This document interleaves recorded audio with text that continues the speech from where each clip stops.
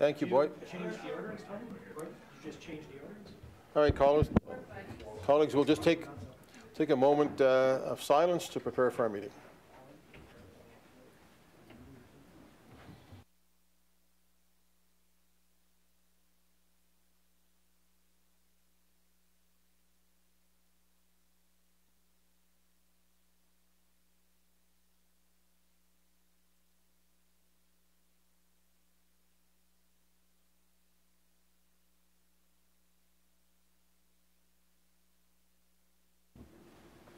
Okay, thank you.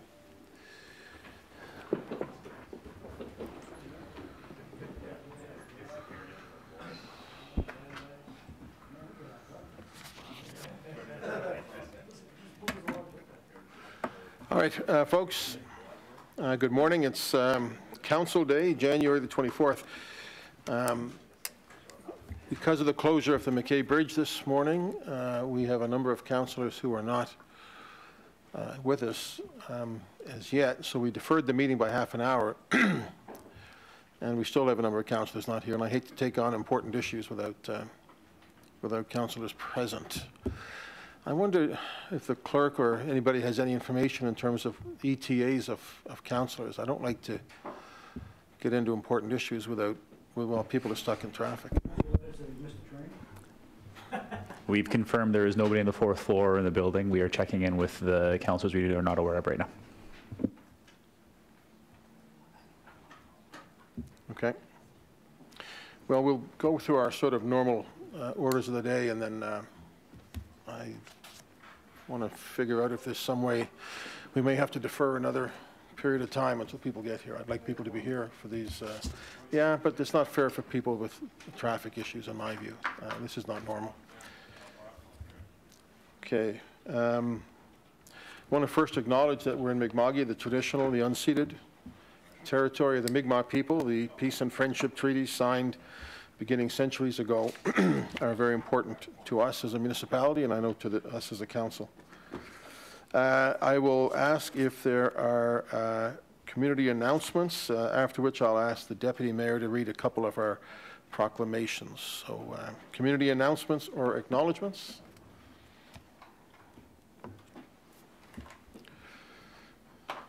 Nobody. Councillor Hendsbee? Councillor Smith? I think we all wait for Councillor Hendsbee to buzz in, and then we buzz in afterwards. really quickly, just have one, um, the, that African Heritage Month opening a night at North Branch Library, which is happening on January 26th, 6:30 to 8:30. You can actually, you can actually join either online or at the North Branch Library, and this is the back to in-person uh, celebrations with lots of great performances. Afri- Africville Genealogy Society uh, will be speaking on their 40th anniversary, and lots of other fun things happening at the opening night. So that's it for me, Mr. Mayor. Thank you, Councillor. Councillor Hendsbee? Uh, Thank you very much, uh, Mr. Mayor. Tomorrow, January 25th, is Let's uh, Let's Talk uh, Bell uh, Day across the country in regards to uh, initiatives to support mental health. Uh, Hopefully, everybody be you know, wearing their their blue Let's Talk paraphernalia and stuff like that, and uh, take an opportunity to text some messages uh, to Let's Talk and help help fund, raise uh, fund, funding for uh, mental health. Also coming up on Friday morning at uh, 9 o'clock, at the uh, Nelson Whynder School of North Preston will be a book launch, The ABCs of North Preston. So it would be a nice opportunity to, I might be a little late for the budget meeting that morning, but I'll be up there with the, with the school children with that book launch. Thank you. Thank you. Uh, Yes, uh, Bell Let's Talk Day is the 25th, so tomorrow morning at 8:30, we will be uh, raising the uh, flag for Bell Let's Talk Day. Encourage everybody to come out and uh, join us for that. Anybody else? Approval of the minutes of January 10th. Moved by Councillor Hendsbee, seconded by Councillor Cuttell.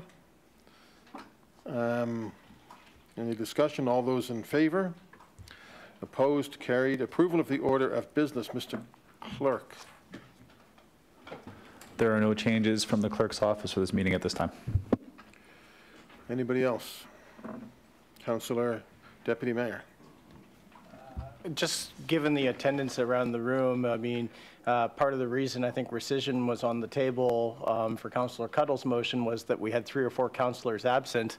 Uh, We would actually have fewer councillors present today for this one than there, so I'm wondering if, if it's okay with Councillor Cuddle thinking that maybe we should put that one at the end of our meeting rather than at the beginning of our meeting, so that we have the most chance for people to be here for it, Or after lunch or something? or after lunch, right after our Yeah. heritage hearings. Is there any reason that couldn't happen, John or Ian? Notice of rescission? So let's move that to right after the heritage hearings at 1 o'clock.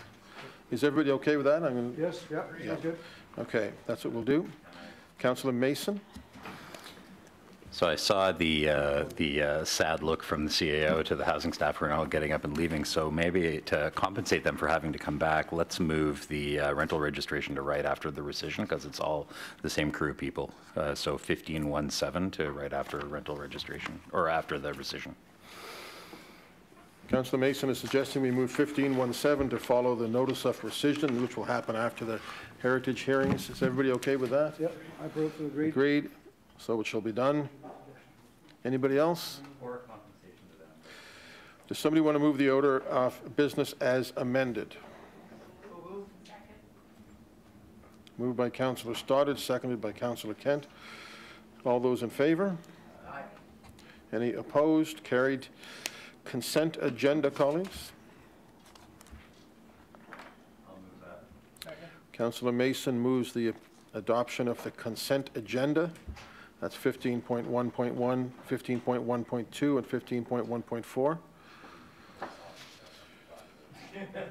No other no other discussion, voting on the consent agenda on our machines. 15.1.1, the deputy mayor will take off consent. 15.1.2 and 15, uh, Councillor Kent? uh, 1512 off as well with Cole Harbor Place. Uh, Counselor Purdy is not here, and I think that that, I would like to have an oppor, give her an opportunity to, to uh, speak to it. Councillor Purdy won't be here. She won't be here today. She sent the note, she won't be here today. So can we? I asked off? Councillor Purdy yesterday if there was anything on the agenda that she Oh, wanted did you? moved to the next meeting, and she said there was nothing that Okay. concerned her, so I don't think it's a problem. Super, thank you. Okay. So we'll leave 15.1.2 on Yep. consent and 15.1.4. Yes, that's easy.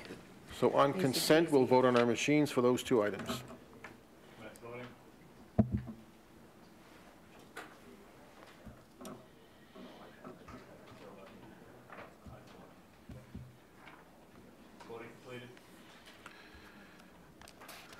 That is uh, adopted.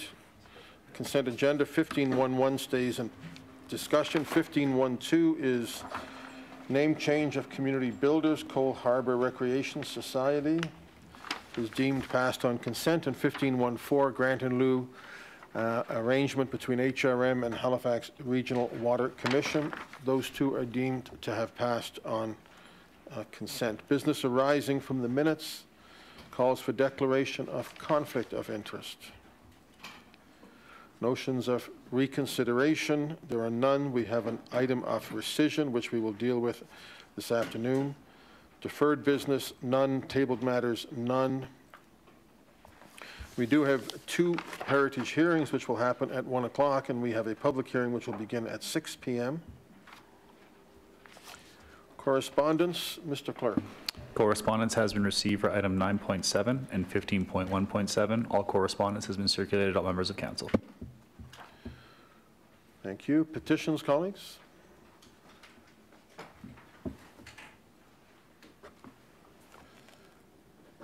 Information items brought forward, there are none. For Councillor Russell's uh, benefit, just to let you know, we've moved the item of uh, rescission to take place directly after the Heritage hearing this afternoon, so that we could have as many people here for that as possible. Um, We'll go to reports 1511, snow and ice clearing contract damage. Deputy Mayor, you wish to speak to this? Maybe you I- can put the motion on the floor and then have your, Sure. So, uh, where's my agenda?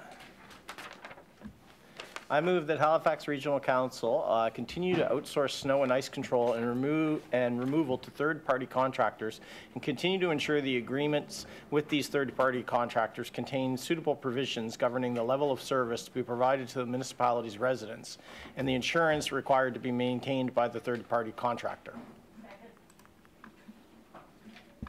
Seconded by Councillor Kent, Deputy Mayor. Uh, Thank you, Mr. Mayor, and, you know, I mean, I always leave my motions fairly open-ended because I always like, uh, you know, uh, I want staff to have as much flexibility uh, to approach things as possible. But uh, this particular one, um, what's come back is fairly uh, inflexible, shall we say. Uh, The options that come back are none. And so the, the issue here on this one for me is, um, yes, I understand from the report as well um, that we, there's, there's legal complexities about who's responsible when, when uh, during snow clearing operations, someone's property gets damaged. However, um, that said, I mean, I don't, I, I reject the idea that we can kind of shrug and just dispense with um, our responsibility here. I mean, the entire reason that there's contractors on our streets to begin with is because they're delivering a municipal service. It's our streets, um, people we've hired to do this. And, you know, generally, uh, my experience has been most our contractors do uh, a, a good job. Um, I have half my district in-house and half contracted out. Um, But uh, there are times there are problems, and it's really unsatisfying from a resident point of view when, you know, to them, it doesn't matter. Uh, To them, it's, my property's been damaged by snow clearing, and they call the municipality, and the response from us is, well, you got to go talk to the contractor. And most of the time, that goes okay, but sometimes, sometimes it doesn't. Sometimes there's uh, disputes with the contractor, and in that situation, I mean, our answer is basically too bad, so sad. Um, And that's really an unsatisfying situation. And so I get the first two parts of my motion, that why we don't want to take that on. Um, But, you know, I was really hoping for more out of that third piece, which is, you know, that kind of the customer service piece, the ombudsman sort of uh, role. And so I, I have a couple of uh, questions for staff, if there's, if someone managed to make it in through the uh, mess that is the traffic today. This staff member uh, took the uh, corporate yacht, so he knows how to get right? Well, that was my solution this morning too, Councillor Mason, Mancini. Um, So, I mean, I guess for me, like, uh, I'll, I'll start by asking, so we, we, uh, in the contract, we have a holdback provision. Um, How does that actually work in terms of damage out there? And, you know, for me, it, it- it's not so much the sod damage. I think our, uh, most, most of the time, the sod stuff is rectified well. It's the more complicated damage that occurs when, when, you know, a retaining wall gets hit, a building gets damaged, those sorts of things that seem to be where more of the complexity and problems are, in my experience, anyway. Good morning. You got to press the button. The mayor to the councillor. It's my understanding that the holdback is for our damage. You can't apply a holdback to damage to other parties.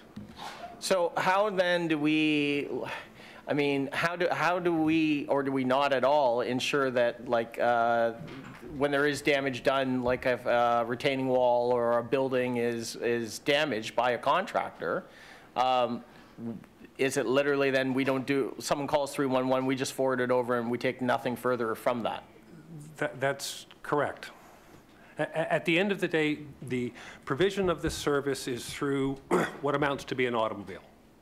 Snow plows and sidewalk uh, equipment is all insured under an auto policy. And under the auto policy, the, the Insurance Act speaks to, you know, who's responsible for, and it's in the purview of the owner of the vehicle and their insurer. And in situations where damage is done to property of others, there's nothing we can do. So literally, um, our message then would be if, uh, if, if you're, ha- if you basically end up in a dispute with a contractor after snow damage is done, um, you have to sue the contractor as a homeowner? You would have to contact their insurer, and then it's up to the, ins- every insurer has the ultimate power of attorney to investigate, negotiate, and settle claims as they see fit. But it's a, a private matter between the person who has damaged and the insurance company of the, the vehicle owner.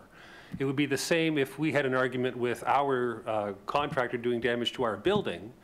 Um, Ultimately, we would have the holdback, but past the holdback, we would have to go through their insurance policy.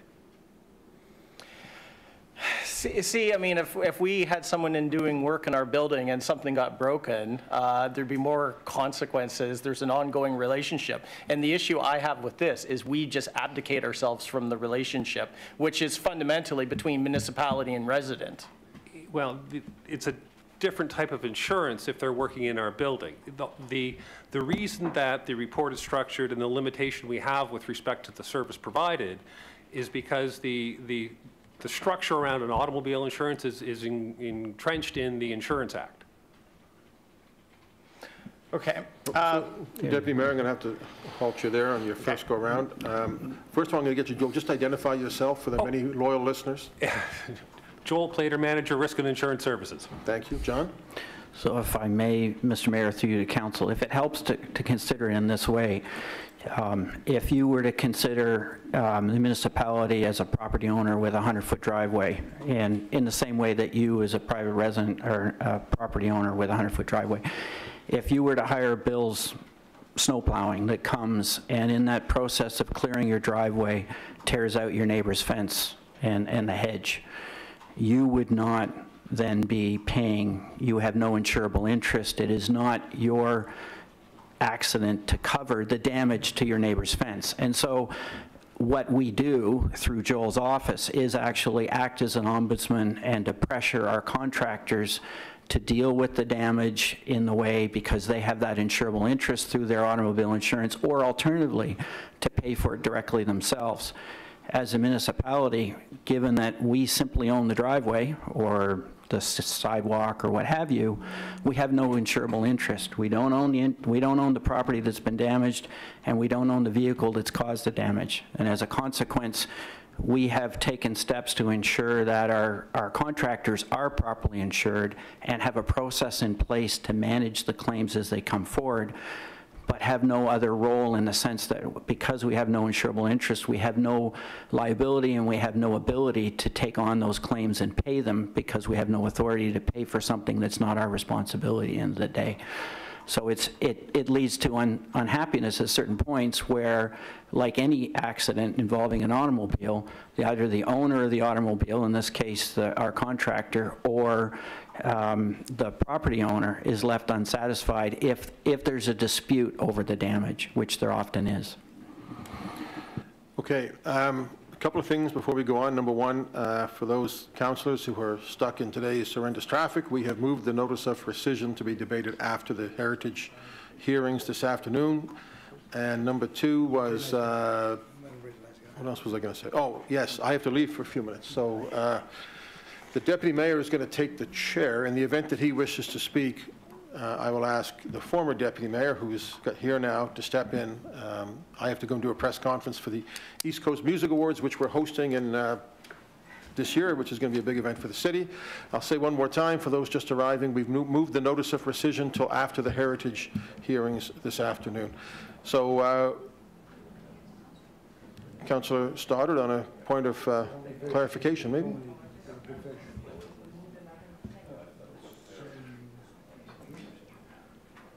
Councillor Stoddard? Thank you, Mr. Mayor. I was uh, just wondering, I thought we had moved another item till after lunch as well. No, yeah, we've, we've, uh, we've moved the notice of rescission, and then it was suggested as soon as we do the notice of rescission, that we would do 1517, so that will follow Okay. uh, the notice of rescission. It's the same staff requirement. Okay, great. Okay. Thank you so much. Okay, thanks to everybody who's made it here. I know it's been a crazy day in traffic. Uh, Councillor Cleary? Thank you, Mr. Mayor. Um, And, you know, thanks to uh, then Councillor, now Deputy Mayor Austin, for bringing this forward in the first place. Um, I have mixed feelings about this, too, but in the six years I've been on council now, I've begun to really appreciate the relationship that we have with the contractors and, in fact, our role, uh, to the Deputy Mayor's point, about customer service. And so, you know, the solicitor mentioned a snowplow on a private driveway, but I mean, any kind of contractor, if you were having home renovations done, you could do them yourself or you could hire a contractor. If they get out and swing their ladder around and hit the neighbor's car or the neighbor's window and take it out, arguably, it's not your fault as the homeowner, but the contractor's fault, which is why you make sure your contractors have insurance before they step on your property. Um, And so, but your neighbor's not going to care. And this is where we get into this whole issue. Your neighbor's going to come after you, and then you're going to have to mediate between the contractor and them and make sure everyone's happy, and they fix the damage. And that's what we do. So, I mean, I, I have regularly mediated these complaints between our, our, you know, public works staff and especially our superintendent of winter operations, uh, Joel and his group, uh, in terms of, you know, explaining this to resident, giving them the contact information for the contractors and, um, you know, advocated and make sure and follow it up. You know, have they fixed the damage come June? Is it repaired?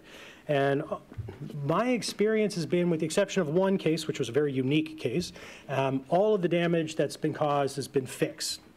Where you get into weird things is they tear up the grass, which is actually on the municipal property, and the resident thinks it's their property, and it's not done to their satisfaction, et cetera.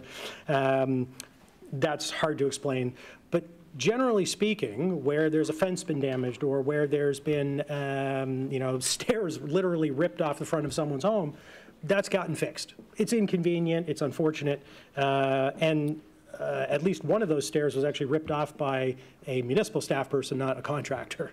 Um, But overall, you know, I've, I've come to appreciate the kind of uh, contractual relationships we have and who covers what.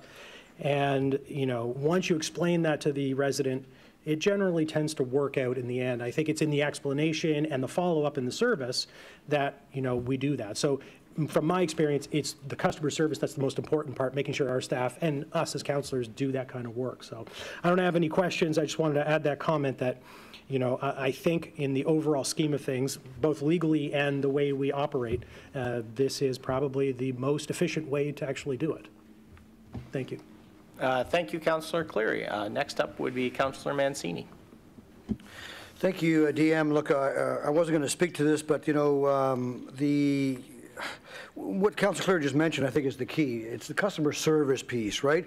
Council Cleary described how he follows up, and I do the same thing. That's the piece that seems to be missing. I think most of us do it, but, uh, you know, is there a way that we can put that customer service piece in there to follow up, you know? Um, uh, uh, Madam Resident, you need to contact 311, uh, the contractor will follow up, you know, is it our staff or ourselves to follow up with the, uh, uh, with the customer after, is it been taken care of? The the piece I wanted to chime in on was what's missing from this, and Joel, I don't know if you can speak to this, because this is more about the contract with the contractor, is the proactive piece. I've got many examples where every winter, the exact same spot, this is the exact same damage. That's, that's the, the challenge. That's, that seems to be, you know, sometimes we'll get a contractor that'll actually come by and put the, the, the little flexible metal post in on their own so that their operator of the Bobcat or whatever they're using doesn't drive over, but not all, all of them do that. And so, you know, is there any way to be proactive where we're constantly, year after year, seeing the exact same spot So I, I know, Joel, that's probably not your piece, but I, I, that, that seems to be missing from this. through Deputy Mayor to the counselor, i- it's my understanding that in most situations, and and perhaps the uh, the the superintendent can speak to it, our contractors do a, a pre-year drive-through, walkthrough of their routes to, uh, it- you know, identify those pitch points. But I'll I'll turn it over to uh, the superintendent. Uh, Hello, yes, uh, Steve New York, Manager of Winter Operations Training. Through you, Deputy Mayor, to the counselor. Uh, Each contractor does routine hazardous assessments every spring, or every spring, sorry, every winter, fall, where they go through, drive through the routes, identify issues, pinch points, retaining walls, planter boxes, etc. Some choose to identify those or flag them with a delineator or something like that. Not all of them do. Uh, We are proactive with talking with them about, you know, problem issues. I know there's a few spots uh, we service in-house in the north end that are very uh, troublesome, and we basically shift those to a hand route, so there's no equipment through there to try and minimize damage. But damage does occur, but Right. we, we do work with them to try and flag it where possible. So those types of requests we can make through you, Stephen, then say, look, you know, this is, re- it's a repeat offense here, the same, can we do something? And then have the conversation with your team, and then you may have, okay, great. Yeah, exactly. That's good, thank you. Thank you, Deputy Mayor. Thank you, Councillor Mancini. Councillor Cuttell. Thank you very much, Deputy Mayor. Um, And uh, Stephen, good to see you. I've been emailing lately, and uh, it's that time of year. Um, Yeah, so the two things on my list are exactly the same as the issues that have just been raised. One is uh, the reporting mechanism, and the other one is dealing with recurring issues and what HRM's role is in that. And, you know, I understand from um, the explanation of the legal process that Mr. Traves just gave us in terms of, you know, you, it's private property, it's a contractor, it's their insurance. But part of the issue is that the residents don't have a choice in who gets hired, right? We have these multi-year contracts, we have recurring issues. I mean, if I hired a contractor who came and didn't do a good job, um, I probably wouldn't hire that contractor again. I, would have a choice in that. The residents who you know, have this recurring damage that happens again and again, I mean, they don't have a choice. It's HRM's selection of a contractor. It's a multi-year contract. And, you know, I do know that HRM um, staff and, and Stephen, that, that, you know, you work closely with the contractors, that will get a new contractor, and that will bring up a whole new set of issues of, you know, making sure that the people that they hire are familiar with the problem areas and where the recurring issues happen. But I think the frustration from the residents' side is that they don't feel they have they have control and much control over the situation. And so to put the whole, you know, ball of snow in their lap to say, you know what, this is, you know, HRM isn't going to step in this. This is a private property issue. Um, I, I think causes a lot of a lot of frustration, particularly when there isn't that that say in, in, in who and who's doing the work or that direct that direct relationship because it's not the resident hiring the contractor it's HRM hiring the contractor. And um, you know and I, and I know like you know the level of complaints we get around the recurring issues you know some people are very fastidious about their lawns you know to much more of a degree than I am about my lawn. Um, but That's why I'm off appeals committee.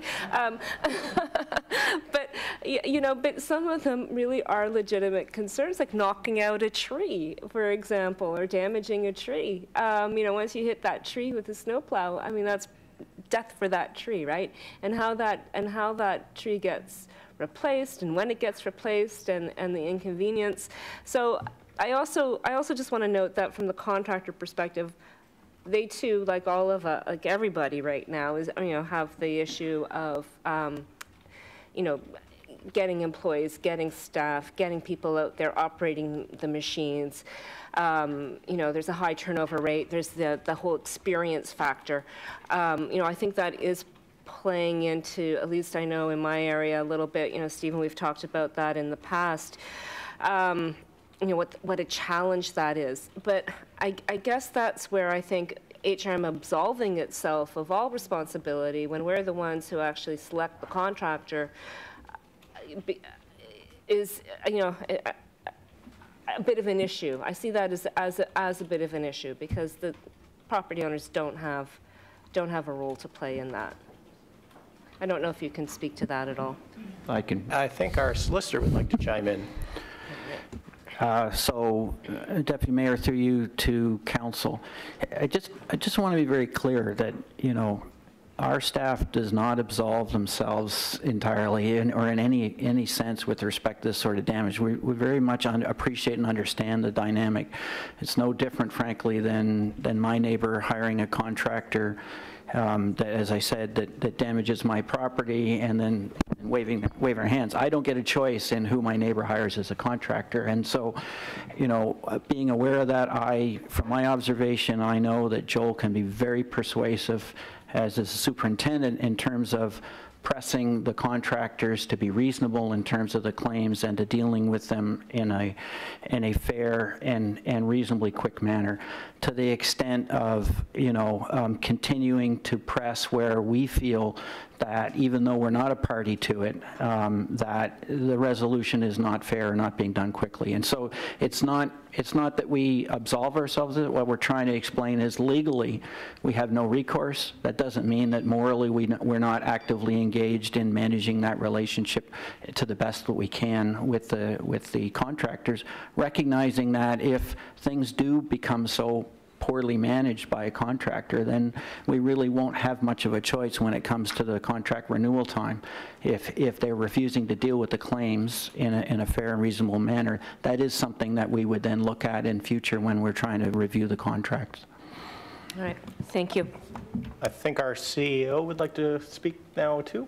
Yes, and uh, John conveyed part of what I wanted to mention is that contractor performance can be taken into account when contract evaluation and award is happening, and specifically how they're interacting with customers. And over the years, the management and expectations set for contractors around how they interact with customers doing snow clearing has really changed and matured a lot, and I think it's a continuous improvement journey. So I'm sure that Stephen, listening today, you know, next time we come around to evaluating and awarding contracts, we'll be looking at how contractors have performed under the existing contracts and what clear language and expectations and service measures we can put in there for future. Right, Thank you. Okay, um, so I think we'll move to Councillor Lovelace next. Good morning. Thank you so much. That was uh, such a lovely drive-in. Um, Good to see everyone, and great to see you guys, Joel and Steve. Um, So I'm, thank you for bringing this off consent, Deputy Mayor uh, Austin. I uh, do, obviously, as many of us do, receive complaints from residents. Uh, And so having kind of a, uh, an in-depth look as far as, you know, mitigating that concern around the dissatisfaction from a customer service perspective, as well as what is our legal role, what is our moral role, this is a really good discussion.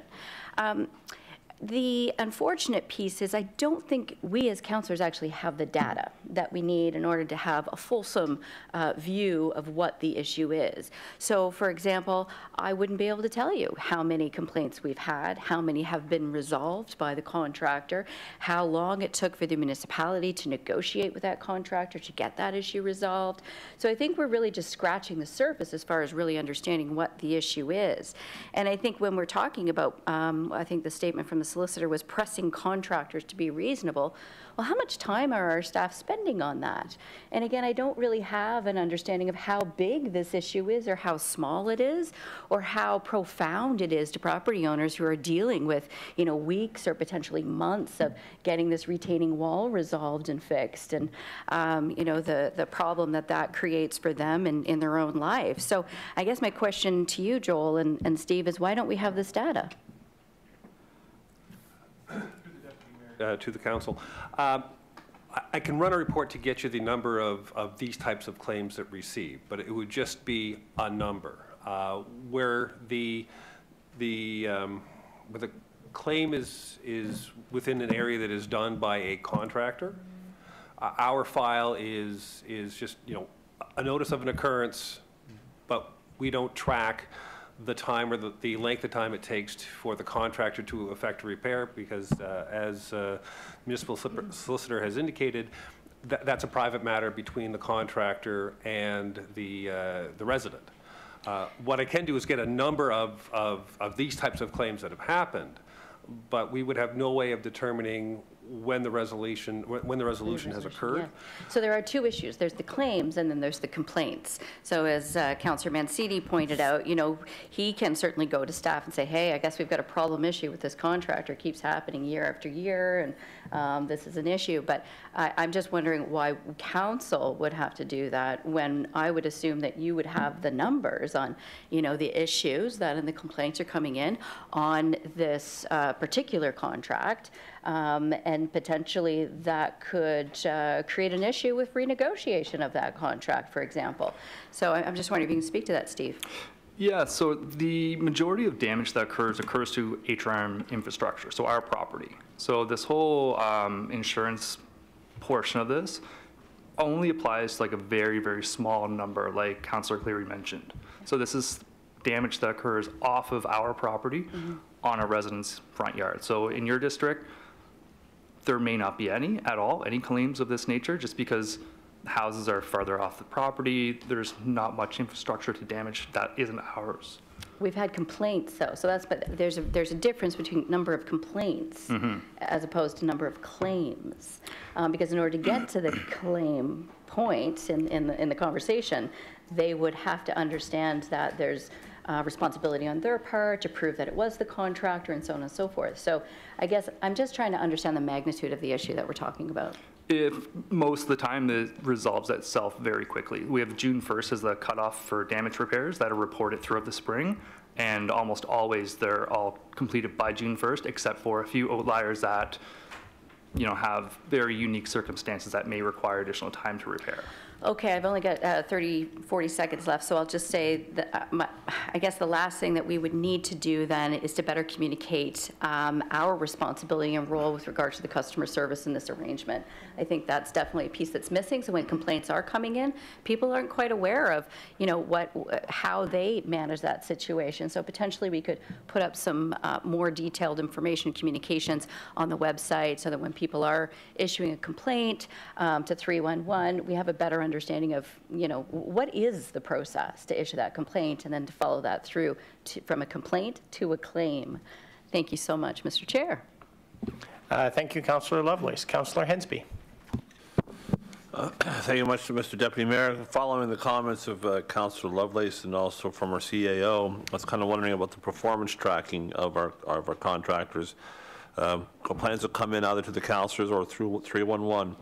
Uh, Are we, are we monitoring that information? Is 311, our contact center, advising the constituent in regards to they must file their complaint to the insurance company of that particular contractor? Will that information be provided to the constituent at that time? If ABC contractor is doing it in my area and does damage, are we going to provide information for ABC contractor's insurance to make the claim against? Because it seems to be very, uh, what I call bureaucratic, I guess you could say, in regards to making a claim. It depends on how, how substantial the, the damage may be. You would think it might be easier for the contractor to go back and just repair it in the spring, because that's what the, the standard uh, thing was. But if you do damage, uh, just document, take pictures of it, and hopefully be back in the spring to fix it before, when the things thaw out. So I'd like to know is how are we going to be tracking all these damage claims if, uh, if, if they're being told just to go contact the the insurance agency? Yes, so uh, through you, Deputy Mayor, to the councillor, when a resident calls 311 with the concern of damage caused by snow plowing, the call is triaged by the team at 301. It's determined then, is it an HRM municipal asset that's been damaged, or is it private property? And that kind of was where the uh, decision tree splits. So if it's uh, HRM infrastructure, it gets sent to us internally, it gets sent to the contractor as well, and our supervisor and the contractor both go and take a look. If it is damaged, it gets compiled to a list, like a master list we keep, and once again, they have that repaired by June 1st. If it's a private property damage, then it gets sent to Joel's group where I'll I'll let him go. When it comes in as a claim for damage to private property, my, my team opens up a claim, contacts the, the resident, discusses, uh, you know, what contractor's responsible for the area, sends a, an email to the resident and to the contractor saying, hey, there's damage, and it it provides an introduction between the two. Uh, If the damage isn't resolved and the resident gets back to us, then we provide them the insurance information so that they can present the claim directly to the insurance company. We tend to give the contractors the first opportunity to go good for the damage that they've caused, and in most situations, it is resolved. And who would do the estimation of the damage in regards to like, does a surveyor or a landscaper going to come on and say it's going to cost you this much to repair their property? Like, how do you, how do you justify a claim in regards to how much it should be? And I don't know if there's going to be a deductible or not and and impacted on the, on the property of the owner or versus the, uh, the- the uh, contractor. And um, I just recently had an experience this past weekend on Thomas Street in Lake Echo where our blade did it some damage to the apron of the driveway. The question is, that apron of the driveway is a paved area, was in the right-of-way of the road, so is that driveway considered municipal property? Or is it considered private property because it was a paved driveway going to this person's home? Uh, Yeah, so that's a very interesting topic. So it comes up all the time where driveway may be higher than the shoulder of the road and it's paved. When the snowplow comes through with the wing, it, it will scratch it. So our take on that is that it is, it's private property within the municipal right-of-way, so there's no right or wrong answer, really. Uh, We, if it's, if it's damaged or structurally damaged to the asphalt, we expect the contractor to cut it out and repave it in correctly. If it's just a surface scratch or a visual thing, then often the contractor will just come through, sometimes a driveway sealer or something like that, to paint it so it uh, is aesthetically pleasing. I can tell you, it's not a scrape. And if you, and if you drive beyond the driveway, you'll see that the edge of the road has been all broken up because of the, the blade boot ripped up the asphalt as well, made a mess. So I'll send some pictures along and make sure sure you guys have a look at it. Thanks. Councillor Outhit. Thank you, uh, Deputy, and I'm glad uh, this came forward. I seconded it when it came forward, and uh, this is something that used to be a real problem in the past. I think it's less of a problem now than when we had the smaller companies and the hourly folks and whatnot doing uh, plowing for us. Uh, Still happens occasionally with mowing. And it's always sort of bothered me that if HRM decides to outsource one of its core responsibilities, and snow removal and mowing of our core responsibilities of HRM, if we choose to outsource it and damage is done, I've always sort of had a problem where the customer would have to get involved with the contractor. I always use the example of, I got wiring done at my house today. Let's say I wanted to switch over to a different uh, internet provider. And they came to the house and they damaged a wall. Well, I would call Aliant. I would call uh, Eastlink, thank you, uh, and, and say, you know, please come and fix my wall that was damaged. I wouldn't expect them to say to me, well, please call Joe and Fred's wire pulling, uh, because we outsource to them, and uh, they will hopefully have good insurance, and, and uh, hopefully they'll get this resolved. If it's not, well, too bad, I guess you can go to court.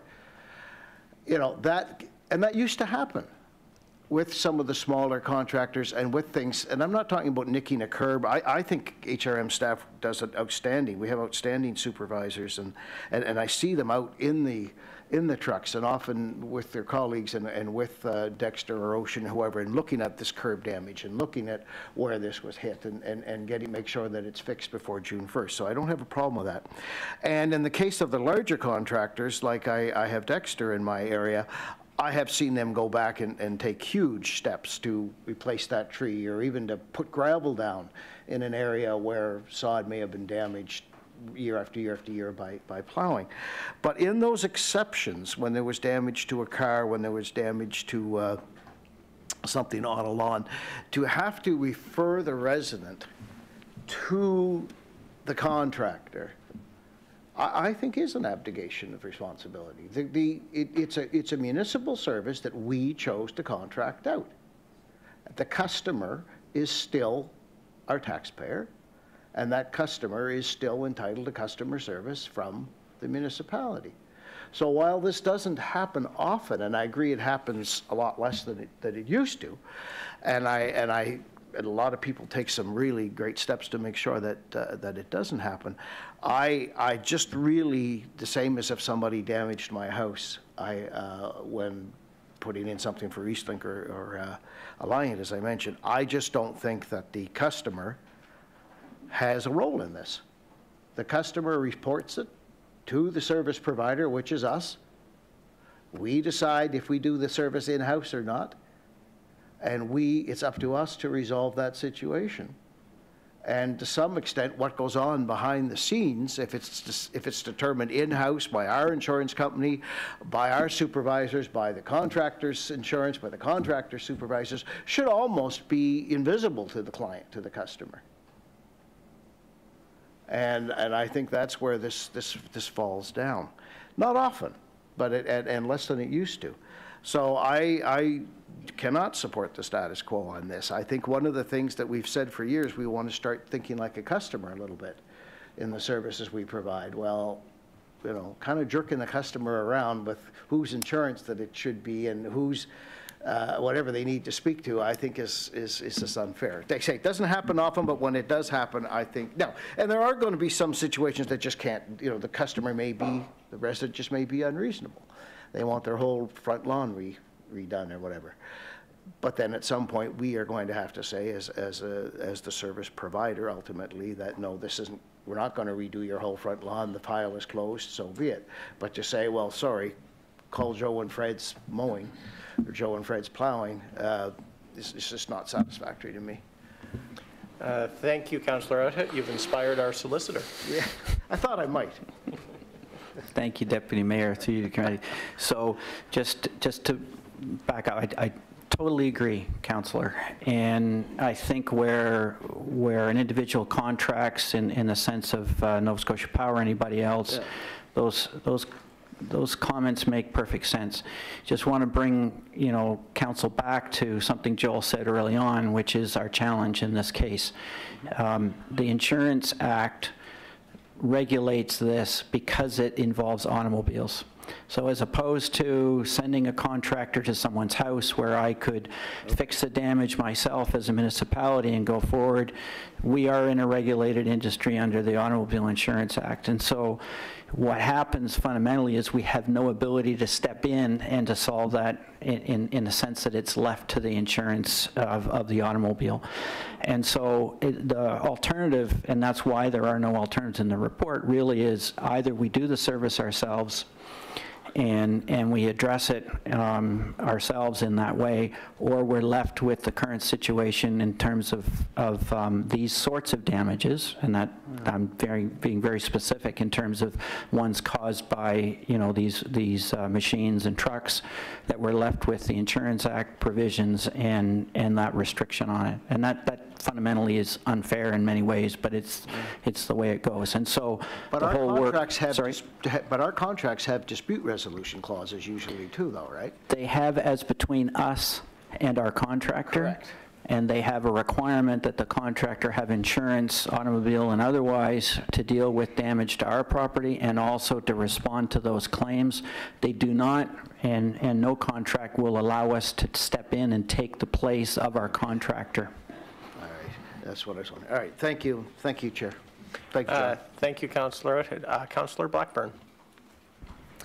Thank you very much, uh, Deputy Mayor. Um, And my apologies if, uh, if this was asked uh, earlier while I was still stuck in traffic, but uh, I've, uh, I've heard the phrase a couple of times said, "We expect the contractor, we expect the contractor." And I'm just wondering, do we have repair quality standards? Like, does HRM follow up on the work? Because uh, certainly more than a few times, it's been expressed to me that, uh, you know, somebody gets their lawn ripped up and the repair is uh, basically a truck slows down to 30, throws a handful of grass seed out and calls it a day. And so I'm just wondering, you know, what is the mechanism in place to make sure that these repairs are, are, you know, quality standard and, and up to our standards? Uh, Yes, uh, so through you, Deputy Mayor, to the councillor, uh, we have a general rule of thumb where if it's grass that's maintained, someone's mowing it actively and and looking after it, the expectation for sod repair is sod. If it's a strip of grass in the right-of-way somewhere that is constantly trampled or something like that, then topsoil and seed Mhm. is typically the the repair.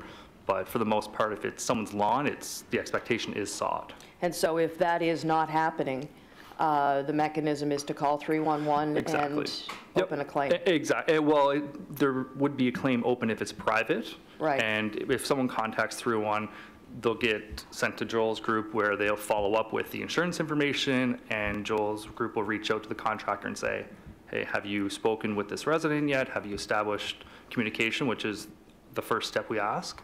And after that, it would become a insurance matter between the two parties.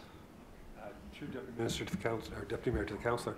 Uh, Yeah, what would hap, we have no ability to, to impose a, a standard of care of repair Mm. on private property.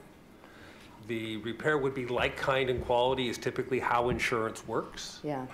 Uh, The, the determination of like, kind, and quality is between the, the property owner and the individual who did the damage or their insurance company. But we would have no standing in, you know, getting involved in whether or not repairs to private property were done to the satisfaction of the homeowner. Uh, What, uh, what Mr. York was saying is the damage to our property, to our sod, to our infrastructure will be picked up through, calling through 311 and, and with those expectations as outlined. Mm. I guess that's the struggle that I have then, that, uh, yeah, much as, uh, as Councillor Outhit uh, expressed, all right, no, appreciate that, thank you. Councillor Smith. Thank you, Deputy, Uh, and thanks, colleagues. This is a great discussion. So, uh, and it was it was mentioned uh, earlier uh, of, of some of the changes happening in North End that kind of deal with a, a- a lot of the issues we've seen in the past. And and, I've, and I'll say, you know, being the district that was usually on top of the list for the most snow complaints uh, for a long time, to now only be in the top three and four, I think kind of says that, that the work and the changes that we've done has been working. Um, so there's only one piece that I feel is a gap between everything that we do here. So if, if uh, within the report, it kind of talks about the timelines of, when we expect the work to be complete and uh, how we get to from when the complaint comes in and, and when it's when it's uh, I guess complete from the repair. And we have timelines, for example, uh, any urgent or safety-related danger, damage, repair requiring immediate attention will be completed within 24 hours. Um, There's some other timelines within there, but we don't keep a timeline on when the repairs are complete. And I think you said that earlier, we don't track when the repair is complete. Uh, Yeah, yeah, so we, we do tracks. We have a master tracking sheet of all repairs that get submitted to us. Um, Our supervisors go through in the spring, and they're always communicating with the contractor um, individually to say, yeah, we have had these ones finished, this one's finished, this one finished for our infrastructure ourselves. Okay, so I must have missed, I thought you, I, I must have misheard that thing, because I thought that you said we don't track the time from when repairs are complete or not. So if that's the case, then, The deputy uh, mayor to councillor, we don't track when the damage to private property is completed. We have Oh, no okay, yes, ability that's to what- tran. okay, that's, that's what I meant, sorry, I should have been clear. Yeah, Okay, got you. We have no ability to track that. Right, so, so the question is, you know, understanding that we do uh, expect, and maybe this, maybe I'm misunderstanding this as well, so the 24 hours to, to respond to the, the issue, is that related to private property as well? Yes. Okay, so, so then that- I guess that's still a gap then. So if we have a timeline on when we expect them to respond to it, why are we not, why do we not have a timeline or track when repairs to private uh, properties come in and when they're complete? Through the deputy uh, mayor to the councillor, because of the issues that the municipal solicitor has outlined where we're not a party to that claim. In order to do that, we would be putting ourselves into a, a- what is a private process between the insurer and, or contractor and the homeowner. But we do ask for the work to be completed by a, a specific date, June 1st. So th- where I'm confused is, there's no way for us to stay within the contract. When you receive a complaint, um, make us aware of when you, when you accept it, and then make us aware when you've completed it, and then we just track that for future dates? That can't happen? Our I can, I like think to- I can, I think I can help with that, um, Deputy Mayor, through you to the counselor. So when the damage is on our property, the issue when it's resolved is when it's resolved to the satisfaction of the owner of the property. When the damage is on our property, then, then Steve and, and staff will determine, yes, they're satisfied and, and it's, and it's fixed and, and satisfactory. When it's on private property, it would be up to the private property owner to decide whether they're satisfied with that or not, and we have no way of tracking that. They do not then respond back to us, and there's no way to force them to say, look, I'm satisfied that the contractor did. It's complaint-driven. So what we hear is, I'm, I'm not satisfied. There's no way to really track whether or not the private property owner has had that resolved to their satisfaction or not. It's simply a matter that the complaints stop coming in, as it were. I, I don't mean to make light of it. No, no, I know what you mean. So, so there's, there is that gap. We can't force the property owners and, and the contractor necessarily. It is something, I think, to your point, we could look at when we do the next round of contracts in terms of saying, listen, we would like some data from the contractor as to how many outstanding unresolved claims you have at any particular time and/or how many have been resolved. But that's something I think for the next go-round of the contract, and I'll- certainly worth looking into. Yeah, and I'll just leave it there. I, I think that's simple. If a contractor gets a complaint, it's like, if they make a list, this is, we when we got the complaints, and this is when we, we solved it with the resident, and then if we get that information, that's just great for us to have as, as a future. And I I don't think that's difficult, because I know they're tracking it as a contractor. Uh, So if that can be looked at, that's really where I'm, all I'm looking for. Thank you. Uh, Thank you, Councillor Smith. Councillor Outhit for a second go-around. Um, Thank you, Chair, and I think Lindell and John touched on this a little. I was wondering, you know, we, we, we have SLA, service level agreements, for when they have to dispatch, when they have to salt, when they have to do, except they being the contractors. I don't understand why it couldn't be an SLA on when they have to address uh, a a complaint on private property. What- What's gnawing at me, and, and, you know, I was on council when we decided to go to, to uh, performance-based contracts, and then I was a little leery about it at first, and I've had a good experience with the contractor that we use. But the benefits of outsourcing were they have different varieties of equipment than we have. They have repair uh, facilities that we don't have, large repair facilities. We have flat rates versus worried about overtime and this sort of thing, benefits we don't have to provide, these sort of things. So there were benefits to us outsourcing, and I think we would agree that those benefits were worth considering. But apparently, there's a disadvantage, though, if you're a homeowner and the damage is done to your property by a contractor versus by the city directly. I mean, one, one could interpret it that way, even though that service provider, that contractor, is sort of acting as our agent, our representative. So I'm, I'm still, and, and John, I, I understand when the Motor Vehicle Act and, and Motor Vehicle Insurance come in here, make it a little more complicated, so that, and that's fair, and thank you. But I don't understand why we can legislate everything else in our contractual agreements with them, I'll call them an SLA, service level agreements, that used to be this thick and are now this thick. I don't understand why we can't have some dispute resolution and why we can't have a, a timeframe around, uh, uh, you know, de- dealing with private property damage. It's just, that's not intuitive to me. Deputy Mayor, through you to the councillor. So certainly, we can embed in an SLA a response time. What we can't embed is the response, which is to deny the claim or, or otherwise. And so that in part is because it's not entirely in the contractor's hands. Oftentimes, it's in their insurance company's hands, and the insurance company is going, so that layers back into this whole piece. And yes, so I arguably there is somewhat of a downside, which, which I would suggest is offset on some of the other bits of it. And so that's just the nature of the beast. We can track it a little bit, but we can't, we can't factor in the decision that the insurance company or the contractor will make in response to the claim. Yes, thank you, thank you. Yes, I just wanted to add also that even if the service were delivered in-house like it used to be, um, there would still be a certain percentage of customers who would not be satisfied. And we would still be dealing with delays and timelines in terms of insurance providers, you know, assessing claims. Yeah.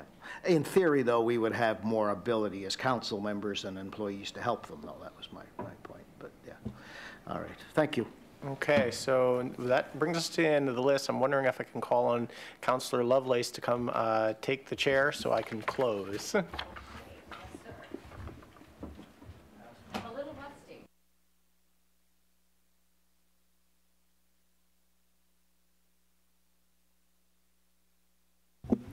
And Deputy Mayor Austin, you're up.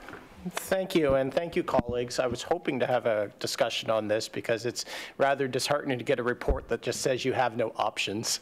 Um, And, you know, there- the piece that came, that's come out of this that actually I quite like was uh, Counselor Outhit and Counselor Smith uh, talking about that in our next batch of contracts, we probably should be tracking some of this, and we probably should be mandating some response times in the contract for dealing with this stuff. Um, Although I thought we had a June or something that's already in there. Yes, mhm, okay.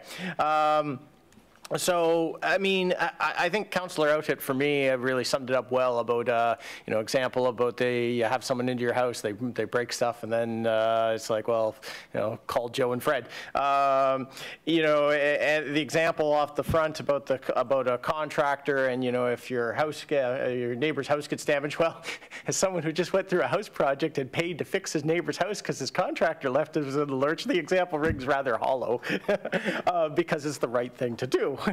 Um, You know, I, the, I wasn't expecting much out of one and two, um, but, you know, I, I- think we do need to look at um, the handoff process here too, right? Like, you know, we talk about it with 311 all the time about, you know, a warm handoff, right? You know, if it's, if we're sending someone over to Halifax Water or to 311, but I mean, with the contractors, it's no, you got to call, you got to con, here's your contractor, you got to contact them. And depending on your contractor, you know, that may go really well, or it might be a, bit, bit more painful. And, you know, and I, I- I do want to say too, like, the, the, the other kind of piece of it, and, you know, um, you know, there's always learning to do around the room. Um, in my six years, I've never spoken with a contractor directly, ever, in my district, because I've never seen that as my role. I've, in fact, saw that as completely something, uh, to me, you know, um, is uh, not, not appropriate for me to be doing, to be, you know, mucking in with the staff relationship there. Um, But maybe I've been, maybe I've been doing my residents a disservice by not doing that based on, you know, what some what Councillor Cleary has shared in terms of like uh, trying to uh, produce some actual outcomes out of it for people. And, you know, that is problematic if it's kind of up to, well, does your, does your local councillor have a good relationship with their contractor or not? Like, that's not a good way to be running things. So I, I, I don't quite know what to do with this. I had been kicking around the idea of a supplemental to try and build on uh, number three about that customer service handoff piece, some of those dynamics, maybe coinciding with the next contract, but I'm not ready with that today, so uh, this is probably something I'm going to have to circle back around to. Thank you, colleagues. All right. Um, That's right where I left off, was Councillor Oster. Uh, Ready for the question, colleagues?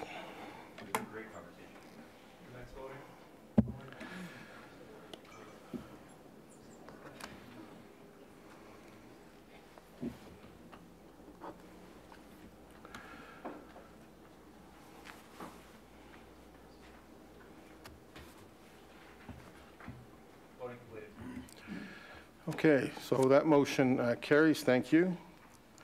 Uh, Item 15.12, we have uh, passed on consent, that's the name change, Community Builders, Inc. 15.13 is first reading proposed bylaw P1203 respecting on-street parking permits. Councillor Smith? No one seemed to jump to the gun for this one, so I move that Halifax Regional Council give first reading to bylaw P 1203, amending bylaw P 1200 on-street parking permits, bylaw as set out in attachment B staff report dated January 16, 2023. Second.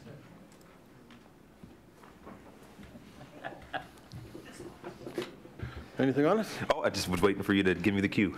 Councillor Smith? Uh, Thank you, thank you, Mr. Mayor. So uh, I don't know about other folks here, but this is one that I know, for me, in my district, I, I I get a ton of complaints and concerns with, so seeing some of these changes, I, I I think are worthwhile, and, and as we have adopted new technology, I think it allows us to be a little bit more creative, so I appreciate some of the, the changes that have come forward. Uh, I'm just wondering, in, uh, I'm assuming there's no presentation or no, okay, cool. So I'm just wondering if staff can just give a little bit of clarity, uh, maybe for myself and, and others that might be wondering how these changes will look.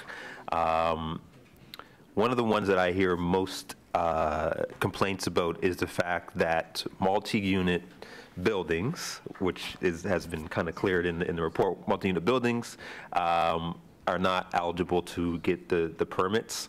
So I just want, if you don't mind, just to talk a little bit about what this change is and how, try to look at dealing with, with those concerns uh, that we hear from residents. And the, the other one, which I'm very interested in as well, is related to the, the, the day use. And so, so I just, the process of residents accessing the day pass, because I know there's different days, I think it was one, three, and seven, just how, how- I guess the lead time, how fast they can get them, what they need to do, is it something you can do at home? Just, because that would be something new, so I'm just wondering if you can talk a little bit about that as well. Good morning. Good morning. Through you, Mr. Mayor, to the councilor, I'm Jeff Nephew, Senior Advisor for Parking Services. Um, To answer your first question, we've looked at the availability, or the eligibility requirements um, in an effort to try and balance the different demands for the curb use in the neighborhood. And four was, four dwelling units was where we drew the line to say um, that that property wouldn't necessarily overwhelm the neighborhood with permits. So if we had an 80-unit building, still is a relatively small curb frontage. If all of those pieces, if all of those units were to have permits, um, it could be more than, than, than the, than the neighborhood streets could handle. So in in a matter of managing capacity, we found that four units was the, the best place to, to draw that line.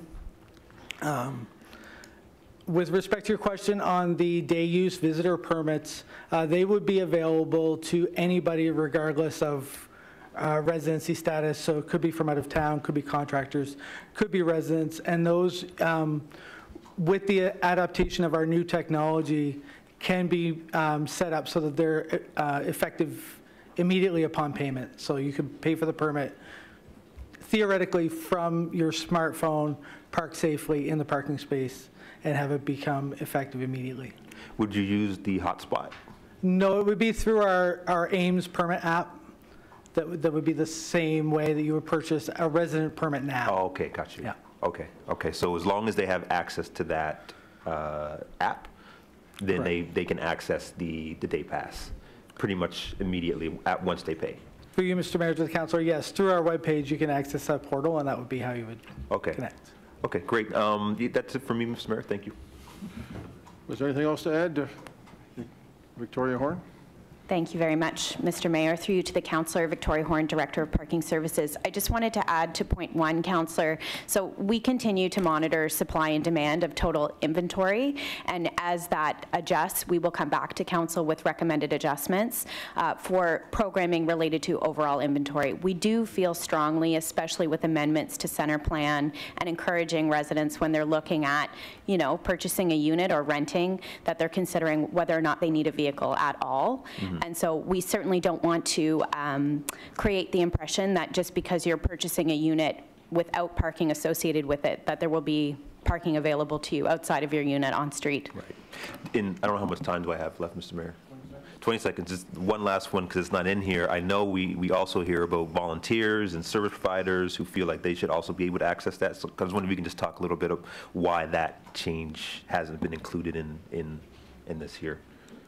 Sure. Through you, Mr. Mayor, to the councillor. Uh, Thank you, councillor, for that question. So council has debated on two different occasions specific permits for uh, service providers like Victorian Order of Nurses, for example. Uh, On those two occasions, council has not voted in support of providing specific permits for that service. Instead, they've opted on the staff option of having this service provider type permit. So in consultation with Victorian Order of Nurses, but also other service provider industries, they found the permit to be inflexible or the fact that they had to come to visit the resident, return to their vehicle to place the permit in their vehicle to be cumbersome and not helpful. So the way it's set up now, as staff are proposing, is that it could be managed from their mobile device, from their computer, or the resident themselves could purchase it for the service provider and manage it for as long as they need it. So it just provides more flexibility. Thank you. Thank you, Mr. Mayor. Thank you, Councillor Cleary. Thank you, Mr. Mayor. Uh, Thank you, Ms. Horn, uh, for this. So I'm, well, let me back up for a second. Uh, If I had my druthers, and I thought it would pass through here, uh, I would vote to have actually paid parking on the street everywhere in the municipality, not just uh, in the urban core. Having uh, said that, I don't think my colleagues are ready for that just yet. But, you know, in, in, in not too many years, it will be important. Um, But, and I'm fine with all of the changes in here, especially uh, changing the rates on the zones in the urban core. Some zones are obviously higher demand than others, and it makes perfect economic and environmental sense to charge more for high-demand areas and less. So, you know, moving from like $40 to 35 in some of those zones, fine. Going up to 70, fine. Um, the one thing that I am concerned about, and it's a very small amount of revenue, so for car share, as an example, the proposal is to go from, well, I forget what the current fee is, thir- 30, 60, something like that? 40. So to go from 40 to $100. Uh, There are, there's only one car share company at the moment in Halifax. Uh, I wish there were more. Um, And the, the number of vehicles must obviously be relatively small because we're only raising, uh, you know, a few thousand dollars from it. And the proposal to go to 100 is only going to raise an extra 5,900 for the entire fleet for the year. Uh, And the operational revenue increase you're looking at here is about 85,300. So it's a small portion of the overall. My concern is that, and I get the benefit to moving to the new permit system so that they can park in other places. Great. But we also, we're not increasing the amount of road available for them. So, you know, it's still going to be difficult for, for the flex fleet uh, to, to move around. And so, um, you know, just give me some, some comfort that, you know, it's not a whole lot of revenue to us, but it will be an extra expense to them. And we're trying to get more people to get rid of their cars, to pick up uh, car share, to ride a bicycle, to take transit. So going from 40 to 100, that's a, a large increase for them, small increase in revenue for us. Why that dramatic increase? Why not go to 60? Why not go to 75? Through you, Mr. Mayor, to the councillor. Uh, So CarShare is a member of our Parking Advisory Committee. Uh, We've met with them on two different occasions to talk with them about their service provision. Uh, They've indicated very healthy growth in their fleet. They're adding additional fleet this year, uh, and they were very much appreciative of and looking forward to the increased flexibility that we're offering them with this permit.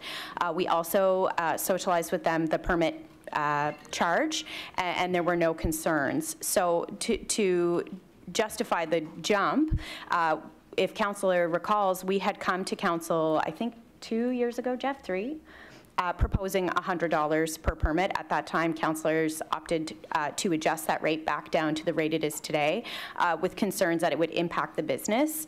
We've seen that to not be the case. The business has grown and flourished, which is great. And so really, it's just about trying to align it with fair market value of, of what the spaces that they're using would be worth. We, this would not be passed on to the user. This is a private business that, that would has indicated for all intents and purposes they're willing to absorb that cost. I will say that they have said that if the price continues to increase, that they would just adjust their flex fleet allocation. So, so really, to answer your question, the jump is arbitrary, but we just got to a place that we felt was relative to all of the other increases that we're imposing. Okay. And since I haven't received a phone call from them complaining, I'm as, I'll assume that they're all good with this and that they see the benefit of that extra parking spaces that they're now allowed to use as a benefit to them. Okay, I'm satisfied with that. Thank you. Thank you. Councillor Russell. Thank you very much. Um, And I appreciate the, uh, the responses to the questions that I fired off uh, a little earlier on this. Um, I, I would like to bring one of them up, and, and there was a, a, a new concern that I heard today. The first one is that uh, many of our apartment buildings are reducing the number of spaces that they have available, um, and they are charging for the spaces that they have available. And I appreciate that the apartment buildings are responsible for providing a space for uh, the tenants that they expect to have the cars. Uh, I, I am concerned that uh, as more of them move to the model that they are now, where they're renting the spaces separately from the apartments, um, that they are going to continue to reduce the space and they're not going to meet that obligation.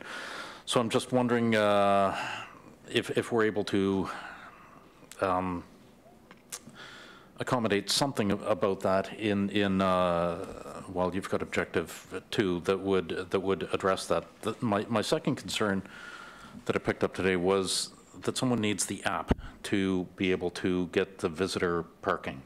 Um, And that's a concern. Uh, We are trying to not limit access to, uh, to people who are visitors, to people who might not be uh, technology-enabled. When I first read the report, I was envisioning that someone would go into a storefront and be able to purchase that, and then if they didn't have a phone, if they are renting a car, if they're a visitor, if they're on an, uh, if they're um, not uh, technologically inclined, then the vendor at the store would be able to take care of that for them, but that's, that doesn't sound like that's the case, and I'm just wondering if you could address both of those, please. Through you, Mr. Mayor, to the councilor, I'll answer your second question because it's the easiest one. All of our, all of our payment, all of, sorry, all of our permits with the exception of the car share permit, which they apply for directly to us, are going to be available for purchase at storefront. So while the app or the website is the easiest way or the quickest way to obtain it, any of these permits would still be available for anybody to walk into Alderney or to Bayers Road and purchase with cash at the counter. So if I'm driving to a place, to use Councillor Clare's example of, of let's have paid parking everywhere, frankly, uh, I, I could see there being a qualifier everywhere that there's a sidewalk, because that would leave out Sackville. Um, Then, uh, then uh, we, we, that, that would be a little bit more encouraging, but to say, I'm going to visit someone near Micmac Mall, that's fine, I don't have a phone. I have to drive down to Alderney, pick up a visitor parking pass, drive back to Micmac? Is that what I heard you say?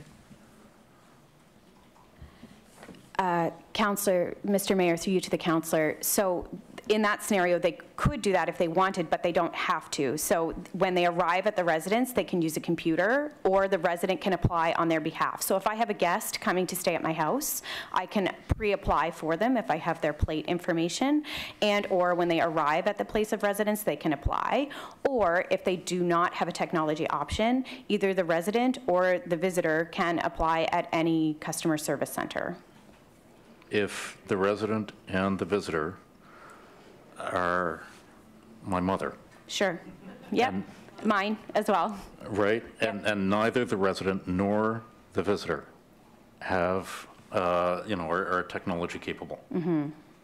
then it's not a problem. They leave where they're going, go down to Alderney, pick up the parking pass, and go back to where they're going. So in that scenario, Counselor, yes, that would be what they would do, but that would be the same scenario that happens today. If they required a visitor permit, they would have to visit a customer service center to, to receive one. Okay, I'm not terribly comfortable with that at all. It's not enough to turn over the report or to request a supplementary, but, uh, but I'm going to think about that and I'll be back. Sure. If I may, just to help alleviate your concerns, I would say that that instance of occurrence is extremely rare and would only be for residential areas that have exclusively paid or restricted parking. So at, in and around Micmac Mall, for example, that would not be an issue, nor would it be in, in anywhere in your district. Okay. Thank you. Thank you. Councillor Lovelace. Thank you, Mr. Mayor. Uh, Thanks for this uh, pre- uh, discussion um, and staff report. Just a quick question, Victoria. Good to see you. So uh, you you gave uh, Councilor Russell a couple of options. I'm just wondering, would one option be, uh, for someone who doesn't have access to the technology or their technology know-how, to just call 311 and say, hey, we need to register? Uh, Is that an option? Through you, Mr. Mayor, to the counselor, unfortunately, no, because 311 cannot accept payment over the phone. Uh, What I will say is that, uh, in the vein of customer service and following the discussion previously, if we had an instance where, you know, it was an elderly resident that was unable to navigate or access the website and they had issues, and again, in the rare occurrence that they would receive a ticket, through the review process, we would certainly be extremely lenient uh, in in our adjudication if they said, look, I I tried, I'm visiting, I'm from out of town, I have no idea how to navigate your parking system. In that instance, we certainly would uh, Wonderful. reve- Thank you so reverse the ticket. Yeah, I I appreciate that. Thank you. Thank you. Nothing else? Ready for the question, colleagues? Thank you, uh, Ms. Horn and Mr. Nephew.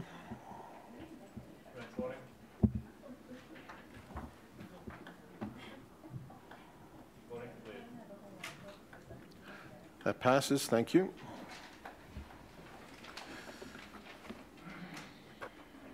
Fifteen point one point four has passed on consent. That's grant in lieu between HRM and the Halifax Regional Water Commission. Fifteen point one point five is the Rapid Housing Initiative Round Three.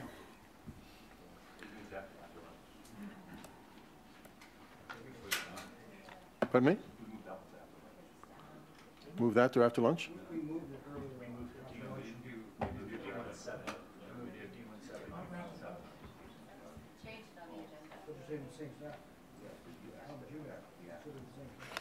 I'm sorry, we didn't move 1515 that I know of.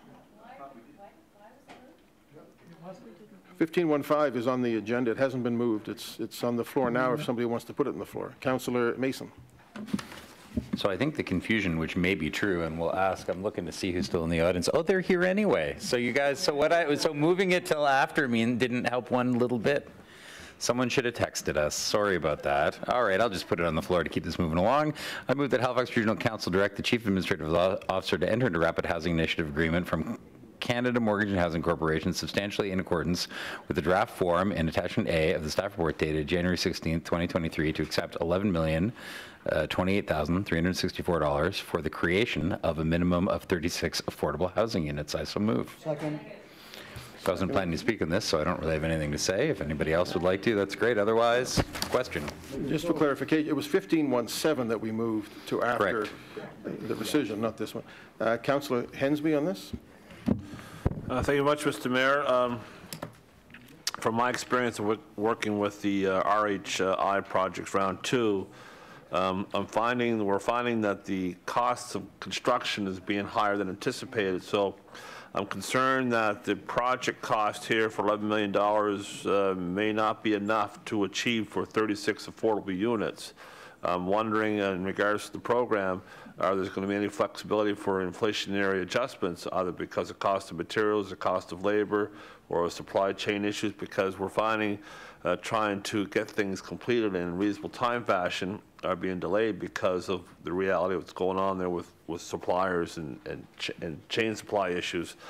So my concern is that um, folks that are making applications for the RHI3 initiative now are trying to try to keep their funds or trying to keep their construction costs close to the RHI2 projects, but it's just not realistic. And I want to know in regards to how we're going to try to implement this program when we know these pressures are real. Julie McClellan. Right, uh, through the mayor to the council, councilor, my name is Jill McClellan. I'm a principal planner with the Priority Planning Group in Planning and Development.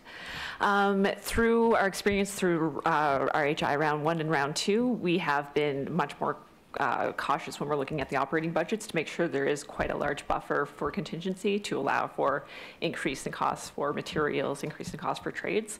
So we have um, had a much better success with the round two projects because there was that larger contingency.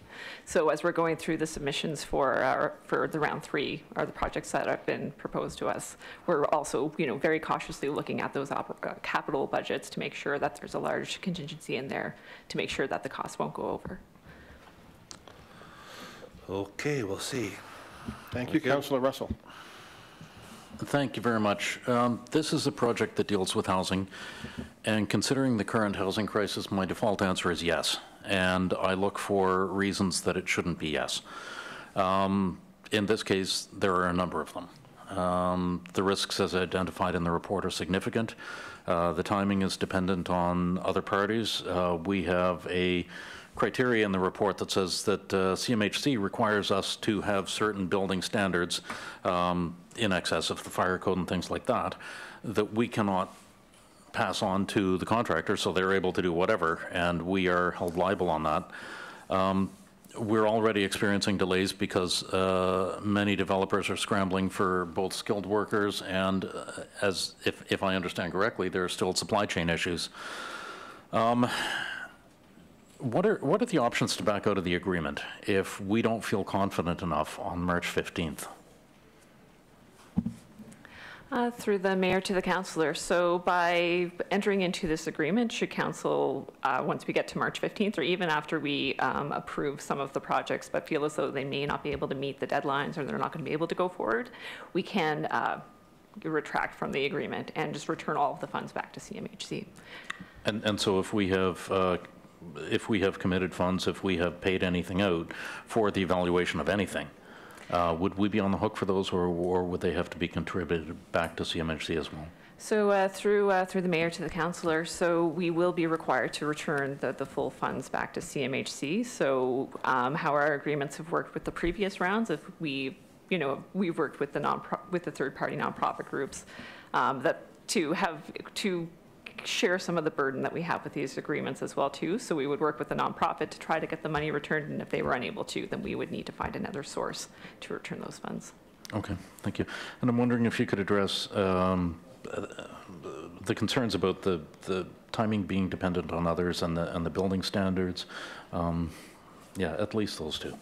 Yeah, so through the mayor to the councillor. So in regards to the energy efficiency standards, so for RHI round three, it's a little different than the earlier rounds of RHI, um, where we're required to meet, uh, you know, certain parts of the energy code from 2015 and from 2017, depending on the type of the building.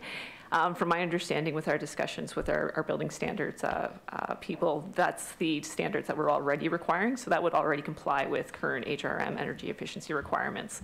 Um, The standard that CMHC is requiring would be the same throughout uh, Canada, so that's why um, it may be different for other municipalities, but for us, it's, it's already within our standards. For the accessibility bit, um, it's part of that contract that we would build into that third-party agreement to require them to go above and beyond our current accessibility standards. So it's, um, we, we do that through that third-party agreement. Okay, I thought I saw in the report that we, that we couldn't, and, We and would, that's, we wouldn't be able to do it through um, our, you know, as a land use bylaw provision, you know, or uh, through, through our permitting review saying you have to do this. It's through, without that, I guess, third-party agreement to require that, if that makes sense. okay, thank you. Thank you. Councillor Cuttell. Thank you, Ms- Mr. Mayor. Um, Yeah, I think it's, it's great that we're seeing more funding coming from the federal government for affordable housing. Uh, You know, I just want to note um, how we stretched that with our partners in the last round to provide a lot more affordable units than um, required through the funding program. And I think that's really exciting. And I, I just want to, I noted in the report that, you know, we're, you know, the confidence with which we're moving forward and that we've already identified some partners for this. And, um, you know, to Councillor Russell's points, you know, in terms of, in terms of the confidence on being able to deliver, um, I take it, you know, we have these relationships. You have some confidence that we're going to be able to meet this. We wouldn't be applying for this funding if that confidence didn't exist. And I'm just wondering if you can just reassure us a little bit about that. For sure. So through the mayor to the councillor, so for some clarification, we, we are not applying for this funding. CMHC has selected us as a, as a, a city stream uh, municipality. Um, However, though, you know, staff still, still welcome this, uh, welcome this program. Um, And yes, based on the, when we're doing our review of the submissions, we do, do, we do look at the viability of the organization and, you know, their past experience with doing, you know, these types of projects and uh, providing deeply affordable housing as well, too. So that's all looked into as part of our uh, consideration. I will also note, too, um, in the previous rounds of RHI, projects have been given 12 months to do their, complete their development. However, in this third round, we've been given up to 18 months, and that 18 months will not start until the spring, so until, you know, the projects are, you know, our projects are um, selected and approved by CMHC, which we're expecting for May. So we do have a, I won't say it's large window, but a larger window than previous years to get these projects complete. And CMHC has appreciated that 12 months is a very ambitious timeline, hence why they extended it. Great. Thank you. Thank you. Councillor Smith. Thank you, Mr. Mayor. And just on that last point around the, the more time and, and knowing a fair amount of the projects who received funding, you know, that 12, that 12 month, in the past was, was difficult.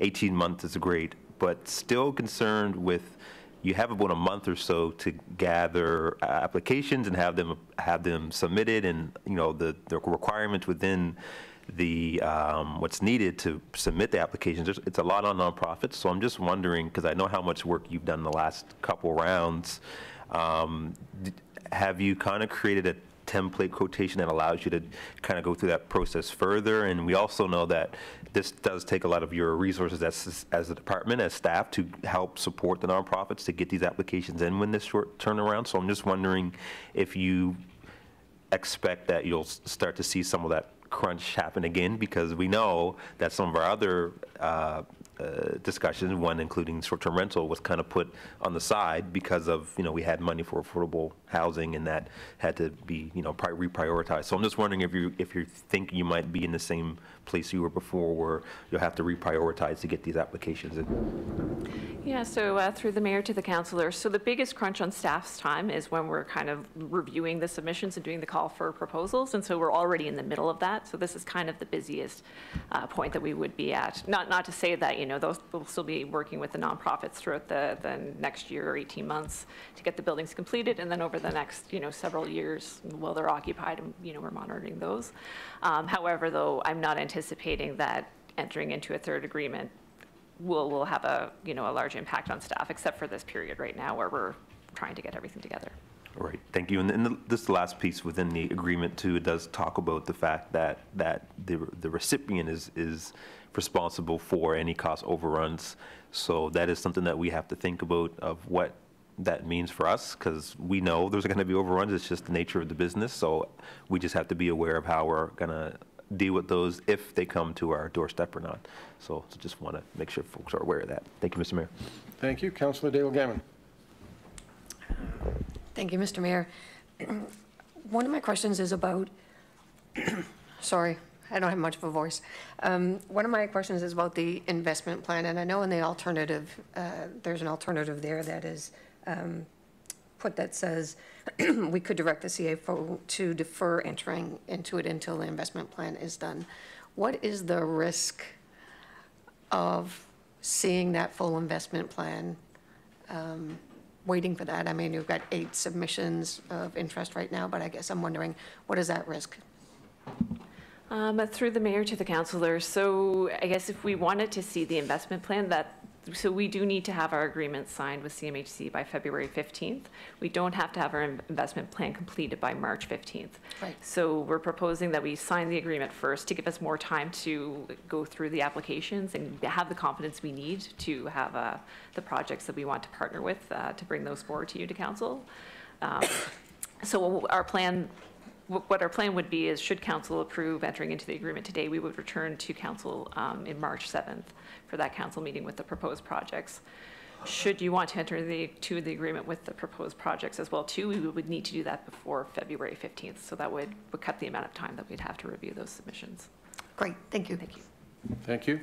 I want to just say a word on this. uh, uh, Thank you, Jillian, to you and your team, to Kelly, to everybody who's worked so hard on these. There's a lot of work for us on these rapid housing initiatives, but we, uh, Councillor Russell and Councillor Hendsbee have brought forward really legitimate issues, particularly around, you know, cost and flexibility. Um, But I do recall the first round of RHI, we were asked to create 28 housing units, I believe, and we created 50-some.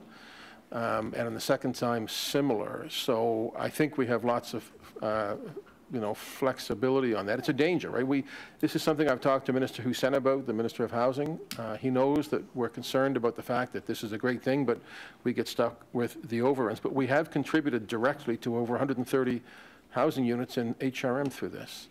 Um, including the Overlook. um, And some of these, most of these projects wouldn't have happened without rapid housing initiatives. So th- these are housing, this is housing that we, uh, we do need uh, in this city. And I also want to thank the province. The province have been part of this. They've supported with the wraparound services on those initiatives. And provinces, in a lot of cases, were a little agitated that the feds work directly with municipalities, which I think is great, but I understand from a provincial point of view, they had to come after the fact, but they have supported this process. And I know from talking to the minister recently that uh, we'll be involved in, the province will be involved in having a look at this, I think, from the beginning. So I want to thank the province for that. All right, colleagues, ready for the question on this?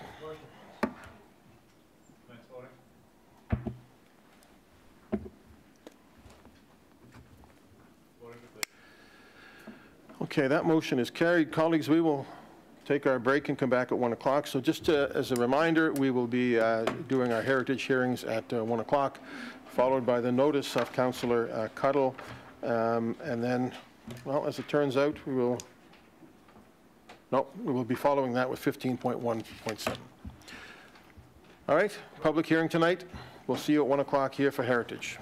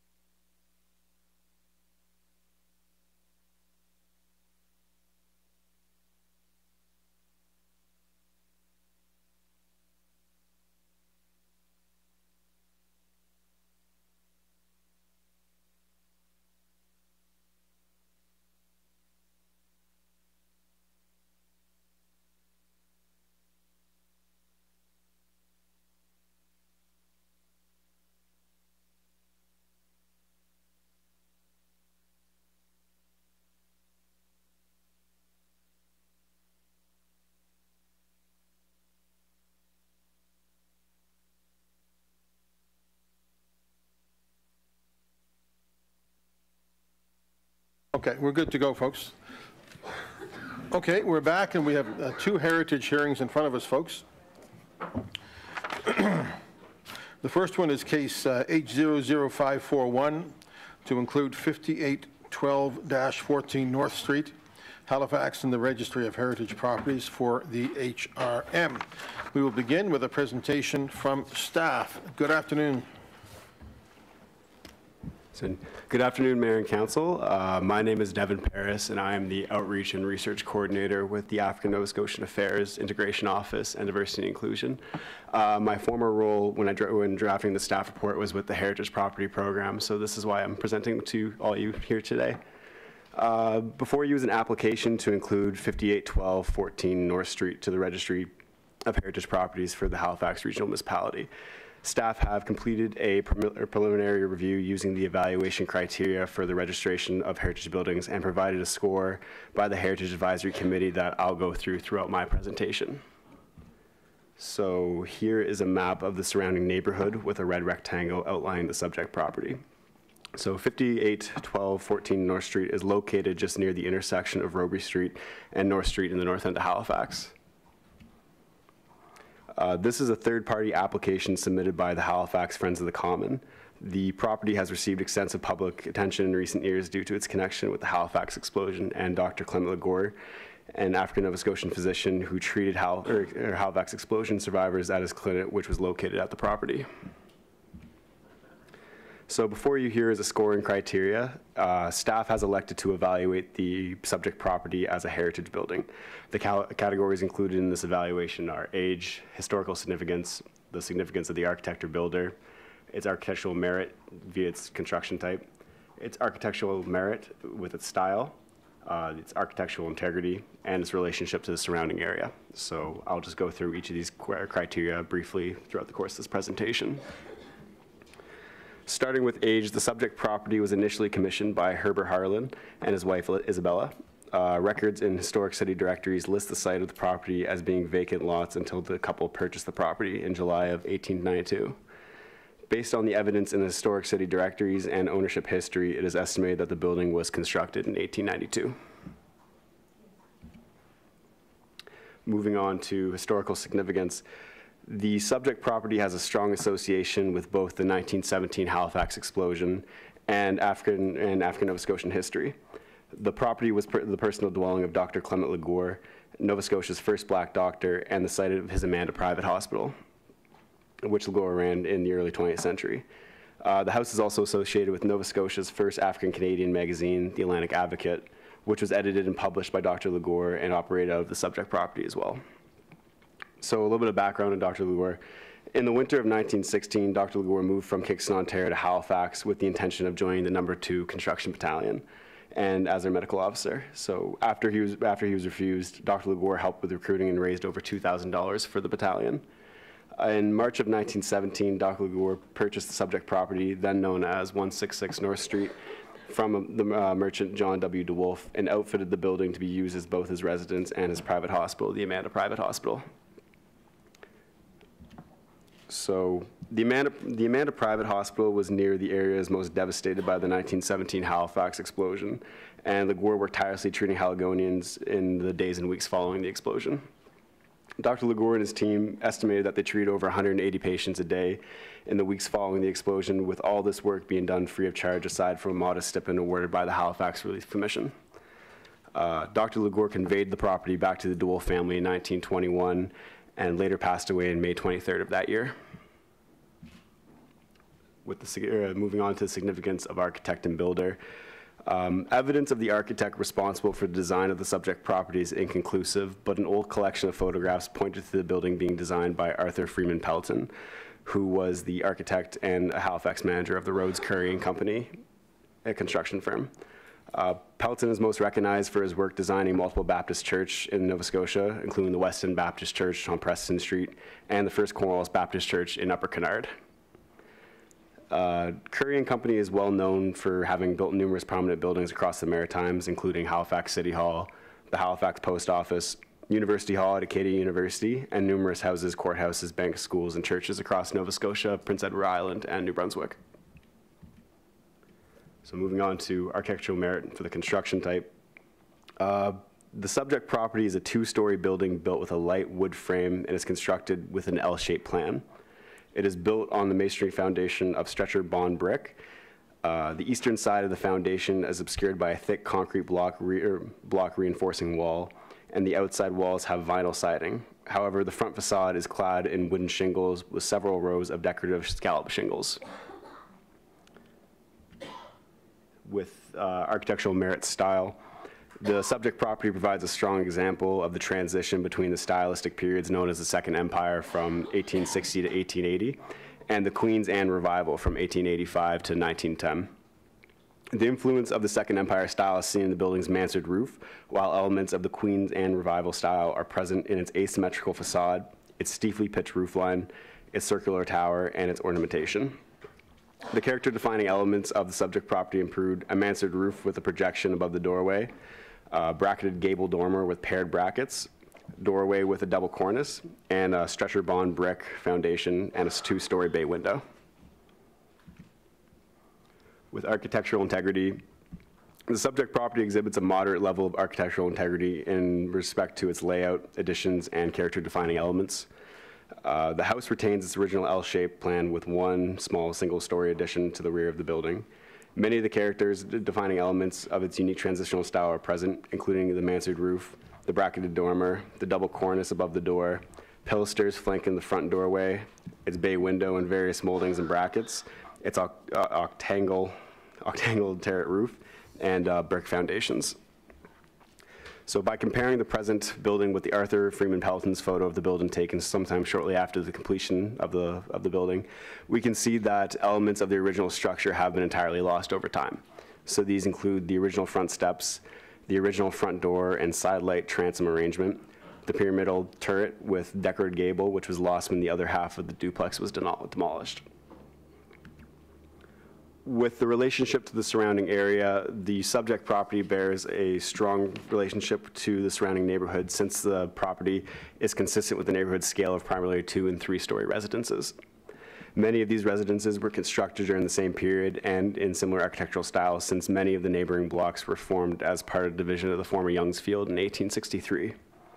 The immediate surrounding of the subject property consists of a mix of residential and commercial uses. The surrounding streets are home to multiple unregistered or contributing heritage properties, with some notable examples including the former J. Wesley Smith Memorial Church, which is now the All Nations Christian Reformed Church, and the Maritime Telegraph and, and uh, Telephone Company building. The subject property, uh, 5816 North Street and 2 and 2590 Robie Street make up a trio of Queen Anne Revival-inspired homes in the neighborhood. All in all, there are about 10, or there are 10 registered heritage properties in the surrounding area that further contribute to this historic, or this neighborhood's historical character. So in terms of scoring by the Heritage Advisory Committee, the property scored 65 out of a possible 100 points. Um, 50 points is usually is the threshold for a positive recommendation. So the subject property scored relatively well at the Heritage Advisory Committee.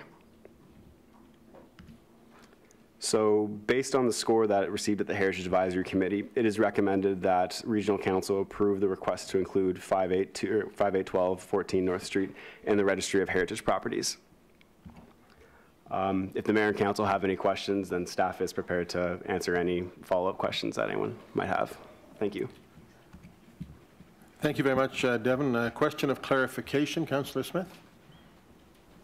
Thank you, Mr. Mayor, and great to see you, Devin. I wonder if we can have the presentation back up, back to the slide we're comparing today in the original property. And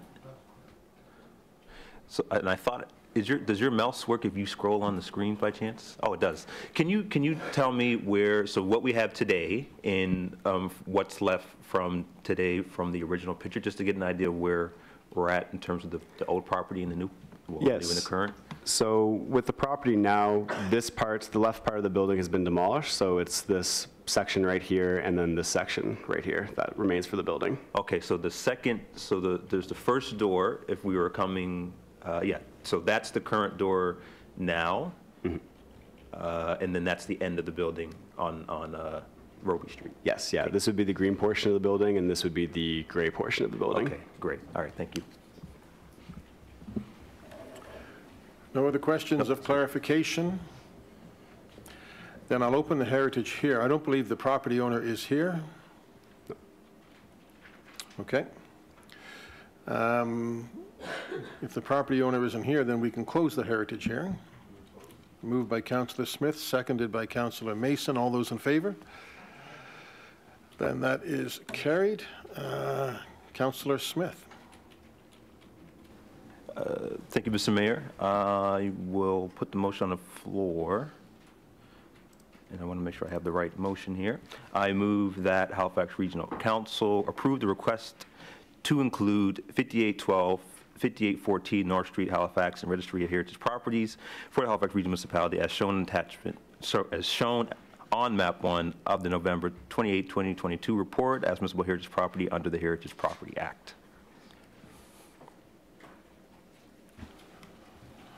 Seconded by Councillor Stoddard, I think I saw. Uh, Councillor Smith? Thank you. I wonder before I uh, get into my remark, because I think it's an important piece that we just didn't cover during the presentation, just the difference between um, uh, third-party heritage uh, registration um, and then a regular of why only the property owners can speak, just for folks who might not understand why we, no one else can have an opportunity to speak before I, before I go. So I don't know if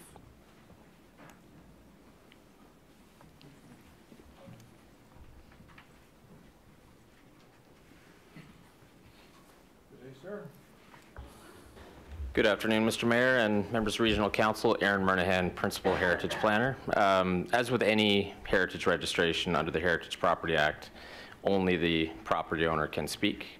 Um, And that is a standard across municipalities throughout Nova Scotia. And it's uh, a standard that we have, uh, have used here procedurally in HRM as well. So independent of whether it is a third party or an owner initiated or a council initiated, initiated application, uh, in all of those cases, only the property owner would be able to speak currently. Okay, I just wanted to make sure that was clear for folks. Um, So if you don't mind, I'll just, I'll just start. So, so I just wanted to say, one, thank you to staff and, and the work that was done to get to this point today, and also uh, the community for bringing this forward, but also, you know, bringing more attention to this property in general.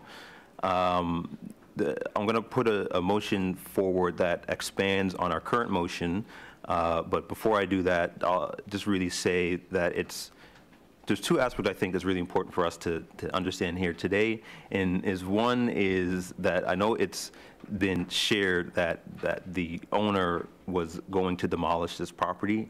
And, you know, I've had a discussion with the owner and the owner was very clear that there was no intention to demolish this property whatsoever. Um, but also it's important to understand that this property actually is outside of Transportation Reserve and that's been one of the things that have been uh, discussed that this property will be tore down by the city when we are looking at doing the transportation reserve on Robie Street. This is actually outside of that reserve, so the, the city is not intending to, to demolish this property at all uh, as well. So, so with that, the, the owner, when I spoke with, to them to understand where they were felt about this, they said no matter where the city goes, whether they decide to register or not, we support, um, because at the end of the day, if they, if it gets registered, they have the opportunity to use a heritage DA, which gives them more rights for development. Um, And if it doesn't get developed, then they just do what they feel they want to do. So no matter what, they're happy with whatever decision we make today. Um, But for, for me today, I believe that we should register the heritage property um, for, for vast uh, reasons, but I'll I'll leave those comments to when I put the other motion on the floor. But what I will say is, it was very, you know, to see the correspondence that came in, I think was, was great, but also some of it I felt was a little um, uh, disingenuous, disingenuous, if I must say, because I saw a lot of, well, this property uh, will preserve black heritage, which I don't think that we should rely on buildings to preserve black heritage. Um, there's much, a lot more to it. I can tell you if, if the, the great doctor, from the work that we've seen, would have done his work in any building in the city, uh, would have did this work in a tent in the, the Commons, because I, I, so I don't believe saying that um, this building has somehow will preserve black history and uh, is, is, you know, unfortunate, but I understand because the, the work was done by the doctor in here and, and served many, many, many community members, so we must preserve that in some way. But really, for me, it's looking at the bigger picture of how do we preserve the history um, in a, a larger sense rather than just a plaque. Um, So that's my motion I'm going to bring forward after I hear from other colleagues, looking at the broader um, aspect of what we can do to look at preserving this history in a bigger sense, rather than just registering as a heritage property and kind of leaving it there. Um, So with that, I'll save the rest of my comments for when I come back with the motion and look forward to hearing, um, hopefully getting support from colleagues. Thank you, Councillor. Councillor Stoddard. Thank you, Mr. Mayor. We've heard a lot about Mr. Leg- Lejour, sorry about that, um, as being the first uh, African-Canadian, African Nova Scotia medical doctor. We heard about him treating uh, over, um, I'm sorry, can't read my own notes, um, treating hundreds of the injured in Halifax during this, during the Halifax explosion. We understood that he was co-founder of Number Two Construction, and he was the editor of the first black newspaper. Um, To Councillor Smith's point, very little is told about our Halifax history in toll. It's not just about the black history. Um, I would like to mention that our own Dr. Robert Strang has received a doctorate from the Clement Ligoure Award in 2021. This award honors a physician for their excellence during an unprecedented times. I would just like to add that. Thank you. Thank you. Very appropriate. Councillor Hendsbee. Well, Mr. Mayor and- and council, when opportunities like this are before us, I think we should take every opportunity as possible to preserve some of the heritage of the African Nova Scotia community. Um, We've hearing about the opportunities to move forward in regards to the Viola Des, Viola Desmond's um, beauty salon in north into Halifax, of having that preserved. We recently seen the preservation of the, uh, the old Nova Scotia Home for Colored Children, now known as Kinney Place, being preserved and, and, and revigorated. Um, The story of this particular doctor came to light, you know, when we did a research from the uh, Nova Scotia Home on the 100th anniversary of the explosion of uh, of 1917, because originally the home was supposed to open north end of Halifax. And we, we, we had a research uh, done by uh, David Woods, with the, uh, everybody knows him as an astound, um, uh, uh, accomplished uh, black artist and researcher. And he found this story about this particular doctor in regards to how much significant contribution he's made to, to the Halifax. And I think that this particular um, uh, place should have a place in our history. Uh, More than just, yes, it should have a plaque. It should become a part of a heritage trail of, of uh, significant uh, places in Halifax region uh, for the African Nova Scotia community. And I'll be supporting the application to move forward. Thank you. Thank you. Councillor Smith. Thank you, Mr. Mayor. It- it- So there's late breaking news, so the, the motion that I intended to bring forward is actually, because this is a hearing, this would be outside of that, so this has to be a notice of motion, which is fine. I- I'm not, I don't have any issue with that. But what I'll do for, for, I'll just, I'll read the intent of what I'm, what that notice of motion will be, just in case folks don't stay to the end of the meeting to listen to the council. Um, So the, the intent of the motion was, uh, again, I'm not putting a motion on the floor, I'm just reading it for, for the, the record. Um, Direct the CAO to provide options to regional council regarding potential future uses of the property that would recognize its historical importance, including but not limited to, one, collaborating with the property owner to preserve and commemorate the property's history as part of a redevelopment. Two, purchasing the property for preservation and redevelopment by the municipality. Or three, purchasing the property with the goal of providing a space to nonprofit healthcare or affordable housing service providers associated with the Nova Scotian community uh, in the North End. So, so the, the, the, I, I've had discussions with the Nova Scotia Health, uh, Nova Scotia Brotherhood, which services the African Nova Scotian community related to healthcare. Um, and I'll be very clear that they are interested in having further discussions on this property potentially becoming um, uh, a satellite healthcare service station, or uh, clinic, or um, something along those lines. Again, I'll say clearly, they're interested in having further conversations. They haven't committed to it, but they're aware of it. We had, we had a very, very quick discussion that they're interested in having those conversations. So um, with that, with with that, that's, that's it. Thank you. Thank you. Thank you, uh, Councillor. I personally can't understand why anybody would leave before this meeting is over, but if they do, uh, you have explained what, what would happen. Um, Okay, is there any uh, further discussion on this? Are we ready for the question?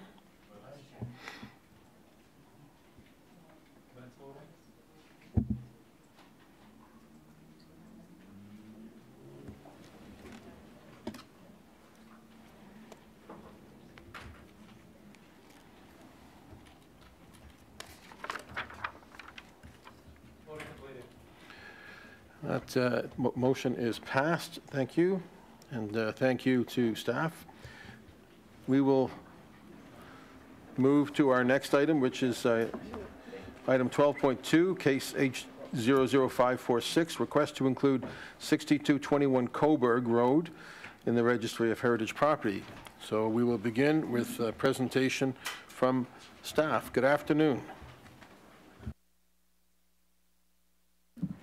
Uh, my name is Carbo McPhee. I'm the Heritage Planning Researcher with HRM's Heritage Property Program, and this is my first such presentation, hopefully not my last. Uh, this is case H00546, the Heritage Registration Application for 6221 Coburg Road in Halifax. In June of 2022, a first-party application was made by the property owners to consider the inclusion of 6221 Coburg Road in the Registry of Heritage Property for the Halifax Regional Municipality. The owner is in attendance in this meeting and will be making a statement in support of this registration. The subject property is located in the Old West End neighborhood on the northern side of Coburg Road between the intersections with Walnut Street and LeMarchant Street. At their November 2022 meeting, the Heritage Advisory Committee evaluated the subject property using the six cri- evaluation criteria shown here. I will go through each criterion summarizing staff's findings, and I will outline the score awarded by HAC at the end of the presentation. The first such criterion is age. The subject dwelling, which was originally situated on a 10-acre plot of land, was, com- uh, was completed sometime between 1790 and 1796, this being the time frame during which the property was owned by Lawrence Hartshorne. The deed history for the property shows a tenfold increase in property value over this time frame, suggesting the construction of a dwelling. The construction technology used in this home is consistent with this early time period, and as a proponent of agricultural improvement and having established a model farm in Dartmouth, Hartshorne had adequate reason to be buying and establishing another farm on this 10-acre plot.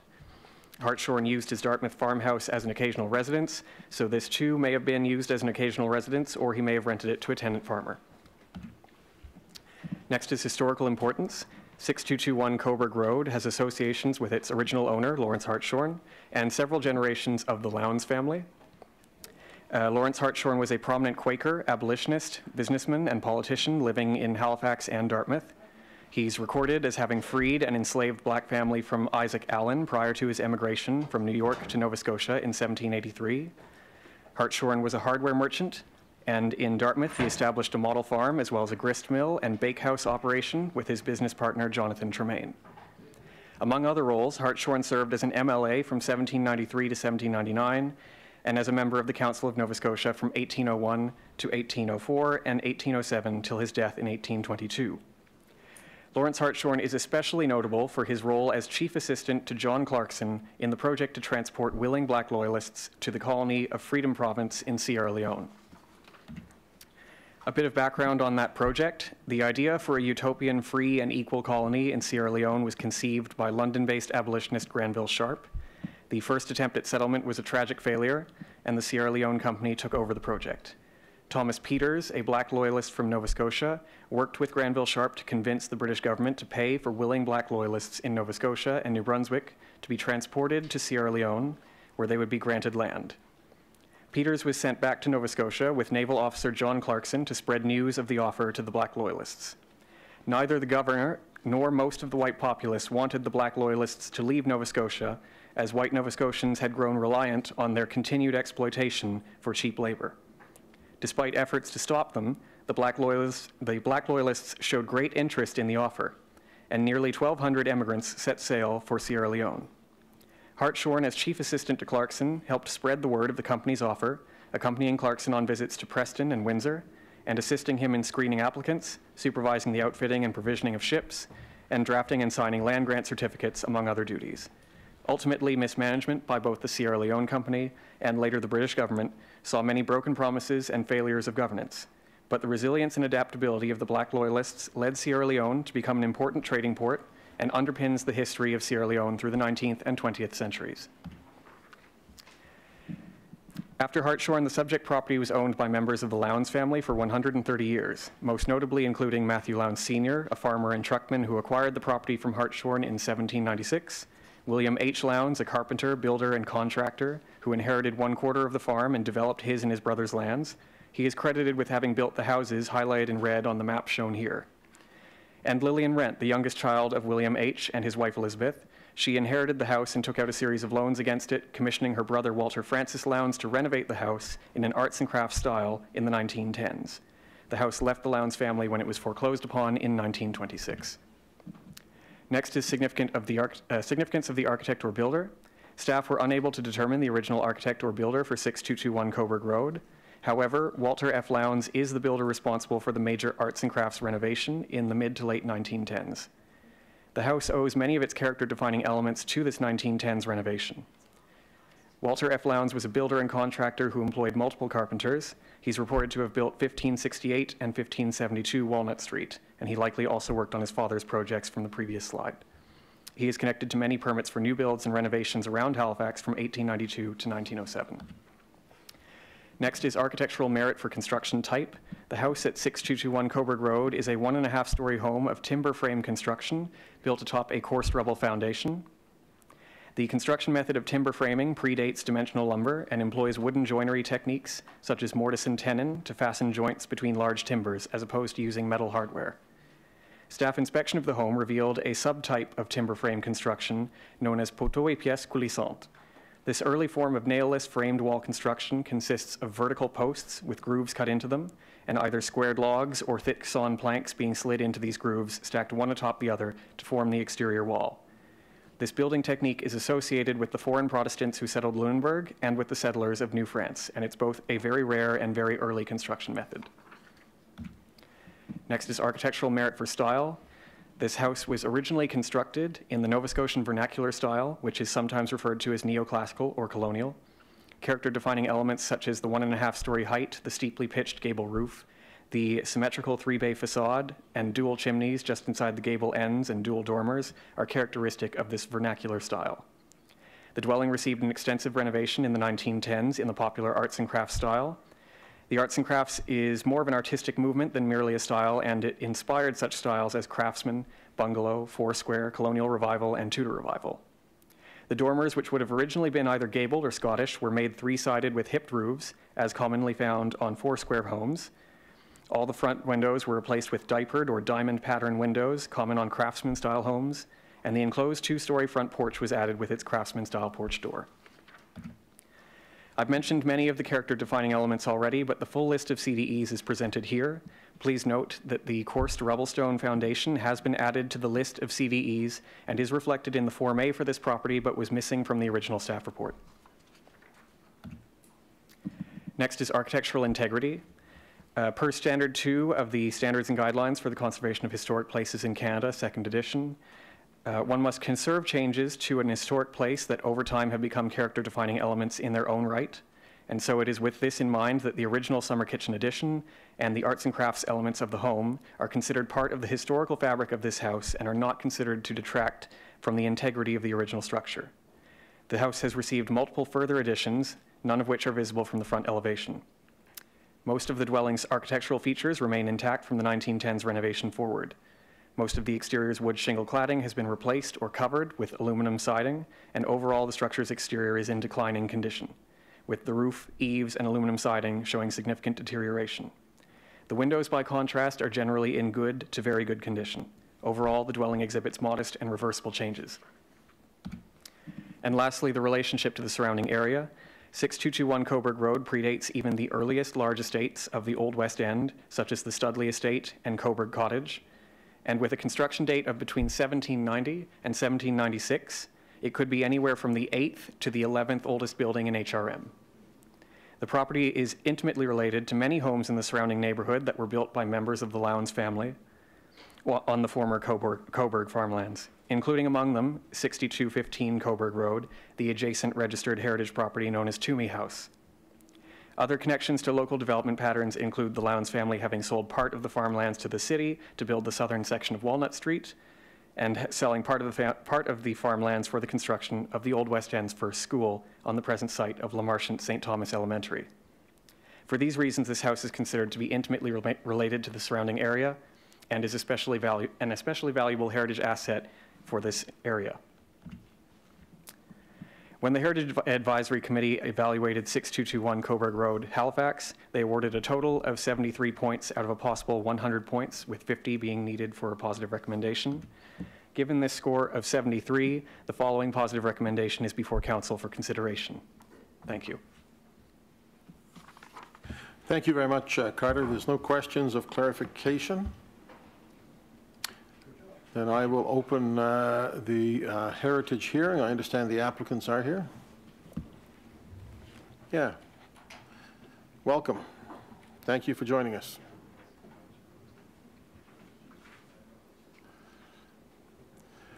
Good afternoon. Welcome to council.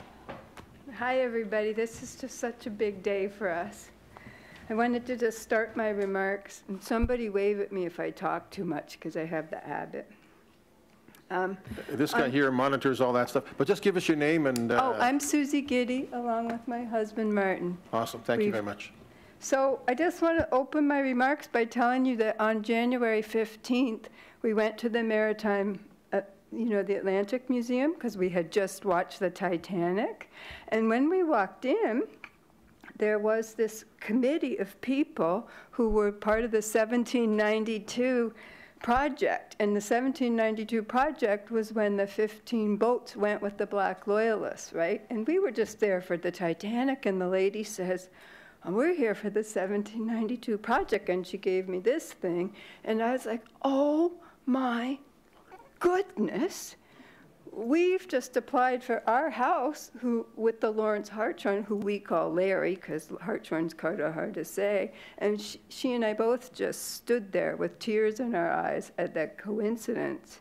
And it really speaks to why I just feel so strongly that this house needs to be a heritage property, because not only was he an abolitionist, abolitionist, but, you know, he fought so hard for these people who had been treated so, so, so badly by Nova Scotia. And so when I sit in my living room at the fi- fire at night with my husband, I actually think to myself, an abolitionist was in here, right? He freed four slaves, and it's quite a remarkable feeling and extremely powerful and something to be so proud of. If Martin and I somehow had something to do with helping the cause.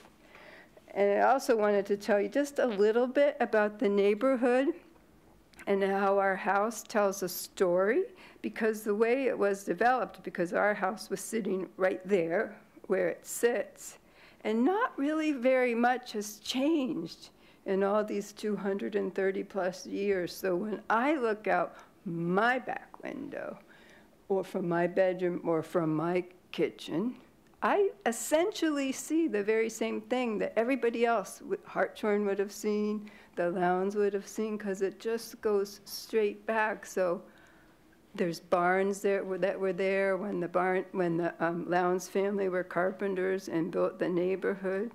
So every day in our house, it tells a story of where we've been. And the last thing I wanted to share with you, I told you that my name is Susie Giddy, but that's not 100% true. My name is actually Susanna Giddy, and it turns out that one of the first ladies of the house was named Susanna Lowndes, and there happened to have been a lot of Susannas in that house. And so what I'm hoping, kind of a dream of mine, is that you guys will approve it, and when we get our plaque, we're going to have a plaque party, and I have somebody who's making me a dress that would be just like the dress that Susanna Lowndes might have worn. So thank you very much for considering this. Our house is so special to us, and we think that it deserves to be part of our heritage. Thank you.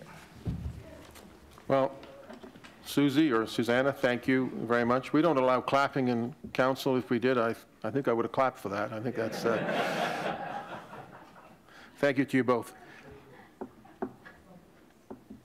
All right, does somebody want to propose that uh, we have a motion to close the public hearing? Closed by Councillor Mason, seconded by Councillor uh, Lovelace. All those in favor? That is carried. Councillor Mason. Thank you, Mr. Mayor. Uh, It's my great pleasure to move that Halifax Regional Council approve the request to include 6221 Coburg Road in the Registry of Heritage Property from Halifax Regional Municipality as shown in Map 1 of November 24th, 2022 report as a municipal heritage property under the Heritage Property Act. I so move. Second. Councillor Stoddard, was it? Councillor Mason. I don't really have anything to add to that that I could follow that up with, uh, other than I look forward to the plaque party. I thank you for bringing this forward. Uh, I've always admired, you know, I've lived in that neighborhood for 30 years, and I went to Dalhousie, and I've always admired uh, that building and the uh, set of buildings along the street there across from Howe Hall. And uh, I'm really glad to see it being registered and, and uh, added to the uniqueness of that area. So thank you so much for bringing that story forward to us today, and, and to the staffer who presented. Yeah, I thought it was good. I think we can let you come back for another one after this. Like, yeah, you get a do-over. Yeah, that's good. Anyway, so yes, thank you all very much for that. I'd ask for council support. Thank you.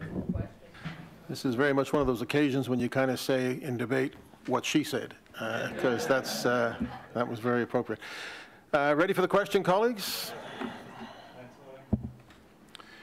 I'd like to thank uh, Carter for being here on his first uh, presentation.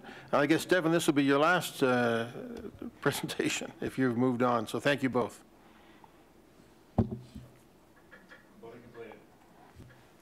That is carried.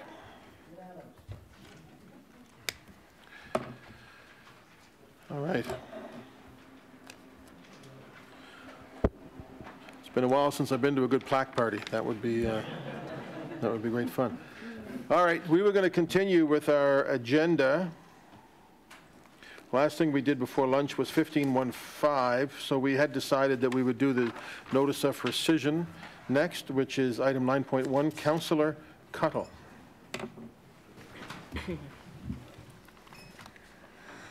Thank you very much, Mr. Mayor. Um, I move that Halifax Regional Council rescind the December 13th, 2022 council request for a supplementary staff report in respect to item 15.1.11, case 22423, regulation of short-term rentals, the purpose of which is to bring forward debate on the deferred motion as amended. Thank you, Seconded Council. by Councillor Lovelace. Councillor Cuttell. Thank you, Councillor Lovelace. Um, You know, first I want to thank staff for helping me get this motion of rescission on the agenda. I realize that it's uh, something that's not done often, and um, given a motion of rescission requires a two-thirds vote, um, it's not something done without a lot of consideration. Uh, The motion of rescission specifically relates to the motion for a supplementary staff report asking for additional information regarding short-term rentals. A report that we heard could defer the matter on short-term rentals um, for six to 12 months. The time staff said they needed to try and do the research, given that much of the information requested is currently not available.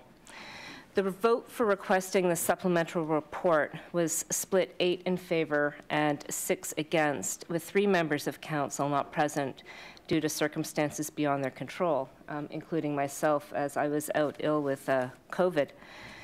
There's broad consensus that action related to short-term rentals is needed.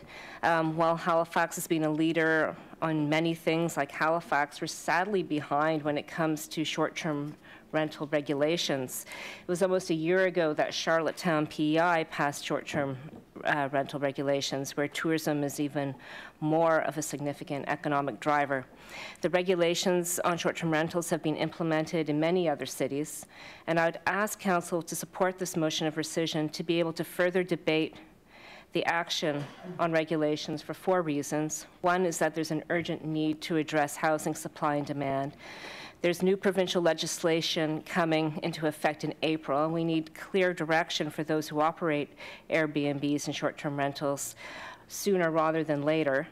Uh, the information requested in the supplemental report is burdensome, and it's really unclear how it will inform future decisions, given that the quality of the data requested um, just isn't readily available or doesn't currently exist and that you know stakeholders were consulted in this process um, in staff coming up with uh, their recommendations. So including including discover halifax and everyone has agreed that um, some regulation is needed and that we really need to take a balanced approach so the vote on the supplementary report was close enough that, you know, should we have had all members of council present, the outcome may have been different. And given the importance of the short-term rental issue, I think it's worth taking a second look at this and something worthy of more debate where all members of council have an opportunity to express their thoughts. Thank you, Councillor. Uh, Councillor Cleary. Point of procedure, Councillor Mancini. Process here, are we all allowed to debate what's on the floor now, or do, uh, can you, how does that work, John? Can you help us? Mr. Mayor, through you to council, at this point, you would simply be debating the motion of rescission, Okay. which is the request for the supplemental staff report. If that passes, staff is here today, To do the full and, debate. and we could proceed with, uh, with the deferred motion from the 13th. Uh, Thank you for that clarification. Thank you, Mr. Mayor. And as a notice of rescission, it would require two-thirds vote. John? Councillor Cleary? Thank you, uh, Mr. Mayor. Um, So I'm, I'm happy to, you know, debate the motion of rescission. I'm happy to debate the original motion again. Um, It's important, so I- the, the way the notice, or the way the motion of rescission is worded, though, uh, there's actually three components to the supplemental staff report. So Councillor Austin, for example, has an aspect of the supplemental staff report. He asked for a sub-report on proactive approach to enforcement and staffing requirements. Um, Councillor Smith, second by Mason, asked for a supplemental report on short-term rentals and secondary suites on the same lots as primary residence. So by rescinding the sup-report, all that information, none of it will come back to us. Um, So my motion was a defer, actually originally a referral to committee of the whole.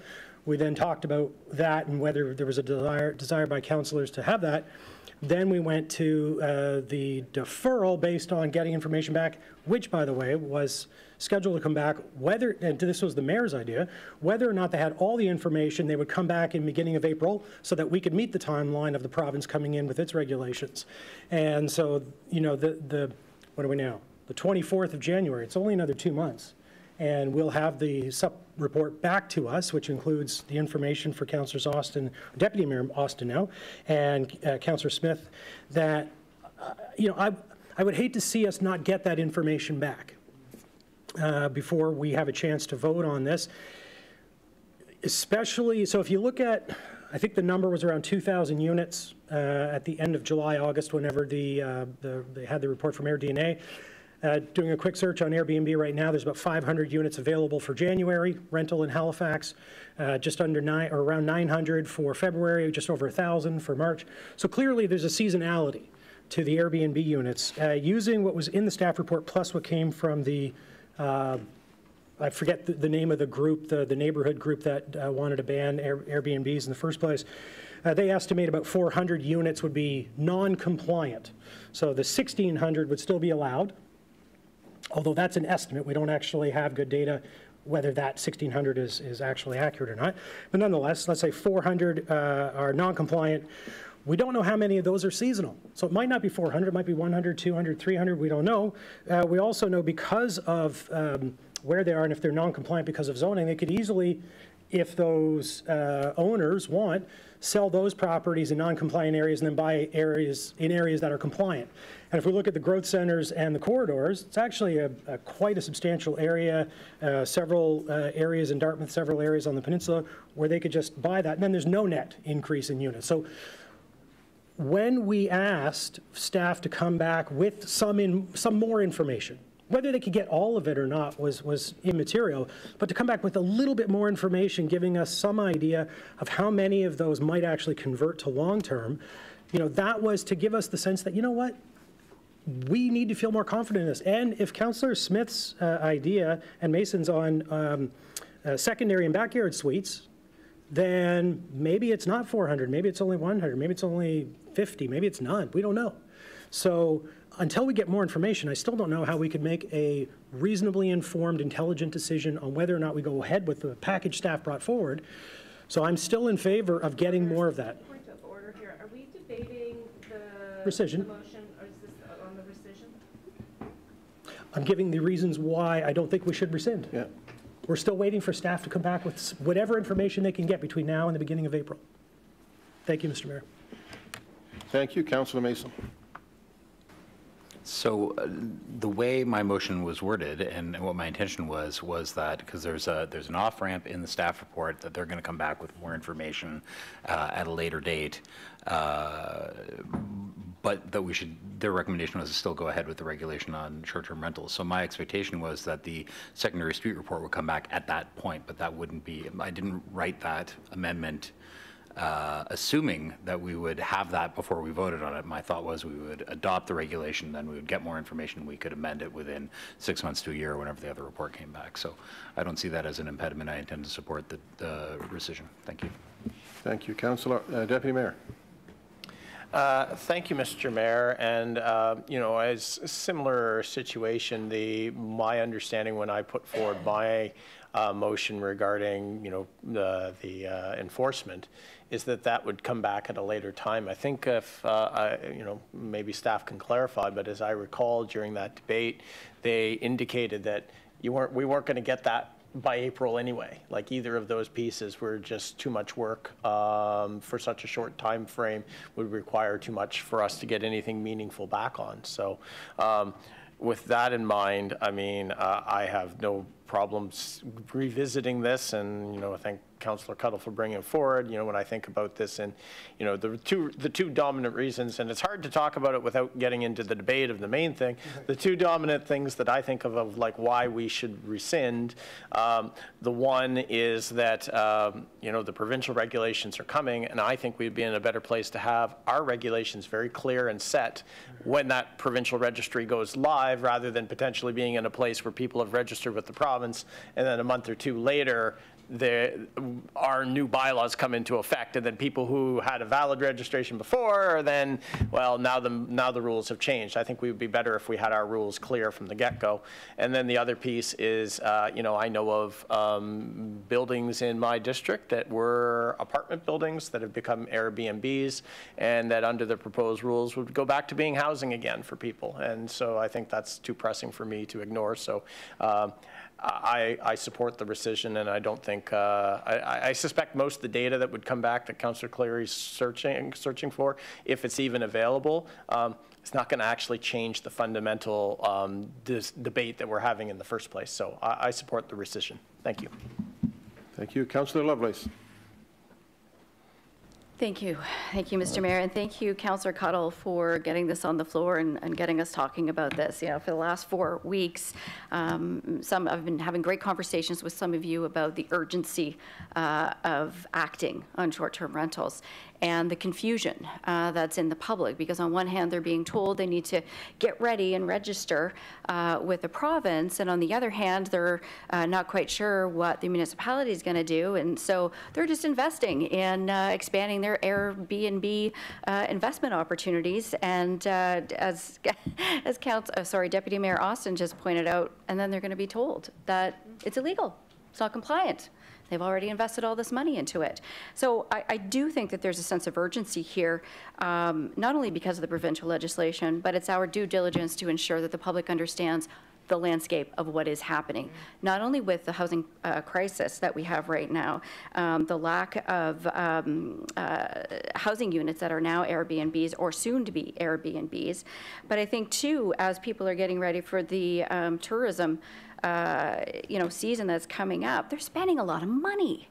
Uh, upgrading or fixing um, apartments uh, that are now short-term rentals. So is it, you know, it just seems really unfair to, to then turn around and, and tell them that their investment uh, was not worthwhile. And, um, you know, you're, you're, it, it, you have to now change um, because the municipality has changed the bylaw on you, yet the province has approved your registration. And the other thing I think that's really important is that we move forward with a public hearing sooner than later. I don't think that the pieces that we're debating uh, in, in the uh, deferral, all, all that potential data that we may or may not have changes um, the water and the beans. We need to move forward with short-term rental registration. There's no doubt about it. But the longer we wait, uh, the less housing there will be, and the more uh, potential uh, long-term units will be turned into short-term units. And the other thing is, I think that there was some confusion um, at the last debate where, uh, on December 13th, where there was um, a concern that this somehow was impacting rural areas. When staff, I think, were, were quite clear that we're not talking about the rural areas right now with short-term rentals, um, because that's a, that's a different animal. You know, rural areas don't have hotels, they don't have the tourism accommodations um, like uh, urban and suburban areas, so it's important for us to think about ways that we can work with those rural communities to ensure that those land use bylaws are updated um, and, and relevant and appropriate for those communities. So again, I just, I, I urge you to uh, approve this deferral. This is a sober second thought um, and a means for us to get prepared for that April 1st deadline and ensure that citizens, residents, property owners uh, across HRM are aware of where we stand. Um, and also we have a chance to hear from them at a public hearing. Thank you, Mr. Mayor. Thank you. Councillor Russell uh, on the deferral.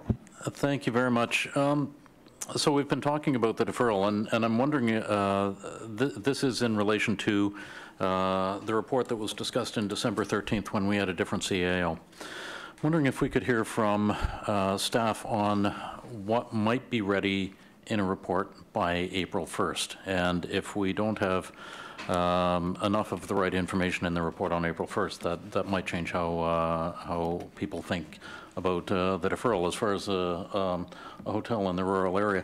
We don't have one in Sackville. So uh, some, some people from that might think that Sackville is rural, but I'm getting a little bit off the. uh, A a little bit the off. rescission, but. A little bit off. I, I think that's a relevant question to ask staff, if there's somebody who can speak to what information realistically could come forward. Jillian and Kate, I think, can speak to this.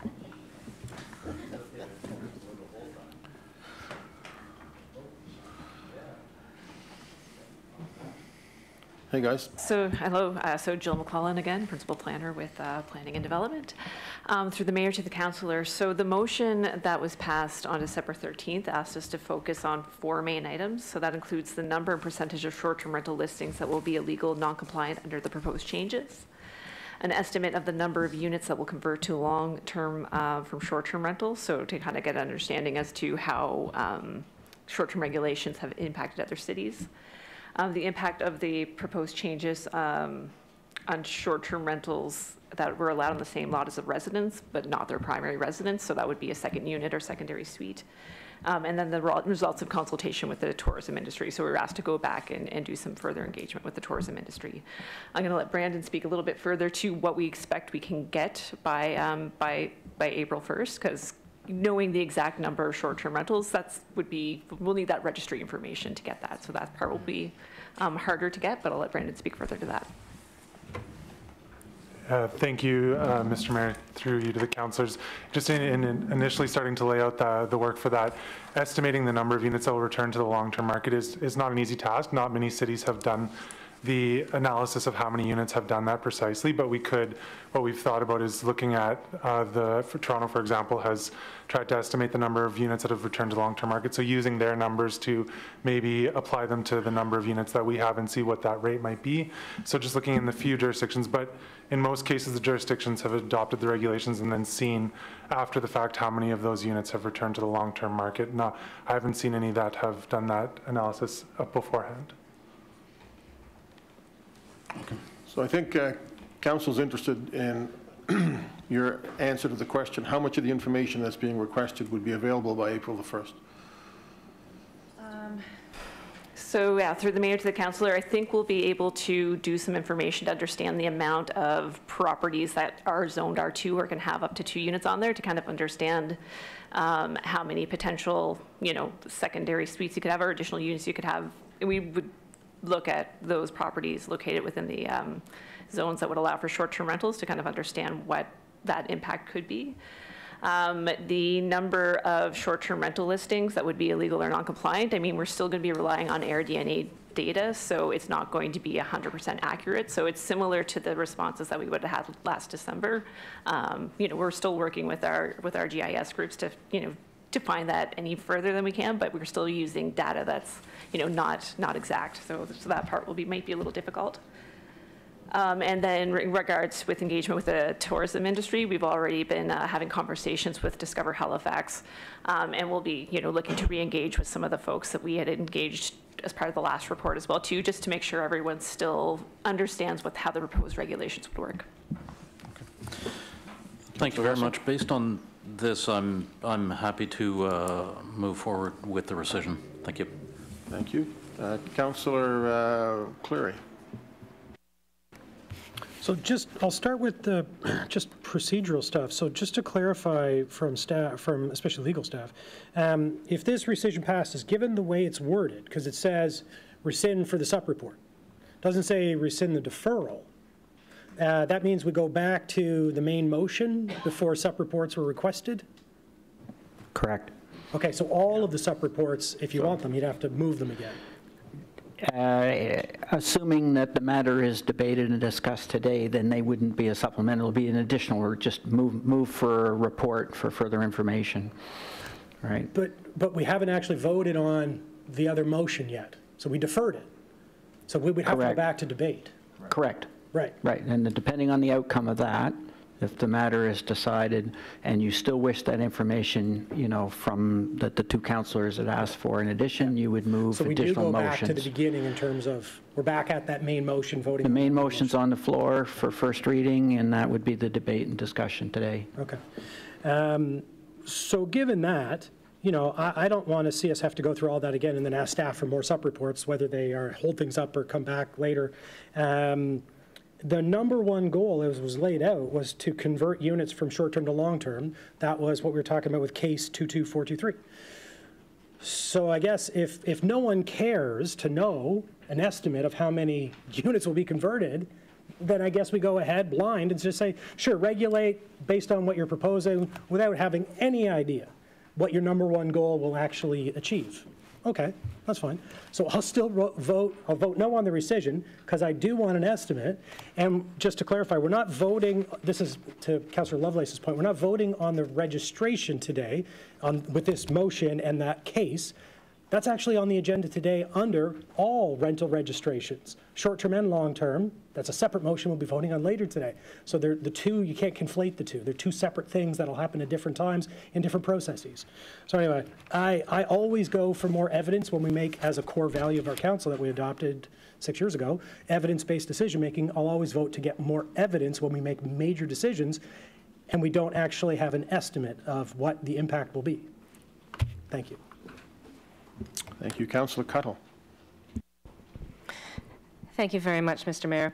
Um, So, you know, just want to reiterate again that there's broad consensus from the community and stakeholders that regulations on short-term rentals are required. Um, Now it is a completely unregulated industry, and it's having a significant impact on our housing in our neighborhoods. The original vote for the supplementary report was close, and there were a number of councillors missing from that debate, and I think it's worth having, as Councillor Lovelace said, a second sober thought on this discussion. The information that is being requested does not exist and won't exist until we start to have Airbnbs or short-term rentals actually register themselves. So, you know what, there's an opportunity to move forward. We are not leading the pack here. This has been done in many other places. We've been looking at this for several years now. The issues have been well established. I think now is the time to take action on this and, um, and to open this up to public hearings, to a public hearing so we can hear from, so we can hear from the public on, you know, what the issues are um, on, on both sides. So um, I really hope that we can, as a council, rescind this motion for a supplementary report and bring it back to the debate of the original motion that was presented in December and, um, and look at uh, what those other amendments were around enforcement and um, secondary suites. Thank you. Okay. So um, the notice of rescission is on the floor. It, uh, where there are 16 councillors here, it would require 11 votes. Uh, Ian? 11 votes. Ready for the question, colleagues?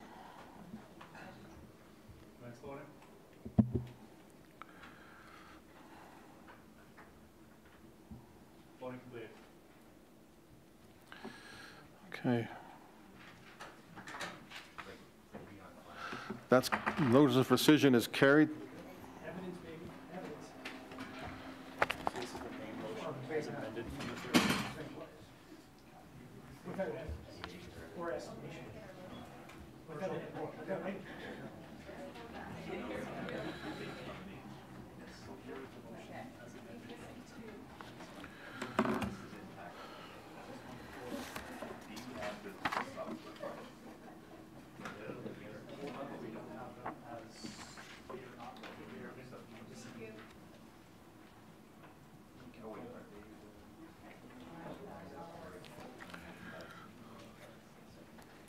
Okay, so this is the original motion from December 13th.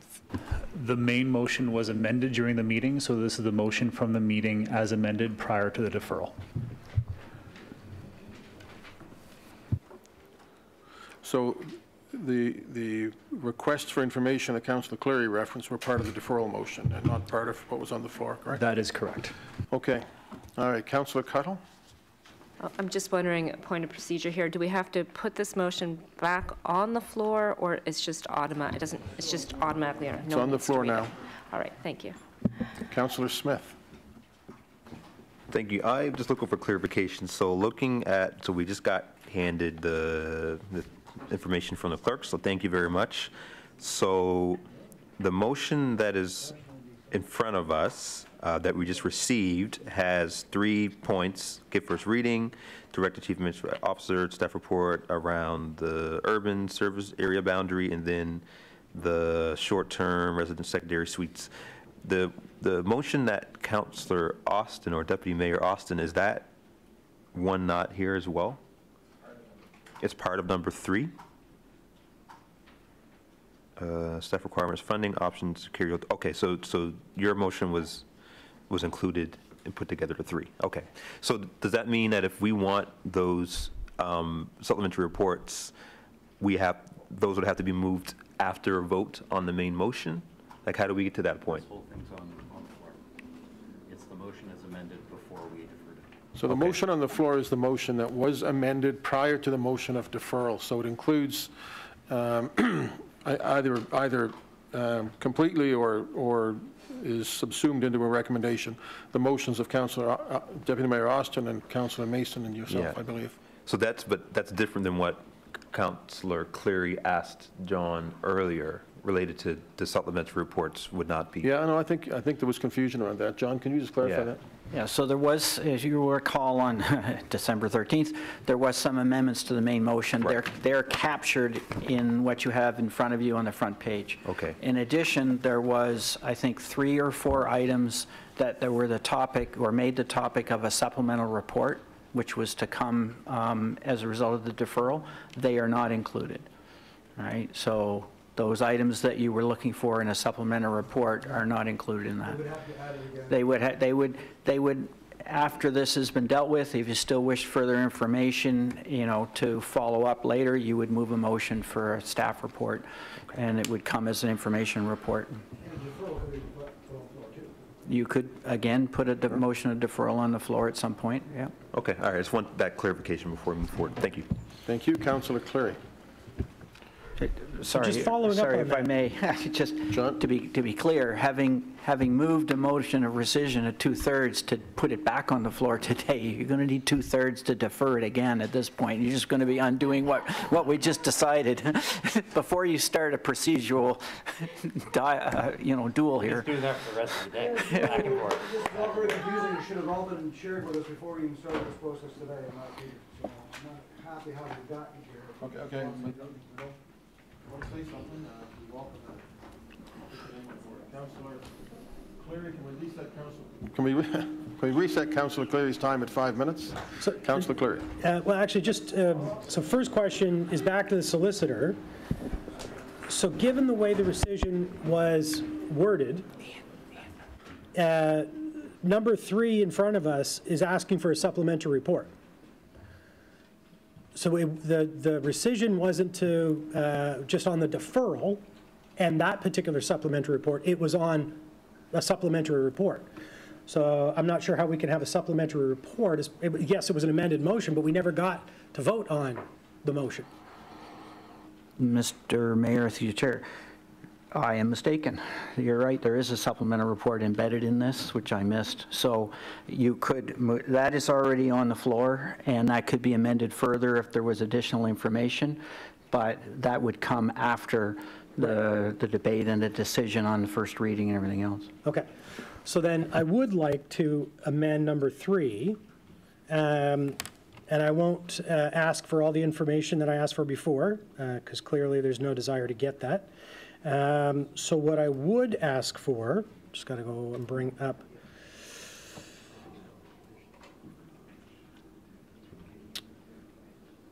all right, where did it go? Uh, So I would like to have um, an amendment that would include in the supplementary report uh, information uh, uh, in the, in terms of the proposed changes for uh, short-term rental, if it was allowed on the same lot as the resident, uh, not just in their uh, backyard or secondary suite, as Counselor Mason said, but let's say, for example, they have a duplex. So that's not a secondary suite, that's a second unit, but it's on the same lot. Uh, And so I would like that included. It was number three on my original uh, motion there. So really, it just adds to what Counselor Mason was saying. So if we can have a secondary or backyard suite on the same lot, I don't see the difference of having a full-size unit, because a secondary suite could be 800 square feet, whereas a secondary, or a a second uh, unit could even be smaller than that, but it would be a second unit in a duplex, as an example, or it could be bigger than that, 1,000 square feet, which would not be considered a secondary unit. So my amendment would be to add to number three, also looking at not just secondary suites, but second units on the same lot where the primary resident resides. Seconded by Councillor Hendsbee. Thank you, Councillor Hendsbee. So I'm not going to go That was seconded everything. by Councillor Hendsbee. Thank you, Councillor Hendsbee. Councillor Cleary, so just to be clear, you're, you're amending number three to say not just secondary, but it says secondary units, short-term rentals in Uh, Secondary units and second units, if you want to call secondary them that. units and second, is that a- the right terminology? And second, I'll leave it to the planners to figure out what the exact terminology would be, but they understand what I mean by not accessory unit, but just another main unit on the same lot. but what? Secondary and second units. Yeah. Okay, thank you. Um, And, because I know uh, a number of residents who've contacted me that that's what they've done. uh, uh, You know, it's not a secondary suite, but it's a second unit, uh, because they're zoned to uh, allow that. Uh, I would still love to get more information on an estimate of how many units would actually convert, but uh, hopefully staff can figure out another way to do that, uh, but I won't put it in the motion.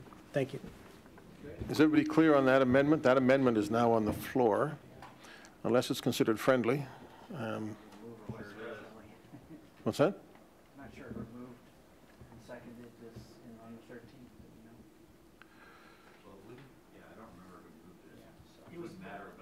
Okay. Count, uh, Deputy Mayor?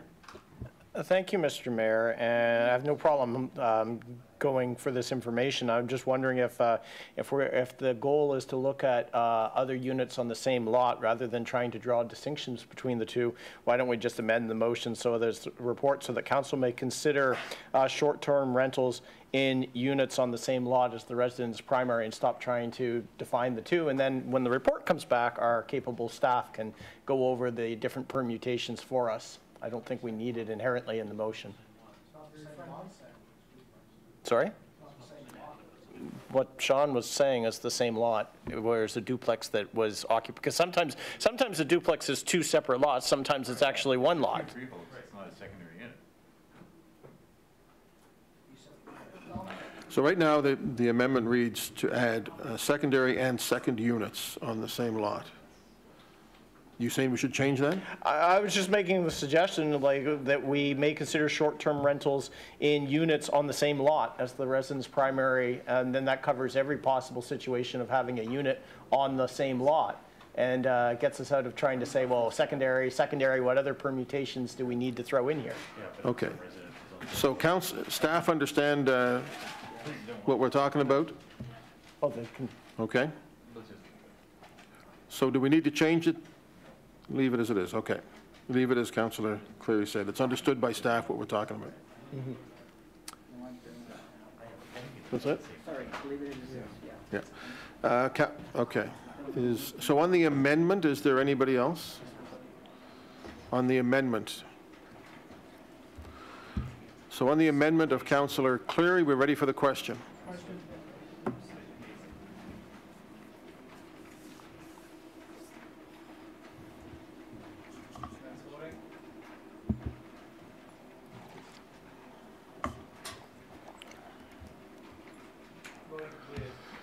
So that amendment is carried, so the motion is now amended.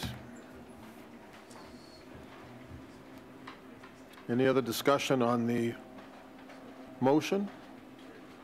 You ready for the question on the motion as amended? This is the main motion as, oh, hang on. Councillor Cuttell on the main Oh, motion? Wait, yeah, sorry, you can take me off that now. Councillor Cuttell's okay? Councillor Lovelace on the, you okay? No, I, something's going on here. I'm on and then I'm off and then my button's on and my button's off. So I'm good, Mr. Mayor. Yes, you are. Councillor Mancini. Thank you, Mr. Mayor. Um, I I do have, a- first of all, I agree that we need regulations for short-term rentals. I think most of us agree with that. Um, I do have a question, uh, if staff can come forward. Uh,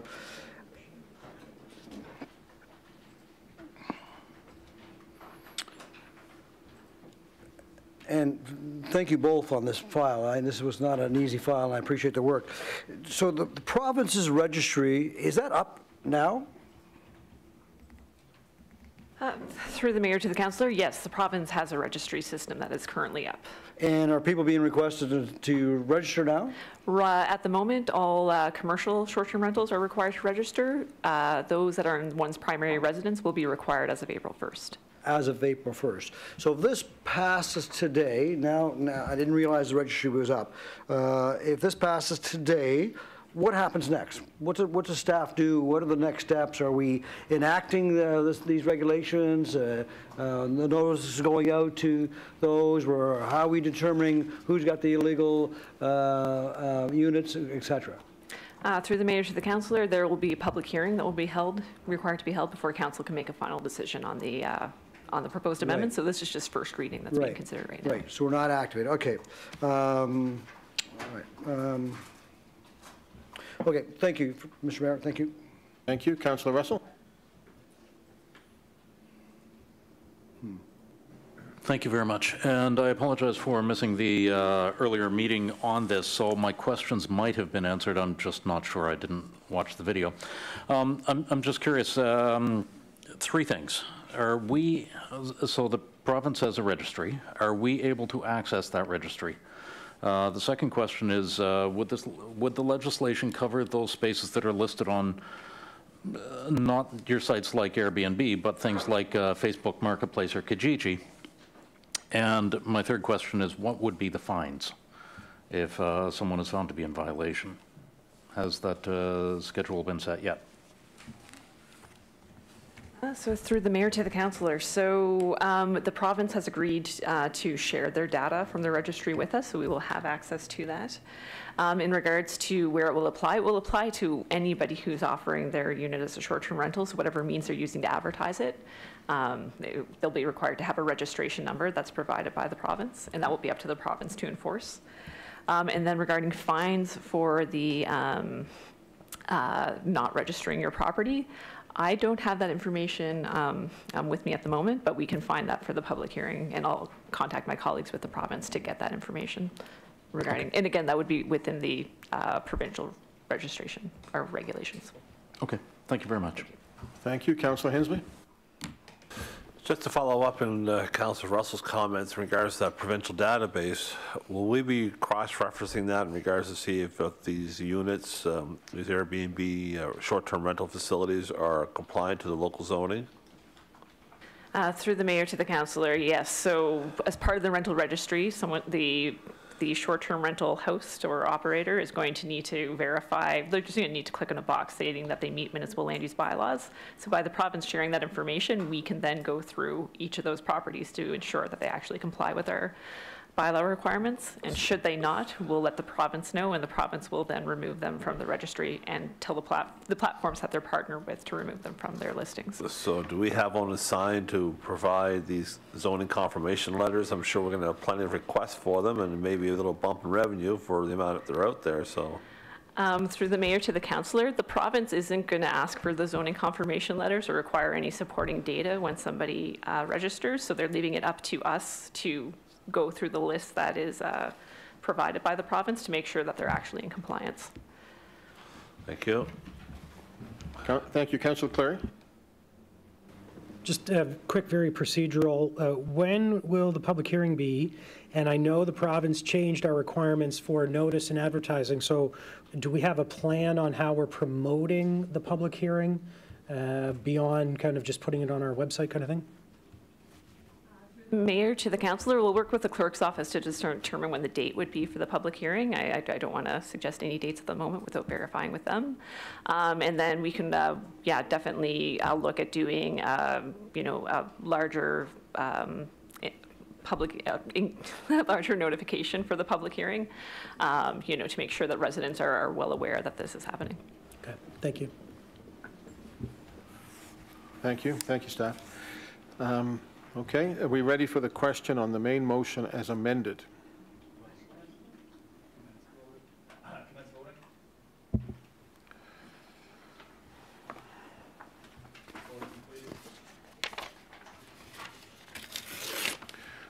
Okay, that is carried. Thank you, colleagues.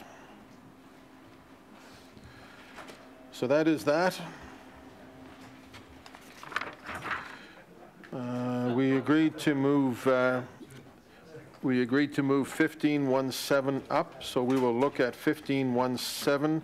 I believe we do have a presentation on this. Shall we hear the presentation first and then go to Councillor Mason after that? Okay.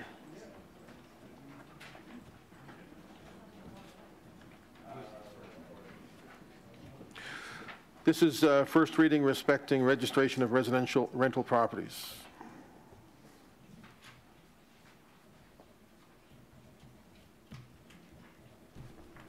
All right. Um, So I believe council knows that I am Jill McClellan, Principal Planner with uh, Planning and Development. Yeah, you know, I know, a long time no see. No, you, you, you were this morning and earlier this afternoon. so we'll- Exactly, yes, yes, it has not changed. We agreed to move 1517 up because it's the same staff uh, uh, issues, so, thank you. That was before some folks were able to get here, thank you. Um, I will acknowledge that I am joined by, uh, by my colleagues, uh, Peter Duncan, who's the Director of Engineering and Building Standards, and Dawson uh, Patterson, who's the Acting Manager of Building Standards as well, too. And we're here today to discuss the uh, proposed bylaw, R400, respecting the registration of residential rental properties, and amendments to uh, bylaw M200, which respects standards to the residential occupancies. So the development of a rental registry, this is, this is not a new item for council. The idea of the registry or licensing program was first discussed through a motion of Halifax and West Community Council in 2013. And over the next several years, um, that included a different additional motions and reports discussing updates to our minimum standards bylaws. Between 2017 and 2018, staff engaged Stantec Consulting to further explore the development, development of a licensing or registry program um, and to further undertake uh, community and stakeholder holder engagement. The engagement consisted of strategic interviews and focus group discussions with regulators, landlords, tenant representatives and advocates, and tenants themselves. Work from the Stantec uh, uh, report and their work was presented to council in April of 2019, where council provided further direction to explore a rental registry instead of doing a licensing program, and they, and they approved the proposed framework for such the program, such a program. Um, so the rental registry framework that was endorsed by council in 2019 includes five main themes. So one is to develop a building registry. So this would be a mandatory registration for all residential rental properties. The second was for strategic um, inspections and regulations. So this includes you doing inspections using evidence-based decision-making to target high-risk properties. The third was to uh, build a framework around safety requirements, so establishing safety regulations that are applied based on, uh, based on uh, risk and building classification.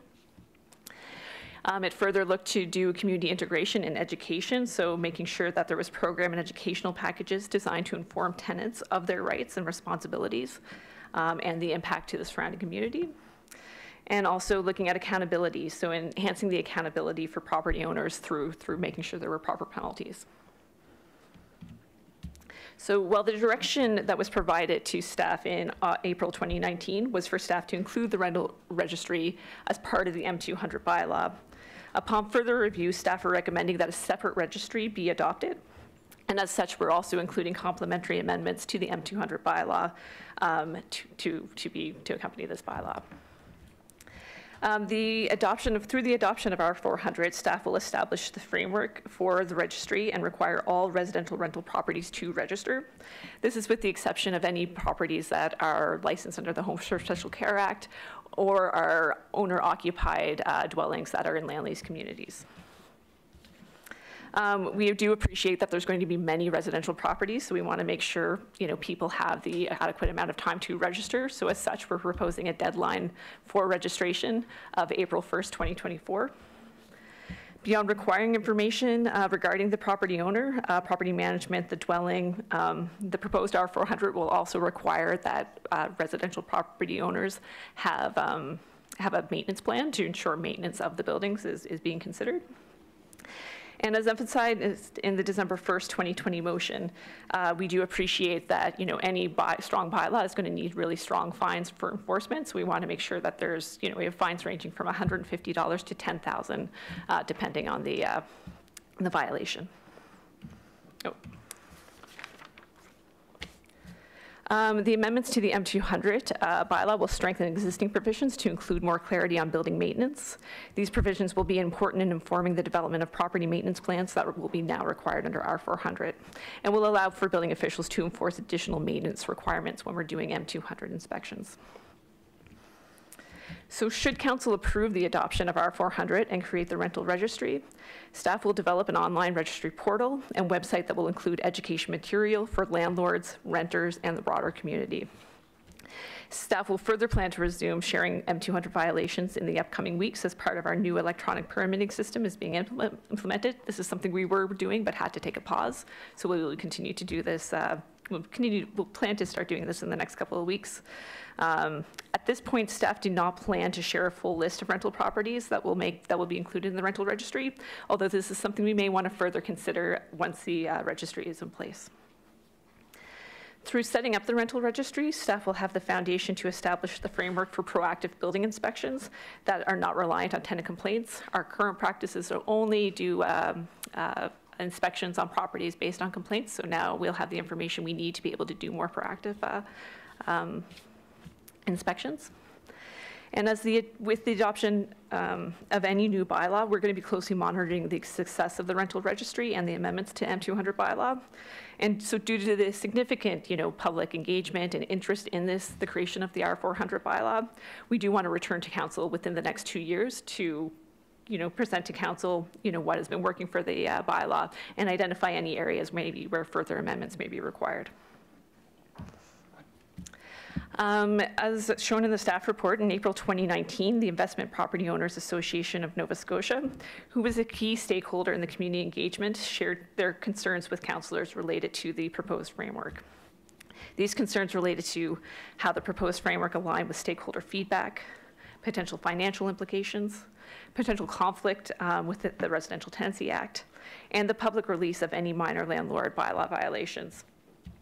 So this was discussed in report, and we feel as though the approach that we are taking with the proposed R400 bylaw and amendments to M200 have addressed these concerns.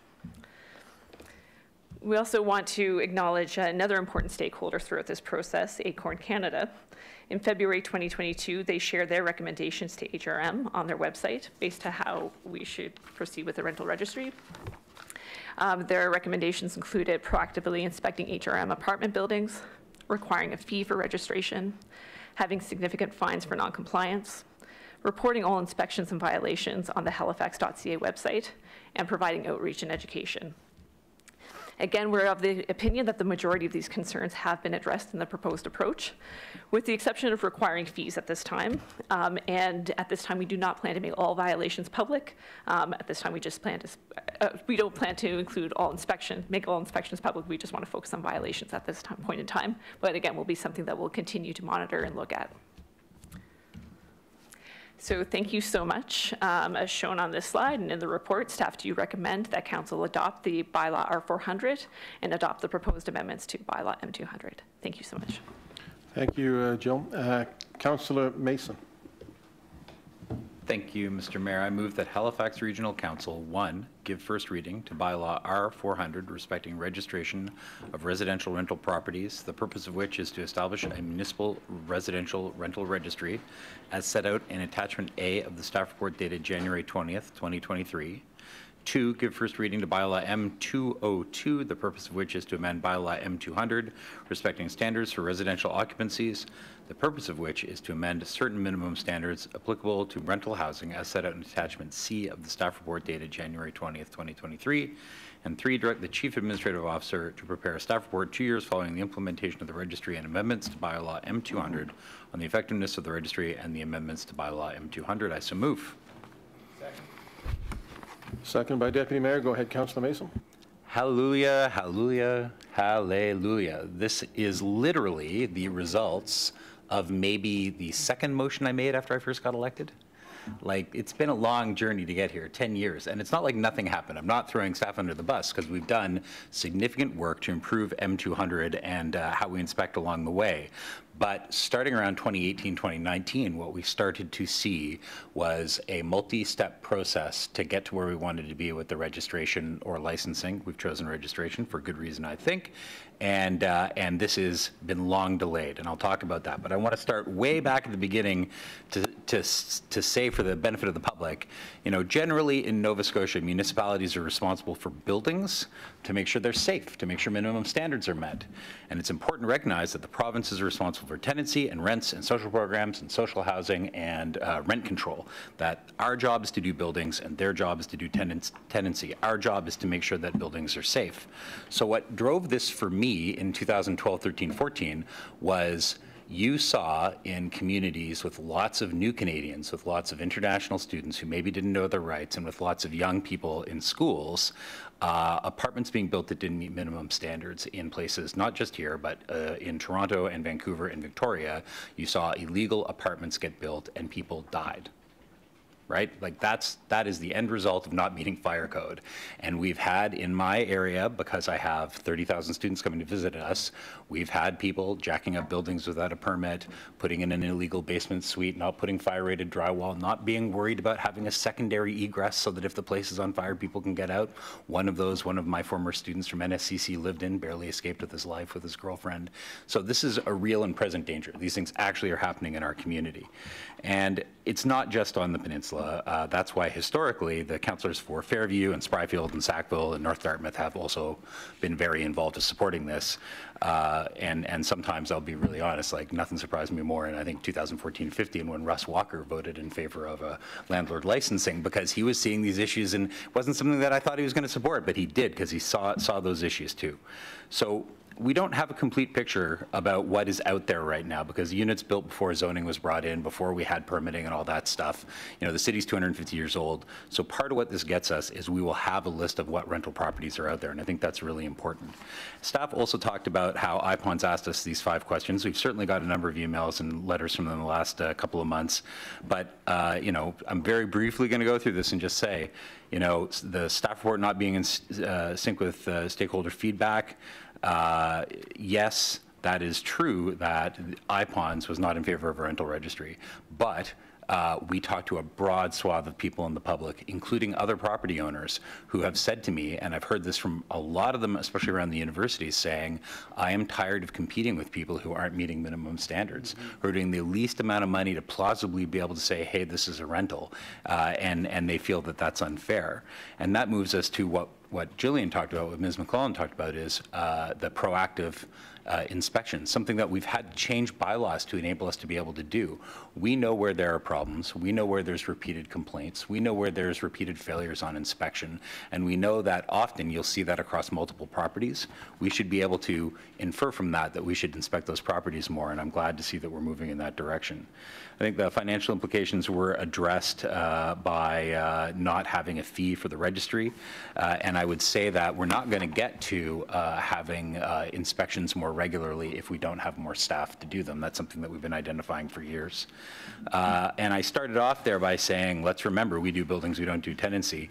One of the biggest things that we've been getting from, you know, frankly, I'm just going to say, from IPOANS and from the people who are emailing because of the email that came out on their mailing list last night, is around the issues they're having with provincially controlled things, which isn't a reason for us not to do our job around maintaining minimum standards. That is our job. I agree there are real issues with tendency, and I understand a lot of small property owners are getting squeezed right now with seeing uh, expenses going up and, and being under their, uh, uh, you know, not being capped and being under the rent cap. And, and so I understand those issues, but that is provincial, and I'm happy to go with those representatives to talk to the province about that. Though probably you'd have better luck getting a meeting without me. Uh, And then the uh, public release of landlord bylaw violations needs further analysis before implementation. Uh, I think that's been addressed by, by, you know, staff say, if it's a notice to fix something, we're not going to put that public. If it's an order to fix something, we're going to fix that public. So I'll just close by saying, uh, everybody on council voted, has voted for this, who's here right now has voted for this every time it's been in front of us. And uh, I hope that that continues. Uh, I also uh, have one question for staff, which is, uh, can you outline a little bit why we're not going to make the list of who is registered public? Because one of the big selling points for this is if we have a database and you can look up a property and it's not registered, then you know it's an illegal uh, unit in the first place. So if you could unpack that a little bit for us. Thank you, Can Mr. you do that in the last two minutes of Councilor Mason's 12 minutes, please? Well, I read the motion, so that has to count for something. Uh, Thank you, Mr. Mayor. Uh, My name is Peter Duncan. Um, We struggled with that one. I think we'd like to get there at some point to publish the entire, the entire uh, registry. There's a a little bit of an element of risk if you, if you publish the registry without having a good baseline for the com- compliance, uh, you know, data. Um, The last thing you want to do is to give the public or someone looking to rent the illusion or understanding that because a property has been uh, registered and is on the registry, that everything's okay with it. And until we get out and get some inspections on the ground and get a baseline there, um, like I said, there is a little bit of element of uh, risk. So we would like to get there at some point in time, but we don't think it's appropriate to get there until we actually build the actual registry and see what we, what we have in front of us. Thanks, staff. Thank you, council. Councilor Mancini. Thank you, Mr. Mayor. Um, So, and thank you, uh, Councilor uh, Mason, uh, for the, the history lesson and, and why we're here. So it sounds to me we're here because of safety, right? Uh, In particular, our vulnerable communities. But do we not have minimum standards now? So the question I have, are those minimum standards not being met? Uh, Through you, Mr. Mayor, to the counselor, the purpose of what we're trying to achieve here, my understanding is, is that we're trying to make our administration and enforcement of our minimum standards bylaw more effective. Right now, it's a, it's a uh, complaint-generated process, so we're really trying to get out there and do more proactive inspections, and we see the uh, registry as one of the key uh, tools to make that happen. So i- it is really about uh, getting to those minimum standards and enforcing those minimum standards. So, uh, you know, I love the idea of being proactive. I think we should look at that with much of our bylaws for- for- that we could talk about. Um, So, hmm, you know, I'm, I'm worried about the list, uh, thank you, I'm worried about the list, uh, the good, good boys list and the bad boys list. I found like I'm talking to Santa Claus here, but, uh, and, you know, if I was to talk about, we should have a tenant rent- renter registry, well, people will go nuts because they're all worried that a landlord will be, uh, because I don't like uh, that person, I'm going to get them on that list, right? And so, but the- I have the same little bit of concern here. How do we make sure if there's an issue, we're being proactive, we look at a building or unit and say, there's something wrong here, let's fix that. And, the- and you said earlier, Jill, that if it's a quick item, it's not going to go on any list. Uh, But if the item is more involved, uh, how does the, how does that tenant, the landlord get on the list, and how do they get off the list? And how do they make sure they don't stay there too long? Uh, And so how do we make sure that a complaint is done in the wrong way, even though we're being proactive? Do you understand what I'm, I'm asking here? Uh, The same concern people have of a tenant list, I have a little bit of concern of some of our good landlords. And look, we've got some bad landlords in this municipality but we have a whole bunch of really good landlords. Landlords that own one or two properties, 10 properties, 11 properties, they're still small business owners. And, and, and there's a little bit of this concerns me, those folks. So uh, how do we make sure they're represented properly and not on the bad boys list? I'll take an opportunity to introduce myself. Many of you recognize Peter, but I'm uh, Dawson Patterson, again, the Acting Manager of Building Standards. And to address your question through the mayor to the councillor, uh, it's not the intent, when we do decide to publish this registry and release it to open data, it's not our intent to have any retroactive data on there. So in sense, this registry will be kind of a fresh start for even what is regarded as a problem property now. It may go under uh, new ownership, right? May have a, a new opportunity here uh, uh, and operate under new management. And I want to expand on Jill's comment about the notice to comply. So that's not just associated with quick items. That could be life safety, right? Paramount items that may take a, quite a while to complete that scope of work. But that opportunity, ample opportunity, is given to the property owners to complete those deficiencies, right? Via notice to comply. It's only when they fail to comply in a reasonable amount of time that it progresses to an order. And that order is our intent as we move forward with this registry, right? Will be published yeah, Okay. openly. Hopefully that Yeah. addresses your question. Thank you. Uh, Look, I have a whole bunch of questions. This is first reading, so, uh, you know, uh, uh, I assume we'll go go through this today and we'll get to second reading. But one last question I do have. Uh, So we don't, uh, they're asking, what, four or five staff is is the recommended, recommendation? So if we don't hire four or five staff in this budget year, what does that mean? Uh, Through you, Mr. Mayor, to the council, we're expecting we'll need two staff this year to help us actually build, build this, and uh, the four staff will not kick in until uh, 24, 25. So there the- there is a ask in the budget, we'll see uh, a request for two staff.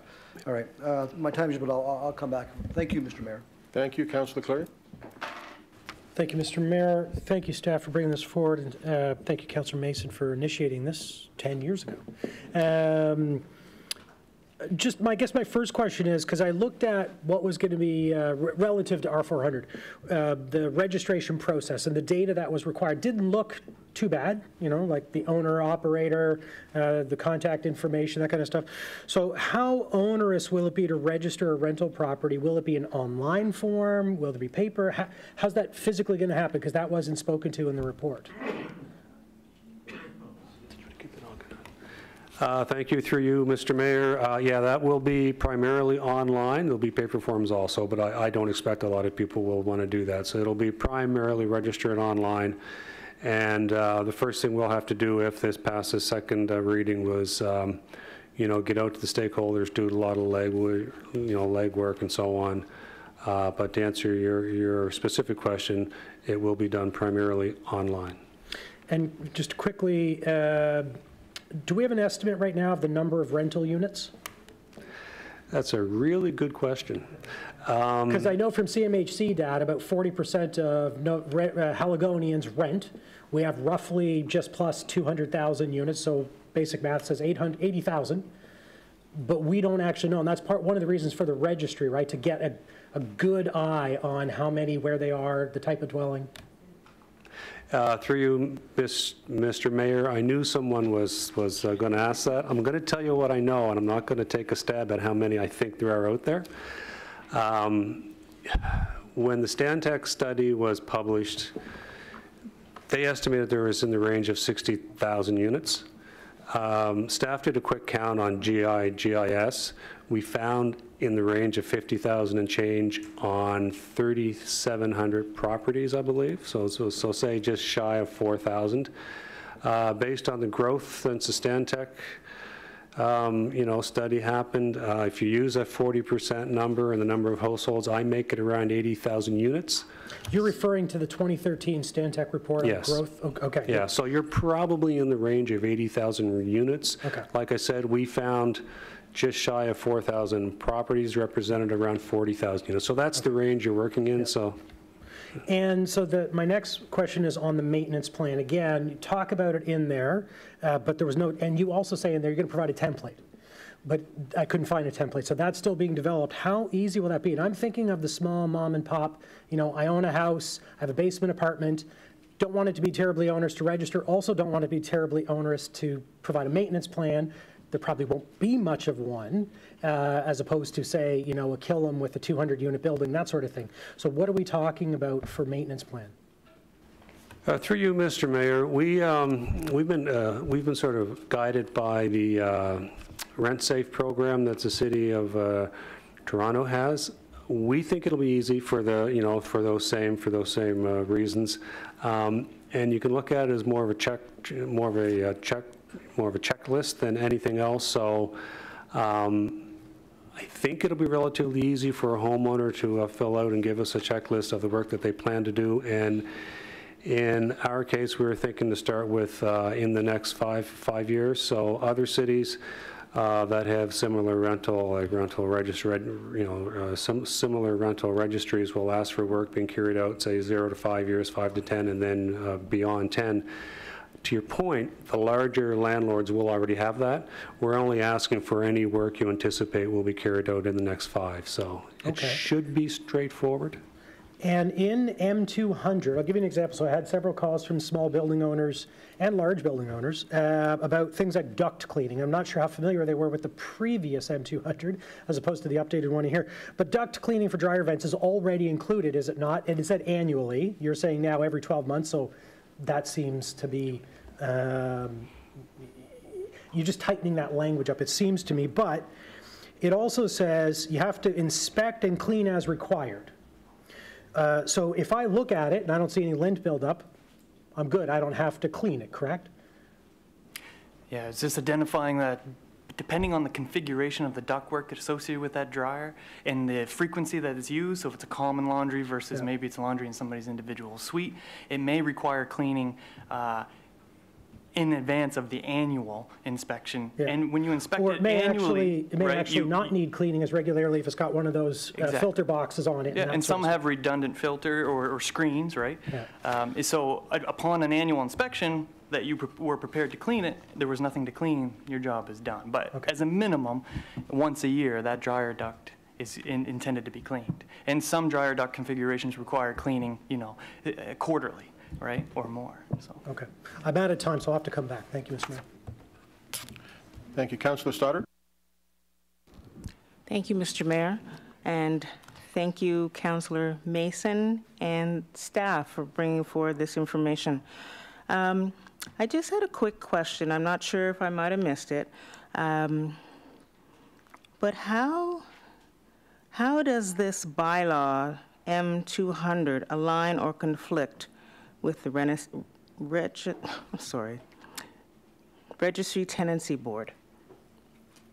Because a lot of their, sorry, a lot of their issues are complaints about broken doors, uh, insufficient heat, and things like that, that they go before the board and lay a complaint. So is this in conjunction with this, or is this ins- instead of that, or how does, how does that work? Uh, Through the mayor to the council, I can start this, and then you guys can uh, pick off what I miss.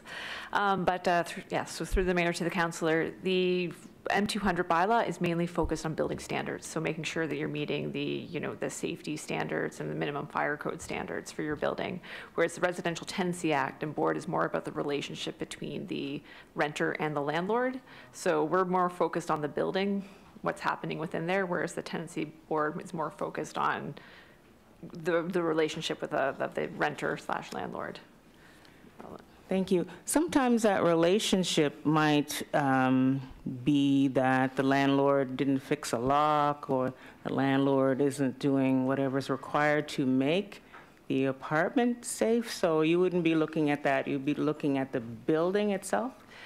Well, we'd still be looking at making sure you're meeting those, you know, that you have the adequate locks on the door if required. That's been added in the M200 bylaw, clarification's been added there. So we're going to be making sure you're going to be meeting all those health and safety requirements within the building. Um, And then, yeah, Peter or Dawson, I don't know if you want to speak further to the relationship.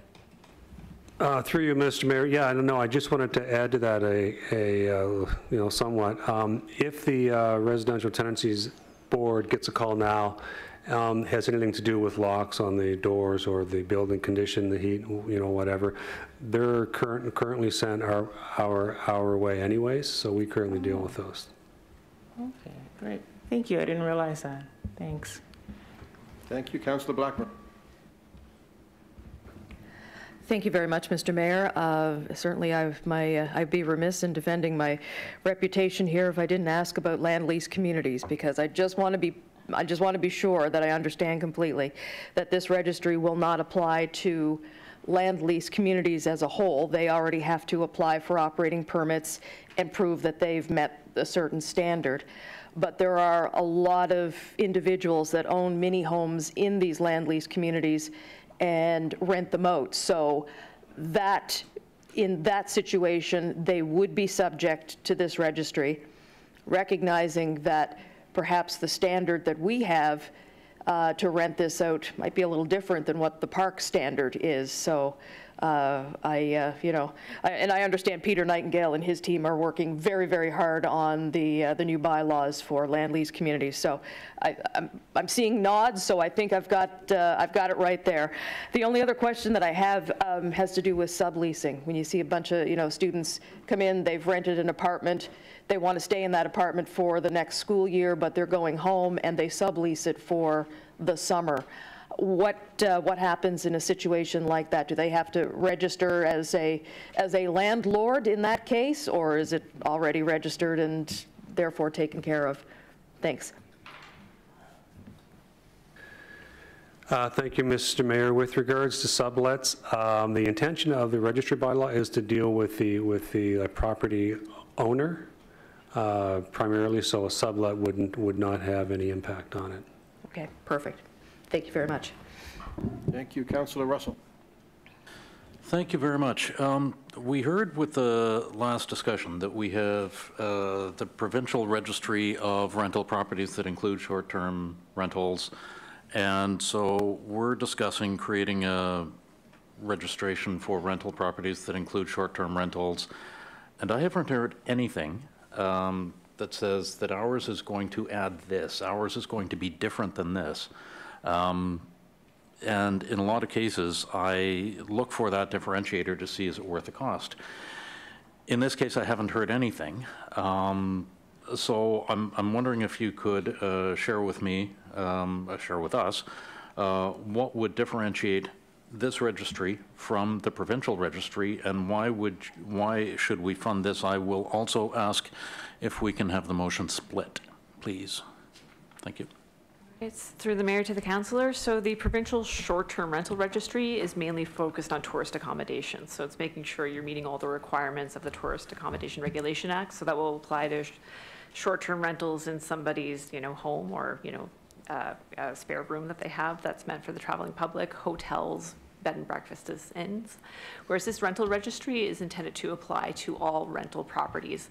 And so we can appreciate that sometimes short-term rentals here might be used for long-term rentals, and they can easily be converted to short-term rentals. So we want to just make, make sure that we're capturing all the rental properties uh, within HRM.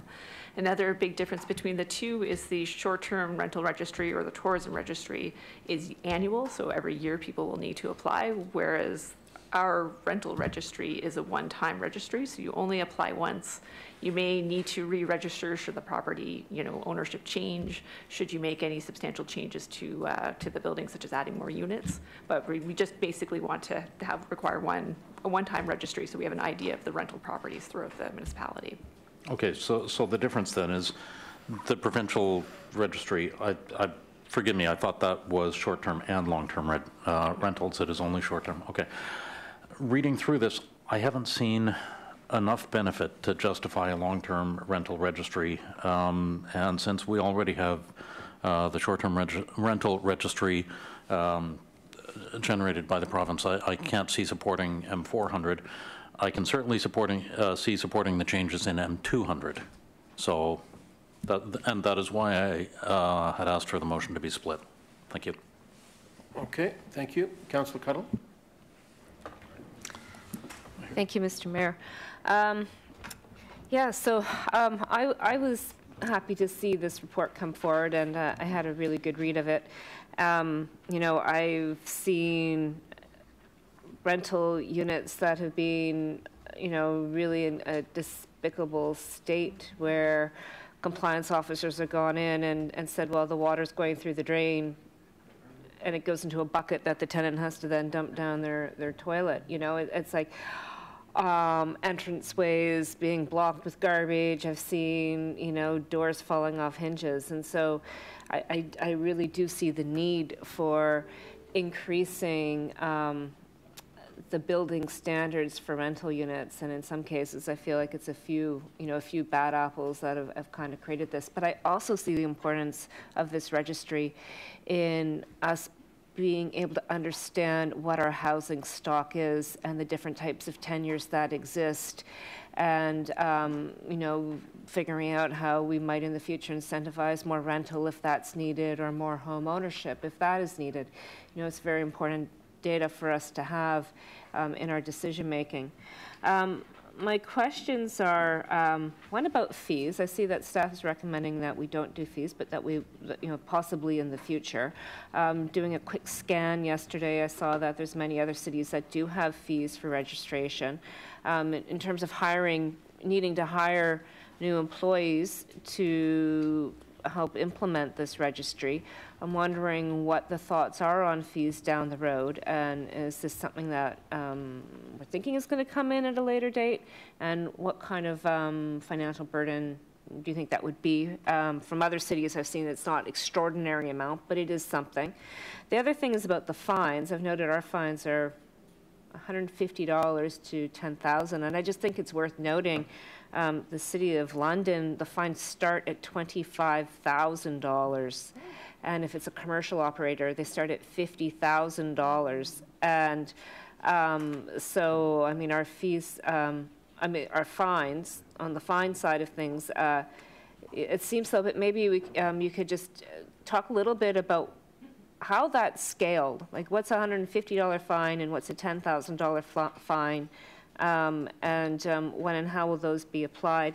Um, Also, like, what triggers a proactive building inspection? So I know as people get registered, there was talk about using some data, like, to making strategic decisions around the building inspections, and I'm, I'm just wondering, like, when would, you've got to start somewhere, and you can't start everywhere, so what, really, what does that inspection process look like?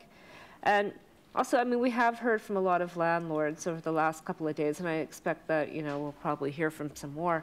So they're, there is concern um, that this is an additional burden. And, um, you know, I have to say that I, I do, gosh, I felt a little mixed um, going around and, and looking at units that were in a real state of disrepair and, and being very concerned for the tenants, but also knowing today that they actually have nowhere else to go. They're, you know, it's not that they wanted to be there, it's just that they could not find another place to go.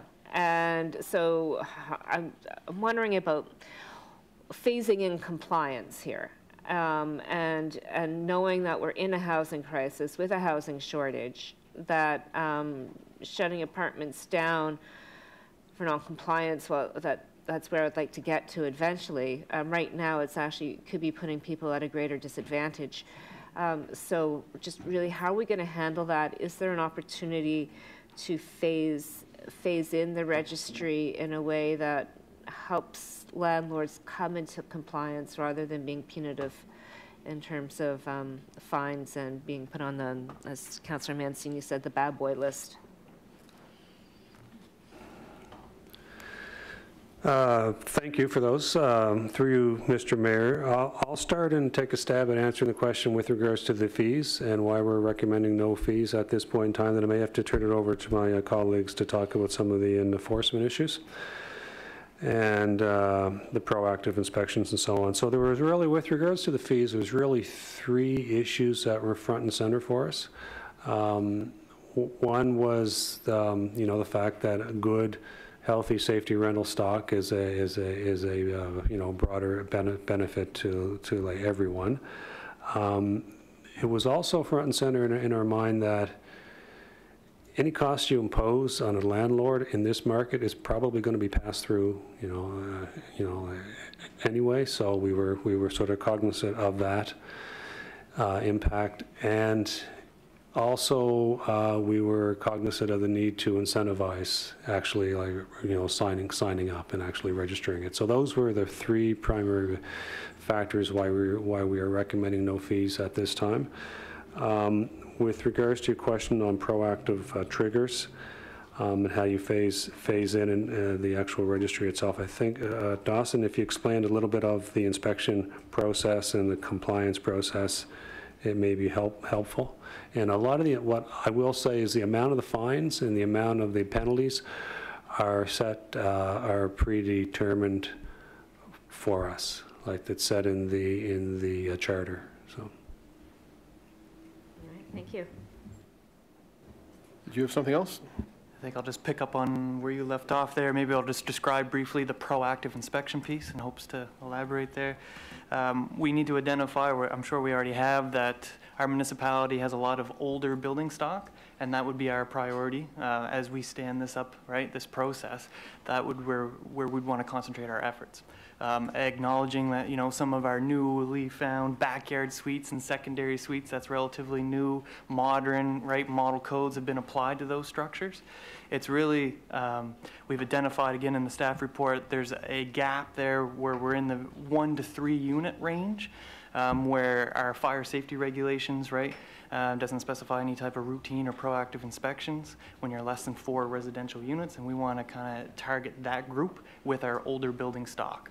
Buildings that we've never been in, buildings that have never seen current um, fire and life safety measures. That's kind of a, I think uh, maybe the also piece about phasing is the maintenance plan.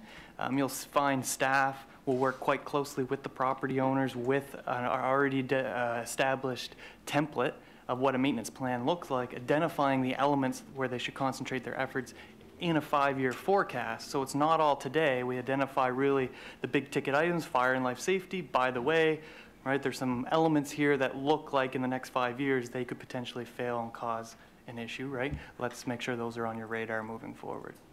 Maybe, yeah. All right, Thank you. Thank you very much, uh, Councillor uh, Lovelace. Thank you, Mr. Mayor. Um, This has been a really good discussion.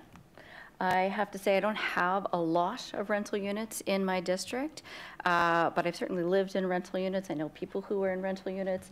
Um, I have seen uh, horrific images, as Councillor Cuttell uh, just alluded to, of people living in, in quite substandard uh, conditions um, and afraid, afraid to complain because then they're on the street.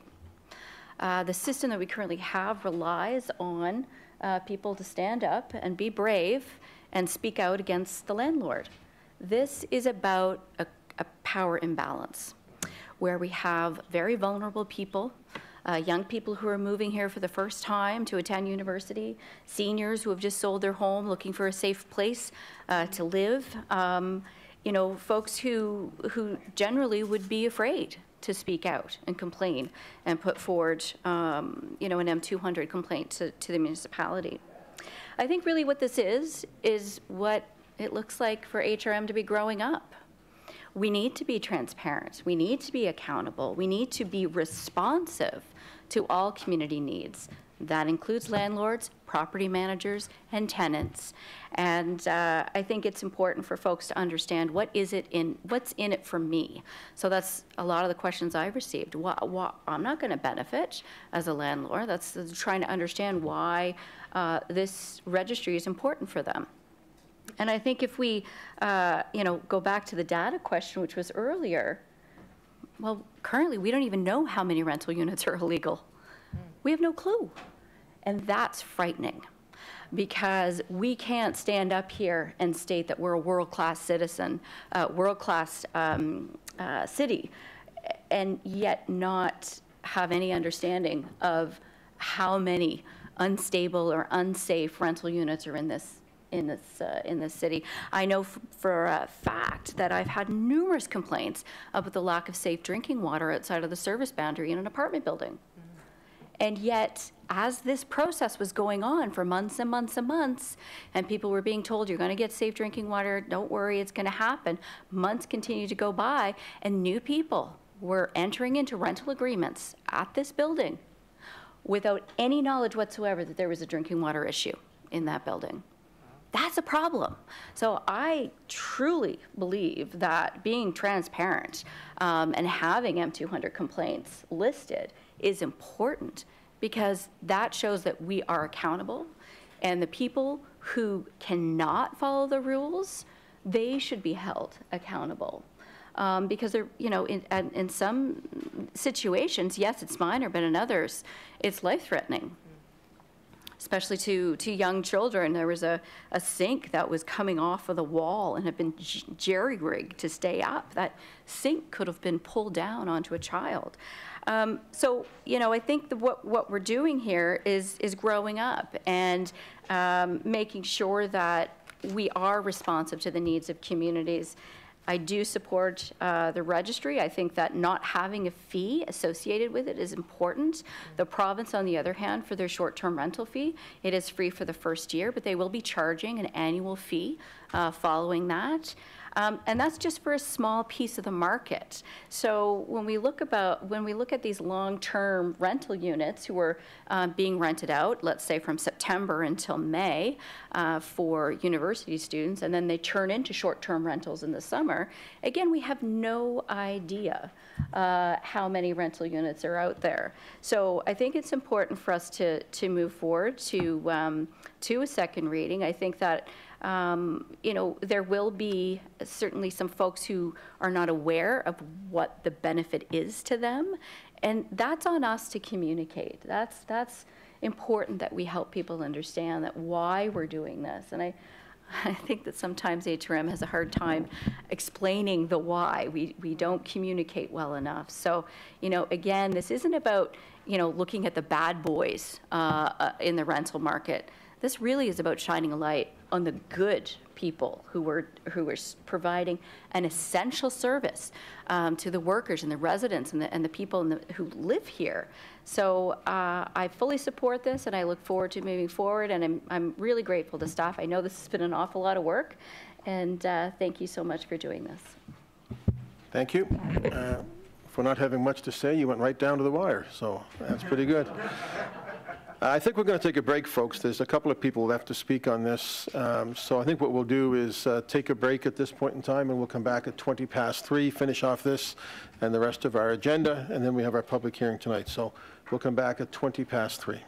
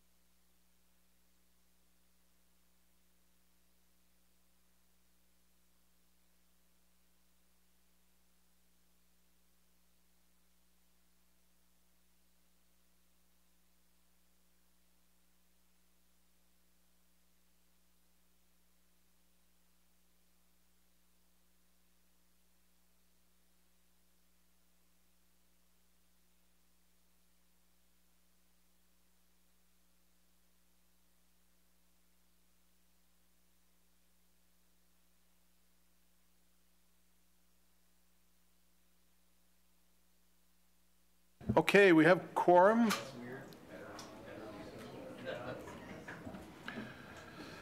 It's 3:22.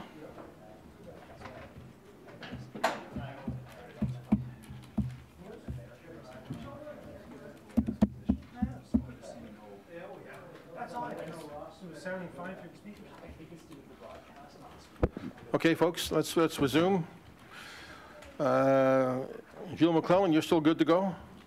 Been a long day? Uh, Councillor Morse, we're discussing uh, the uh, landlord registry.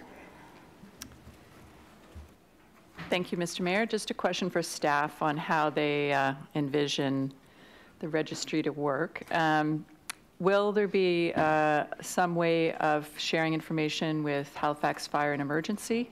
Because we will be doing inspections, and there could be situations that are more urgent than others. Thank you.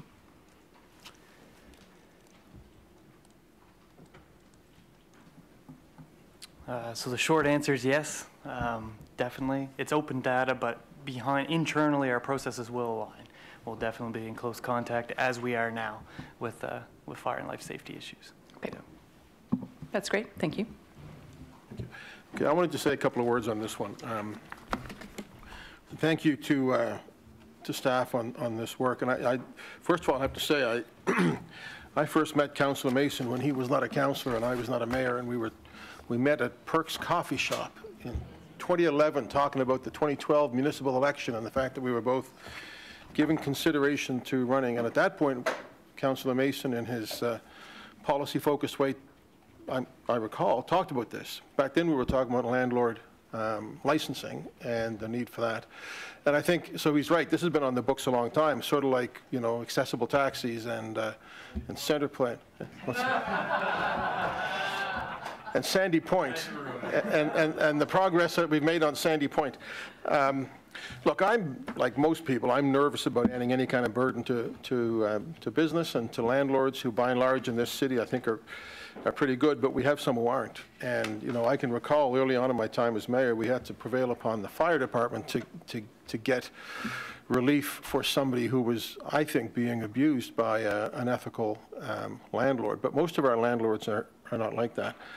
Um, And I don't think, I think there've been changes made. We're not charging uh, a fee for this. I don't think this is a threat to most of the landlords in HRM, but I think there are some that need, uh, need to have a bit of an eye kept on. I don't think this is going to be onerous. It's not licensing. It's not uh, charging um, a fee.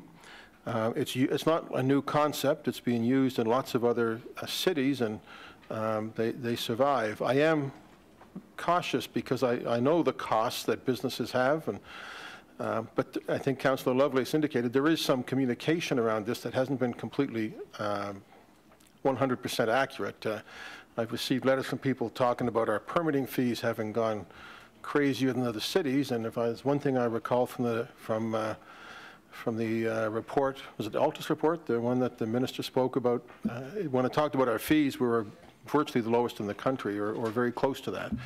Um, We, we owe, we owe, uh, we need to be partners with our development and our landlord community in lots of ways, but that doesn't mean that we don't have responsibilities to the tenants that we have to employ. Um, So uh, I can vote for this. Uh, I know that some people uh, don't like it, but in my view, I, I don't think this is a radical uh, approach. So uh, I think the work that staff have done on this, probably not satisfying IPOANS and not satisfying ACORN, but, you know, a a reasonable place in the middle that says we need to do something is a sensible way to go. The one question I have, last year, the city of Montreal introduced landlord uh, licensing. What, what they did that was interesting was they said that uh, larger landlords had to um, register within a very short period of time, but smaller uh, landlords had, I think, five years before they had to register. Did we look at doing something like that so that the, the smaller businesses would have more time to comply uh, with this rule? Uh, To you, Mr. Mayor, short answer is no, we didn't, uh, we didn't consider that. Uh, uh, We thought that one year would be reasonable for everyone, but we did not give thought to extending it for the smaller, smaller guys. The date that we've set is April the 1st of next year, correct? Yes. People have to be registered by, so It's a year and a few months, uh, assuming that this passes. Um, And have you talked to smaller landlords about what's involved for them to comply with this? Uh, Mr. Mayor, uh, to this point, uh, we have not talked to landlords recently. We've been relying on the uh, consult consultation that's been previously done, so no, the answer would be no. We haven't. Okay. And if we were to consider it an extra year or something like that, would that have to be done today? Assumingly, if we go to, it would be a substantive change, would it not? Or or would that be something that, would it be a substantive change if we change the date for registration for smaller landlords?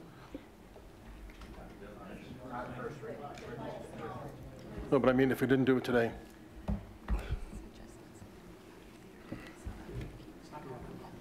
It's, you know, it's, pardon me.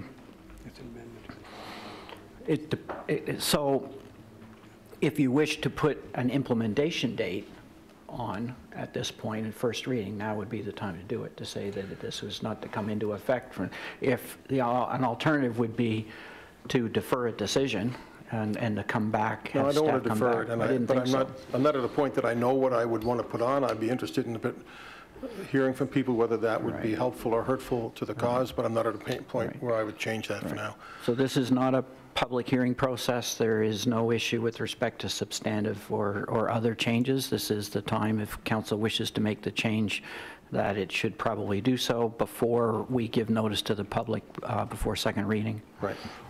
Okay, well, I'm just going to leave that. Uh, Staff have answered the questions that I've uh, had about that.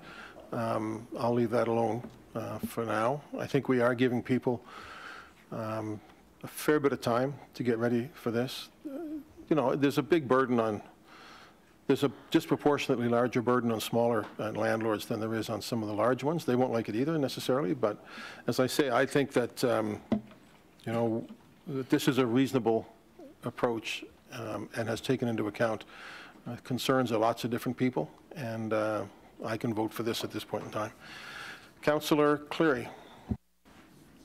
Thank you, Mr. Mayor. Um, On, on that, I I would certainly be interested in getting some more information uh, around, the trouble would be, you know, who do you consider small, like in the number of units, and who do you give more time? Mr. Duncan talked about, uh, I think it was 4,000-ish property owners out there that had 50,000 units.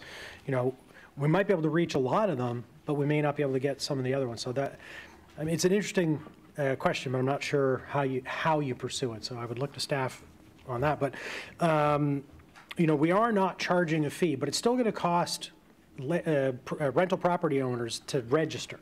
They or their staff will have to gather the data, go online, spend time doing this, depending on how easy it is. And I really stress, I- this has to be easy for people to do so that it doesn't burden them to register. And I think, you know, staff certainly seem to be saying that that's their goal. Um, Similar to Councillor Cuttell earlier on enforcement, I mean, there, there may be some wiggle room that inspectors would have to say, you know, that, that's not life and safety, so I'll, I'll give you more time to address that. You know, you got to put kitchen cupboard, doors on your kitchen cupboards. That's different from, you know, not having egress from, say, a third floor apartment. There's no wiggle room there, you know. Uh, And when I bought, my wife and I bought our property over 10 years ago now in Quinpool, the folks who owned it at that time uh, owned a number of other properties uh, that were not all in great shape. Uh, The third floor of our house, because it has three floors, uh, did not have egress. And under the building code, you cannot tra- uh, uh, travel more than a floor to get out. So coming down two floors, had that building ever been inspected, they would have made them, as we did right after we bought it, put a back deck and stairs up to the third floor, because that's where our oldest son's bedroom was. Um, And so, you know, there are a lot of not devious, but just either not well-meaning or not caring landlords who need to address issues and deficiencies in their building. Lots of our, as Mayor's point out, lots of our landlords, in fact, the vast majority of them are great landlords. There are a small number that are not so good. Having said that, have you considered the risk? So we send in on proactive or even reactive building inspections, send an inspector, they give the property owner a list of deficiency and remedies for the building. have you considered what the risk is going to be, given our housing crisis, that the landlord, assuming they're unscrupulous, or even if they're desperate, they just can't afford the upgrades, they then evict the tenants, because these are life and safety issues, uh, and then fix them up and charge or move towards market rent, or maybe even higher? Have you thought about that and how, how we could mitigate against that uh, in our current situation?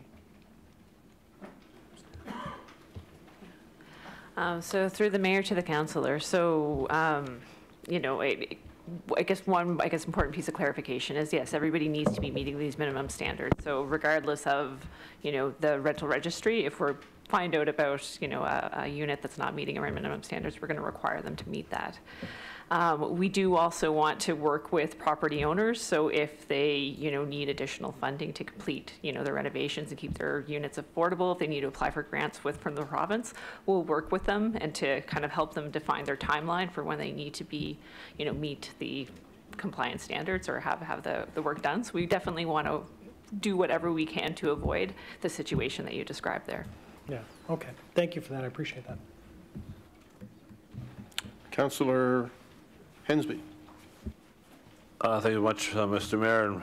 Uh, Like Councillor Lovelace, I have very few rental properties, uh, long-term rental properties in my particular district, but I can say there's quite a few uh, short-term rentals, and seeing the similarities of having the two uh, registries, perhaps serving as one would be great. Um, My, my concern, though, is we're doing first reading here. Have we discussed having a second reading go to a public hearing? Have we discussed that yet?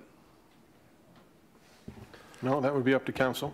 And uh, I personally believe that we should go to a public hearing on the second reading because I'm sure a lot of or- organizations and landlords who probably want to make their thoughts known. And, and I think that we as the government of the people, close to the people, I think transparency would be great in this opportunity. And I think that having a public, public hearing on this matter would be probably a great service. Okay, so we'll, I think what we do is we vote on the recommendation and then determine if it would be a public hearing. It's up to council, I believe. I would suggest that be amendment to, to the main motion if you wish to have a public hearing on, on either or both of the uh, bylaws. Send them as, as part of that, it's usually made part of the main motion. Councillor Hendsbee. Well, I believe the bylaws should be on the registry, but I don't think, uh, a, a public hearing should be on the registry, but not on the uh, minimum standards. I think that's something that we need to do anyway as a part of our due diligence for ensuring fire safety and stuff like that. So I think the first part, the registry itself, should be uh, subject to a public hearing. So I'd like to move that uh, perhaps uh, that the bylaw R400 go to a public hearing before second reading, at second reading. Okay, so that would be the first two, and then add the third part, which would be that this uh, be put to a public hearing, subject to a public hearing. Correct? Councillor Hendsbee? So we would vote on that as an amendment now, though?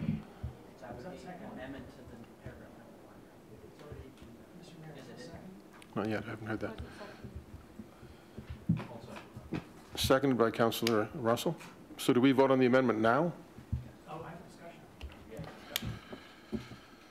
So that's the, that's an amendment that's on the floor for discussion, so we'll go back to the main list after we've dealt with the uh, discussion on the amendment, proposed amendment. Councillor?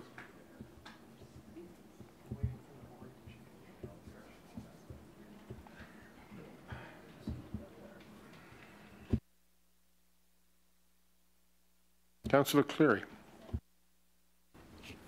Uh, Thank you, Mr. Mayor. Uh, Intriguing. I- I- Given the sort of intertwined nature of the two, and they are cer- certainly separate, uh, but there are a number of significant updates to the uh, M200.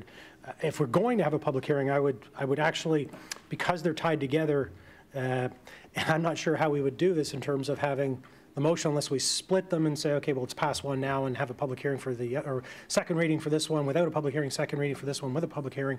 I think we have to do a public hearing for both if we're going to do one. Not sure we, we want to have that, except that I do think we could get more information uh, that would be relevant to us. Looking to the solicitor, of course, uh, and his advice is, you know, if we're going to change our mind about something and we have a public hearing, based on that information, we have to have another public hearing anyway. Uh, So it's kind of a catch-22. Uh, So I'll be interested to see what other people think about going to the public hearing. And again, if we do go to- to one, I think we need to go to one on both R400 and M200. Anyway, I I look forward to the thoughts of others. Uh, So there is no legal requirement or otherwise to have a public hearing on both. Um, You could choose to do one or the other. Um, As to, just for your information, Mr. Mayor, through to council, if you do not proceed with a public hearing, then there is still an obligation to advertise the, the second reading and to provide uh, opportunity for the public to make written submissions. So there is always an input process into the bylaws before they are passed, and written submissions might be sufficient in many cases to tease out exactly what the issues are. That's your call. Thank you. Councillor Russell. Thank you very much. I would be in, uh, very much in favor of a public hearing for R400. I don't think it's needed for uh, M200. The, uh, I, I have no problem strengthening um, the standards that we hold the buildings to. But as far as a registry, I've heard from a number of people that they have not been consulted. Um, And these include short-term uh, rental landlords as well as long-term rental landlords. So this would be an opportunity for us to, us as a, a- group, to hear from them. Um, We do have the, uh, the letter from IPOANS that is mentioned, but it would be, uh, I, I think it would be helpful for them as the body that represents um, the long-term rentals to, uh, to be able to discuss this with us. Um, And again, if there is a, a body locally that uh, represents short-term rentals, I would absolutely support that too. So I support and uh, request consideration for, uh, for the public hearing for M4, uh, for R400. Thank you. Councillor Mason. Hey, uh, so just to be clear, we're voting on the rental registry for uh, minimum standards in building. We voted already to send to uh, s- uh, public hearing and uh, second reading the uh, short-term rentals. Like that, those are separate, separate legislations, right? So, so, so, so, so, so we have, we are moving forward with short-term rentals, and that is, unless I'm mistaken, clerks can, and legal, I believe that the motion was to go to a public hearing. This is on rental registration, uh, the primary focus of which is not short-term rentals, it's on building standards and, and all rentals. And, and so we can go to public hearing. I, I don't think it's really necessary, as, as the lawyer outlined, we have the, uh, uh, that's why we have first and second reading. We're going to advertise it. We're going to allow people to, uh, uh, you know, encourage people to submit information, letters, and, and, uh, and uh, all that. But if that's council's wish, that's council's wish. But I do agree, I think M202 and M, and R400 can, can be, I don't think they both need to be subject to the public hearing. I don't think anybody would come to the Bar of Council and say that you don't have to provide locks on doors or drains that work on sinks. I think probably most people accept that that's an important thing. So uh, that's, that's uh, all, Mr. Mayor. All right. Uh, Councillor Deagle Gammon. Thank you, Mr. Chair. Um, In, about whether or not we would go to a, a public hearing, there was a consultation that led up to all of this. Can you just frame that for a few minutes again for us, please? Because I think in the report it was pretty significant, or it seemed that it was. Thank you. um, to, to council. Um, So in 20, 2016, t- uh, 2017, uh, staff, uh, staff hired Stantec Consulting to do engagement for us regarding the, uh, the, either looking at a rental registry or a licensing program and kind of understanding the pros and cons and kind of which way we want to go forward. So there were um, 12, I believe 12 different, uh, you know, strategic interviews that were done with, uh, with folks including renters, uh, landlords, um, advocacy groups, um, IPOANS, other associations. Um, And then there were several focus groups as, as well too that included uh, representatives from those groups as well. Um, And then since then, we've stayed engaged with IPOANS on, on how some of this work has progressed, and there's been engagement with, um, our updates with Acorn Canada as well too. Great, thank you. Okay, we're going to go to the vote on whether there would be a public hearing added as an amendment to this motion, right? Ready for the question?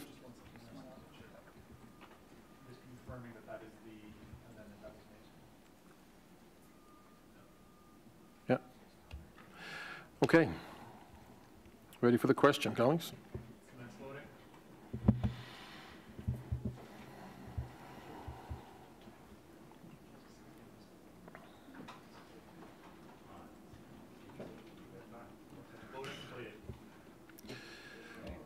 So that is defeated. That amendment is defeated. So we're back on the main, um, the main motion, which has been amended by Councillor Cleary, I believe. So um, on the main motion, Councillor, this is the, this- these are the people on the main motion, Ian, in front of me? Councillor Russell on the main motion?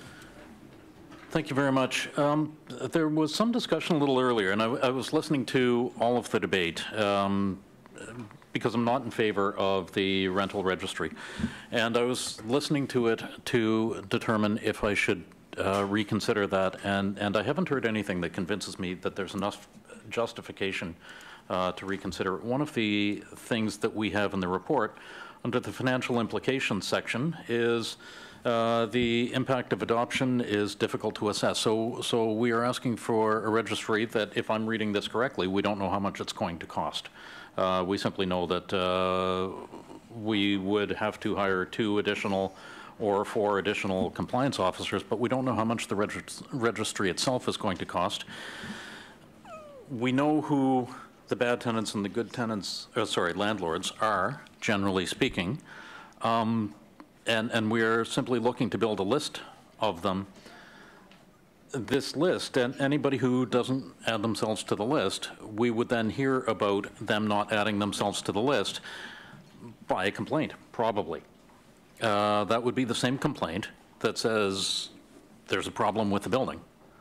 So we would use the same complaint for two different things. One of them is to identify a bad landlord, the other is to identify a bad landlord.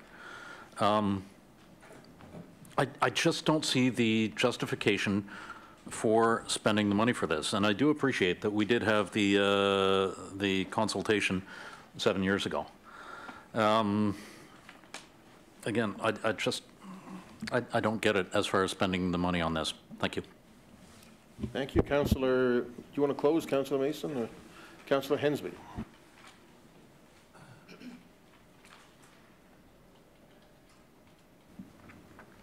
Hendsbee? Not me. How do we get a voice for Councillor Hendsbee? Thank you very much, uh, Mr. Mayor. Um, And uh, Paul's, Paul's I would strongly recommend that anybody who wants to speak to council on this matter of uh, rental property registry, take advantage of the public participation at our community council meetings. There are four or five community, community council meetings. If this is an urgent matter for anybody uh, pro or against the registry, please take advantage of those opportunities at our community councils. Thank you. Thank you. Okay, it has been a good debate, um, and we are going to split the motion um, and vote. So there's three parts to the motion, correct, Ian? Are we ready for the uh, vote on question number one?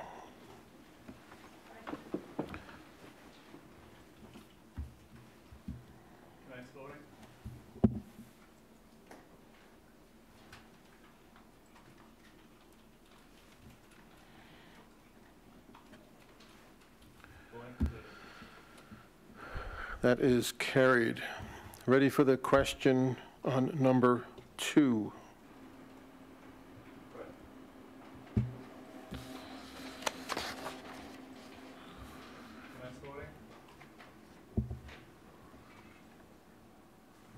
Is there number three? I don't have the motion for me. Yep. That's carried, thank you. And on number, we'll give the folks a chance to get reset. Number three.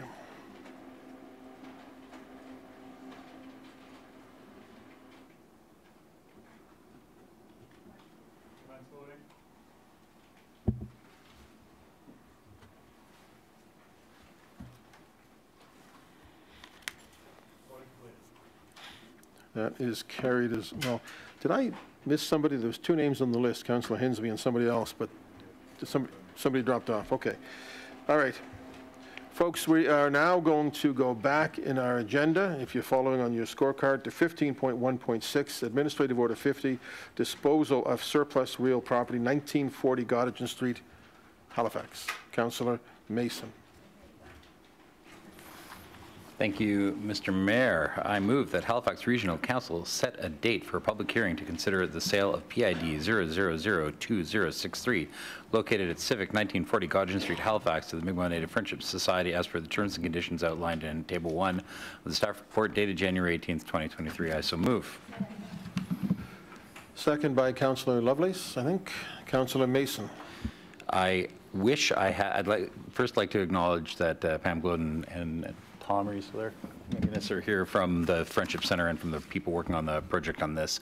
Uh, and I don't have a lot to say because we've talked about this repeatedly in chambers as we've moved away from a 50% off because we're maybe going to do a housing development on the larger land to maybe we're going to do some stuff with that rest of that property. Maybe we're not even going to have a, a, a pool there, you know. And, and now here we are where it's clear the only way this is going to move forward with the federal and provincial governments is if it's a, if the land is conveyed at a, a zero dollar value. Strong support for that. So I'm happy to see this here uh, and happy to see it move forward. And I would ask for council support so we can get this project, uh, which the feds have recently announced some significant funding for, underway. Thank you, council. Ready for the question, colleagues?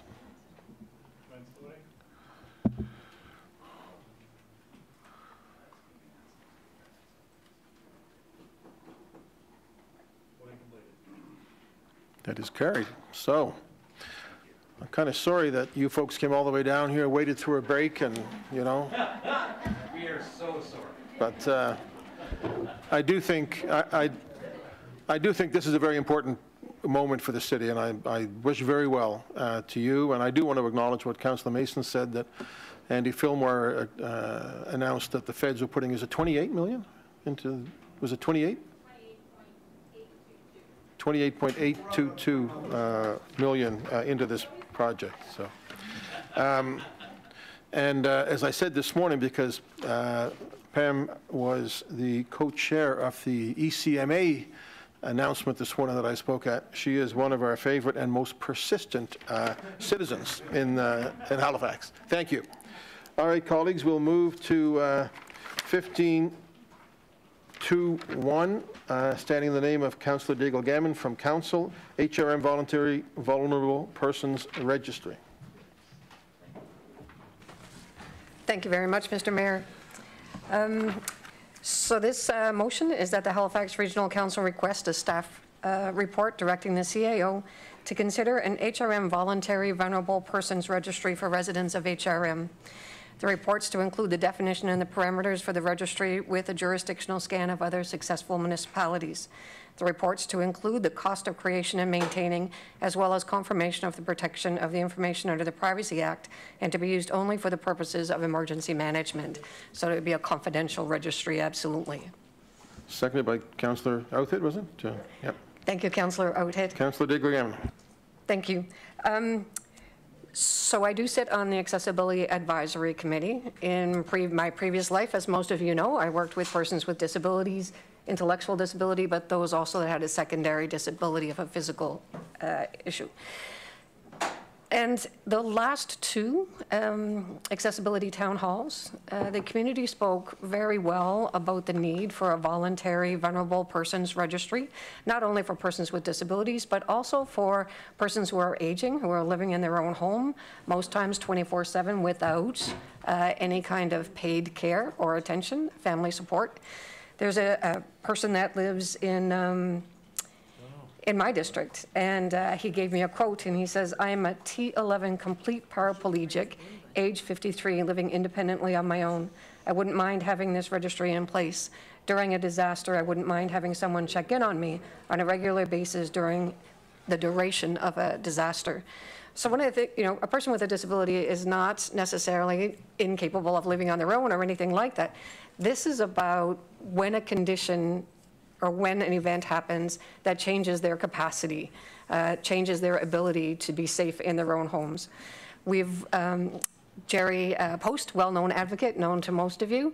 Uh, He and I met with Erica Fleck. We talked about the role of emergency management, especially what we've seen after Fiona.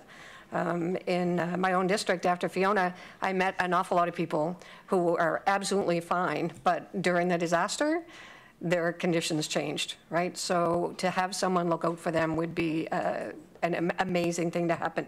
And I guess the, the thing about this is that it is voluntary. So uh, the staff report would probably look at all the details of what we would need, how you define vulnerable, also how uh, it could be compatible with some of the work that's being introduced uh, at the province. Uh, There's a private members bill that uh, MLA Lorelei Nicoll has brought forward that's looking at that. That actually is, would be a piece of policy and legislative framework. This would be the companion to that and more compatible. So I do hope that um, you all think that this is a lovely thing to get done and uh, that this motion would pass. And I'm sure that you also have examples uh, in your own districts where you've known of persons who were made vulnerable by an event and a registry like this would keep them safe. Thank you. Thank you, Councillor. Councillor Blackburn. Thank you very much, Mr. Mayor, and uh, thank you so much for bringing this forward. Uh, uh, Just after Fiona had uh, several conversations with uh, Erica Fleck from Emergency Management on this very topic, and, uh, you know, this became very clear, the need for this became clear to me after Fiona when uh, I was contacted by uh, a woman who lives in the district who has uh, an adult son with uh, severe disabilities who is bedridden, and she was worried about her roof blowing off during the storm. And her emergency management plan was to put her sneakers near the front door and hope that she could run to the fire station in time to get help. So uh, we, we need to do better for our uh, vulnerable residents, and uh, I think this is a, a great place to start. So thank you very much to, uh, to you, Cathy, and to uh, Erica for your work on this. Thank you. Thank you, Councillor Hendsbee. Uh, Thank you much, Mr. Mayor. And yes, uh, from my experience with the Joint Emergency Management Team we have on the Eastern Shore and the recent experience we had with Fi- Fiona and- and and other recent storms, we've had the occasion of knowing vulnerable people that needed assistance. You know, one thing about rural communities, we, some, some of us know our neighbors. And, and, and, and with that, we were able to provide some services, but we don't know everybody who's moving into an area uh, with their particular situation. We had a particular uh, problem in the Moser River where someone needed a generator because of a, of a sleeping, uh, sleep disorder and needed for their breathing machine and stuff. So we wanted to make sure those things were covered. I totally agree with this, and I'm pretty sure we can work with our partners through the Victorian Order of Nurses or other uh, um, day nurses that do, uh, that do day trips and stuff, they know who the vulnerable people are. There's a database out there of who's serving clients at home. All we gotta do is collaborate and co- and coordinate with them and, and have that, uh, that list of residents that are vulnerable, and we want to make sure that they are protected whenever a case of emergency situation arises, be it a prolonged power outage, uh, be a, be it a possible flood or erosion issues for, for uh, evacuation for storm surge. We need to know where these citizens are and make sure they're kept safe. So I'm, I'm so- fully in support of this initiative. Thank you. Thank you, Councillor Kent. Thank you, Mr. Mayor. I'm happy to support this as well. I, I I don't, in my, in my career, I don't think there's been a, a storm that's gone by that I didn't hear about someone who was, uh, had concerns about a, a neighbor or a friend. Um, I, I don't know if this can be incorporated at this point, but if, if um, it can, I, I, I hope that we would consider some form of a way of a referral as well for vulnerable people. So it's not just the, it's not, I, ultimately, a vulnerable person should, has the agency to say whether or not they want to be on a list, but some are not, may not be connected to the knowledge that it's been out there without someone else potentially bringing it to someone's attention. Um, You know, there's, there's people in our, in our communities who are uh, very isolated and may or may not have access to in, the internet, television. You'd be surprised at what folks might be living with. And I think it would be an important piece to have even an, an anonymous uh, opportunity for a neighbor to call and say, can someone check in on this person to make sure that they know of the information that allows for it? It doesn't mean that that person is responsible for it, but that there's a way even to reach out to counselors and, and let us know that there might be people being missed uh, with, to, to learn about this kind of opportunity. I think this is vital, vital to the health of many in our community. We also have, I think we've, we've changed a corner as well on how we support and encourage and um, value the ability for people who are vulnerable to still have agency by living independently. And we have, and, and raising uh, persons with disabilities or, or even impairments that it might be as a parent to be concerned that they're actually going to be able to, to be able to survive on their own and independent, that this would give a lot of comfort knowing that there, there's a, a list that could be there in the event that uh, an emergency was happening and uh, they could be at further risk related to it. So I think there's just so many pieces to this that this to me is a, one of those no-brainers. This is a good thing to have. Communication is going to be really, really important to the public to make sure that we get this out there in a way that is not, that it is volunteer, but there's a lot of benefits to it. Thank you. Thank you, Councillor. Councillor Deagle Gammon. Um, Thank you, Mr. Mayor, and and thank you, colleagues, for the support that was uh, said.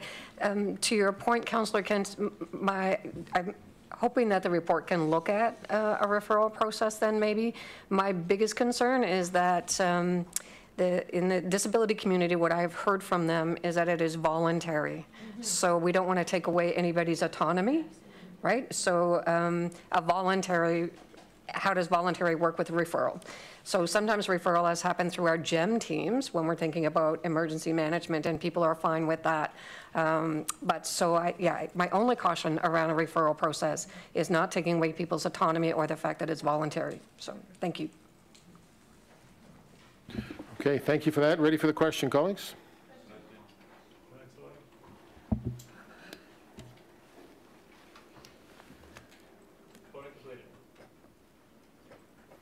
Carried. Thank you very much.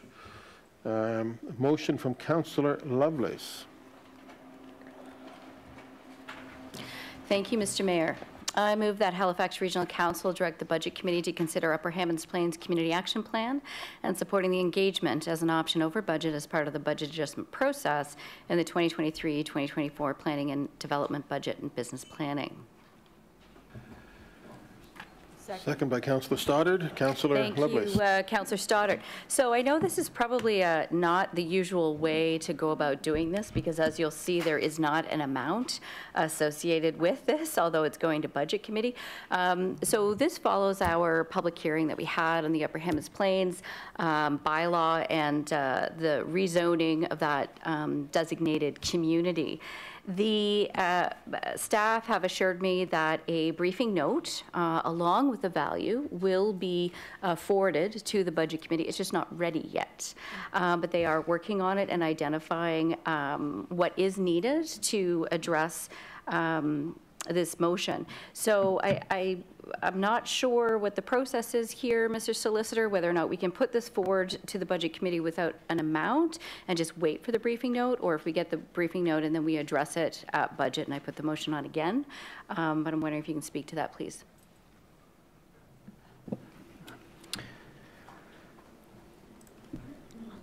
Generally, uh, well, look, I don't know what the briefing note is going to say, and who who exactly is preparing the briefing note? I'm sorry, Kate Counselor? Green. Uh, In that case, then it it would form part of a briefing note. If if it's added to the budget adjustment list, there will be a briefing note prepared to go with it. That's So right. that Yes. comes after the fact. Yeah, So okay. whether it's moved here or whether it's moved at the Budget Okay. uh, Committee. Thank you. So I will ask you to support this so we can move forward with this um, uh, proposal to create a community action plan for Upper Hammonds Plains. Thank you, colleagues. Thank you, Councillor Hendsbee. I'm just curious if any of the community here is a part of the, upper is a part of the uh, local area rate for Hammonds Plains? If they are, would the f- funds for this particular uh, action plan be going from that area rate, or would this be general from, something from the general funds? That would have to be addressed in the briefing note. Okay, thank you. Councillor Cuttell. Thank you, Mr. Mayor. I guess um, my question was just about process and, and um, bringing this forward at regional as opposed to bringing it through the budget committee, and if that makes any difference and, and why we would be doing this here and, and not there. I don't know if We'll let uh, Councillor Lovelace speak to that if she wishes to, uh, to. Certainly. So the notice of motion followed the public hearing um, after the conversation that we heard from the public. So I felt it was important to move that at regional council while they were here in the room, knowing that that was part of a recommendation that came from staff and knowing that staff are working on the briefing note to move forward uh, to budget committee. So um, while it's not uh, perfect, it is imperfect and uh, would appreciate your support on that. Right. So would it be brought forward when we have the presentation from planning and development, or would it be brought forward when we consider the bow list at the end? It says the bow list, so The it would be a briefing list. note that would come with us when we do the bow at the end of March or whenever it is. All right, thank you. Councillor Kent? Thank you, Mr. Mayor. I'm struggling not with the notion of what is being asked. I'm struggling with the fact that it's being brought here. I think that we could potentially be setting a precedent for the, the uh, inundating council agendas with this kind of budgetary consideration. I think that frankly, it needs to stay within the budget debate. We've got one tomorrow. It could have just as easily been brought there. Um, uh, At any point, any of us can raise uh, BAL items, um, and we will be, we, and we all know of the, the schedule for that. So I, I'm, I'm going to vote in, against it because it's here, knowing that it really, in my opinion, and, and I think uh, Councillor Cuttell has, has expressed some concerns around it too. I don't, I don't see where, where it fits here, um, that the net benefit, it still needs to go through the budget process with the brief, with the briefing note, the information, all of it brought back to us, just like anyone else would, would do. So I, I, I'm not convinced of it being needed here. Thank you. Thank you. Councillor Cleary. Thank you, Mr. Mayor. Um, As I recall, we've had a number of motions from council going to the Budget Committee pre-2020 and since 2020. Uh, We're the same body. Uh, We're just referring it to a committee, just as we would any other issue that we would refer to a committee. Uh, The issue is not so much, does it come from here, does it come from Budget Committee? Because we have done this before. Um, The issue is going to be, once it gets to the budget adjustment list, I'm not sure whose face, there was a bunch of faces over there uh, when someone said 12%. uh, But colleagues, we have a lot of stuff going to the budget adjustment list. Almost all of them are overs. Counselor Austin, kudos for you, being the only successful under so far. Uh, Major under, uh, eight, eight, $8 million. Uh, But so, you know, let, I'll, I'll vote to put this on the budget adjustment list. I may not vote for it once it's there because we have a lot of stuff, including, and also, why is it coming from here? If you remember the staff report on the Upper Hammonds Plains uh, uh, motion and public hearing, this was in it. And I, I, I mentioned it at the time that it, rec, it, and I asked actually questions of our staff. It recommended hiring some staff to do more work. And so it was a council report, council motion, it's here if, don't not vote for this because it's at council. It's, we're the same body. It's going to the same place. Uh, Vote for it based on whether or not you agree to add resources. Again, this is just a parking lot, but once we get to that parking lot, there's going to be a lot of disappointed faces around this table because we can't do all the stuff that's in the parking lot, and we still have to find, Madam CAO, a- a- well, I think it was 15 million, but we didn't vote for a bunch of stuff, so I think it's still even more money somewhere uh, for other cuts if we're going to achieve anything close to 4%, and it won't be. Uh, So, you know, let's not make it 12. Thanks. CAO. I just wanted to mention that the Planning and Development Business Unit is coming forward on February 17th.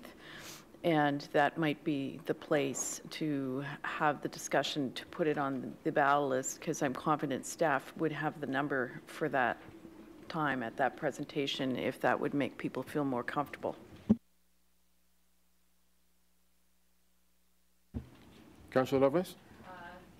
Yes, thank you. So just a final word. Um, So this isn't precedent setting. We've done this before, we'll do it again.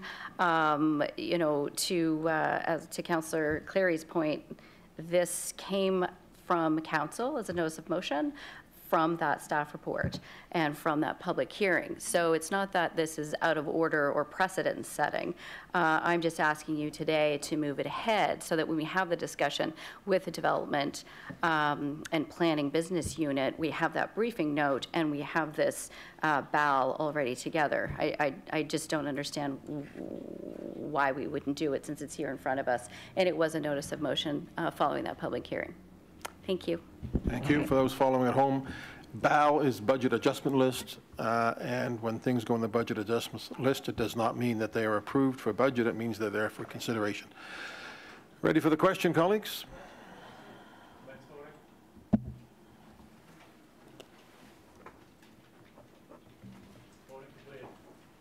That is carried. Thank you.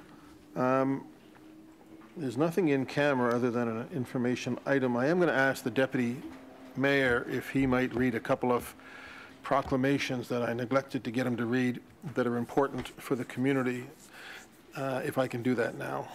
Deputy Mayor.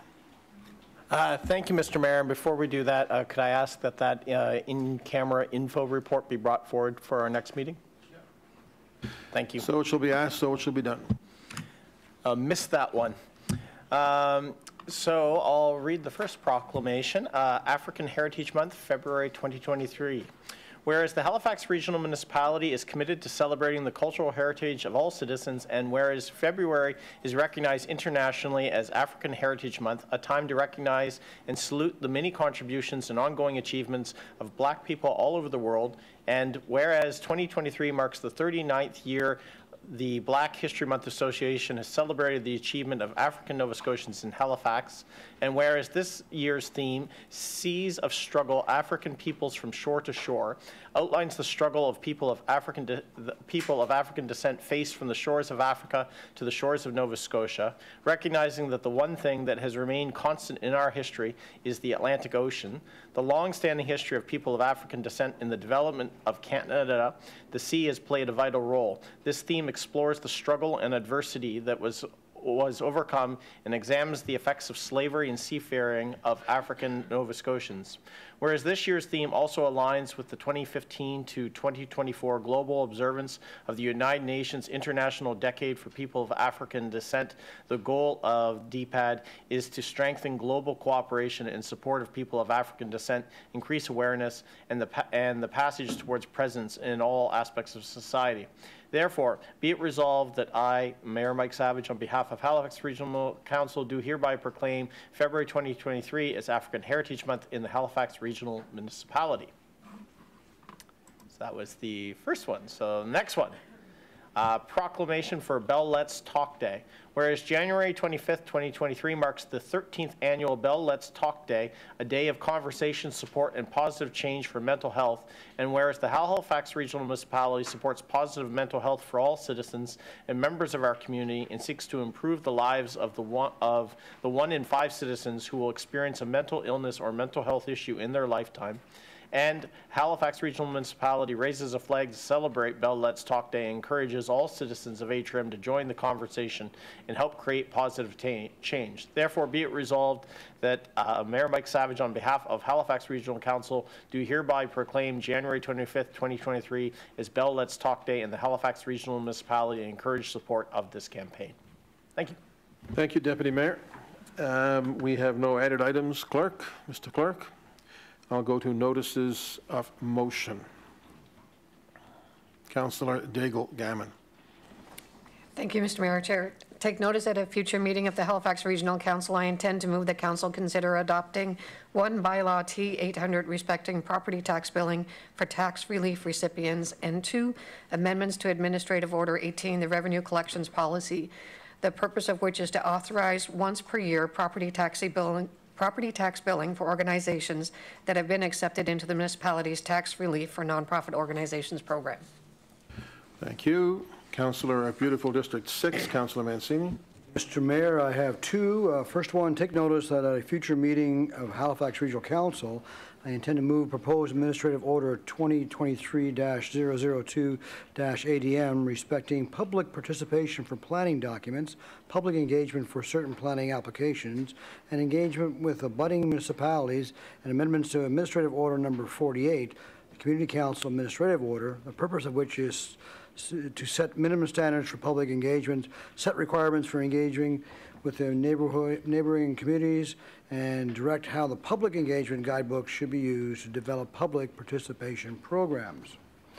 The next one is take notice that at a future meeting of Halifax Regional Council, I intend to move the council consider adopting by policy a public participation program, the purpose of which is to permit the development of a single-unit dwellings on R1, single-family residential zone properties along with Green Bank Court and Cove Lane. Councillor Smith.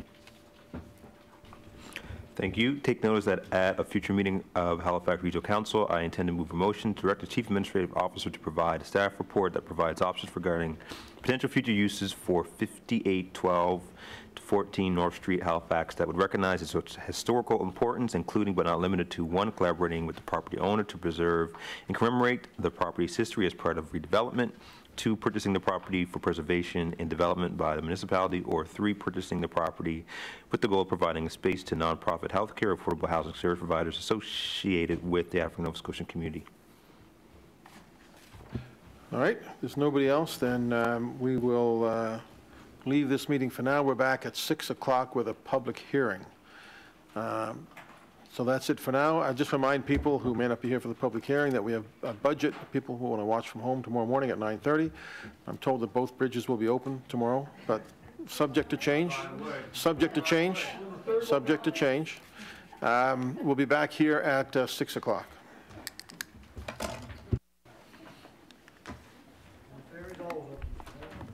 Yeah.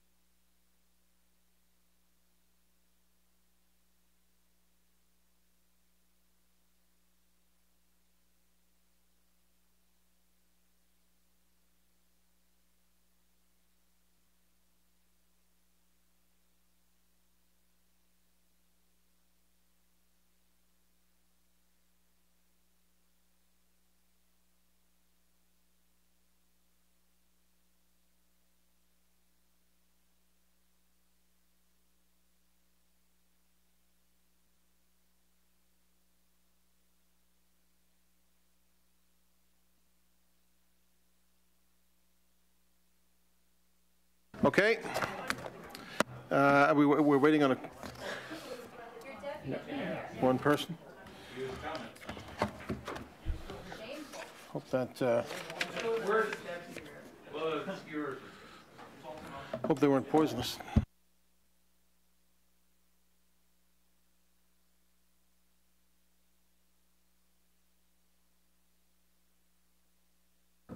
Thank you, Boyd. I'm just going to hold tight. We have a little, um, you know, internal strategy meeting going on here until our deputy mayor. Thank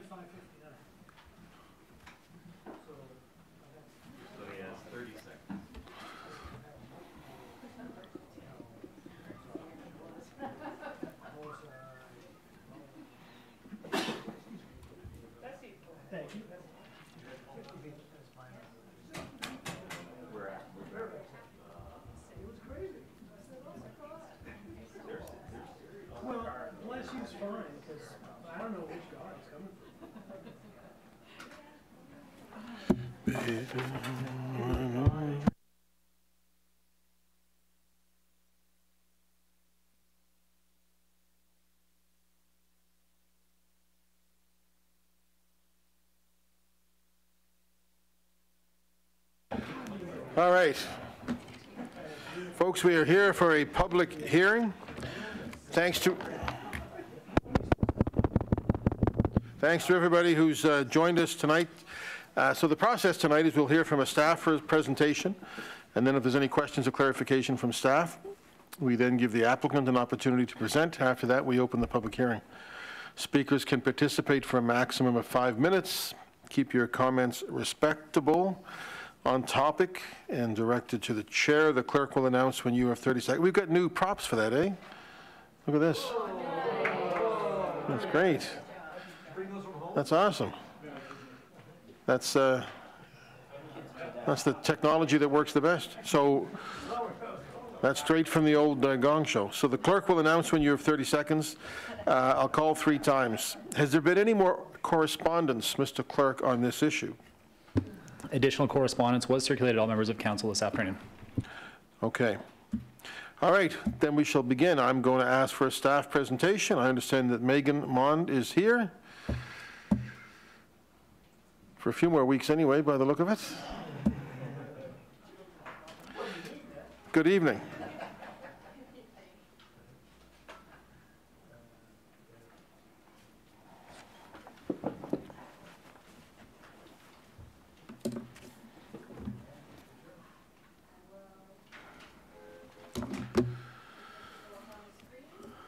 Okay. Presentation. Wait for that.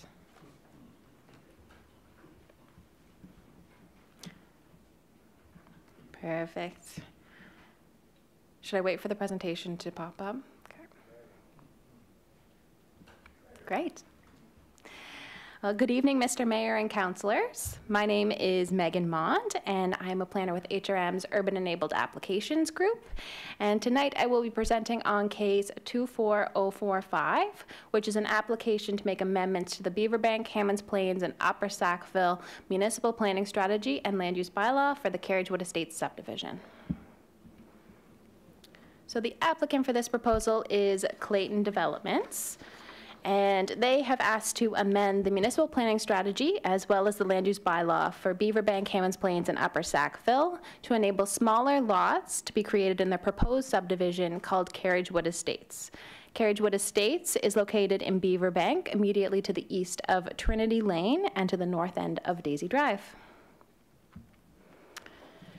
So the lands, as I mentioned, are located in Beaverbank. They are just to the east of Beaverbank Road and generally kind of situated between Galloway Drive and south of, or sorry, north of Galloway Drive and south of Kinsac Road. So the image on the left-hand side, uh, that's, that's showing that, and then on the right-hand side is the approximate boundaries of the site. So the site can be accessed from two locations on Trinity Lane, and then it's accessed from the end of Daisy Drive, which you can see there. So the surrounding area is primarily single-unit dwelling development. The area has developed over the decades, so the lot design and architecture of the houses does vary in the neighborhood.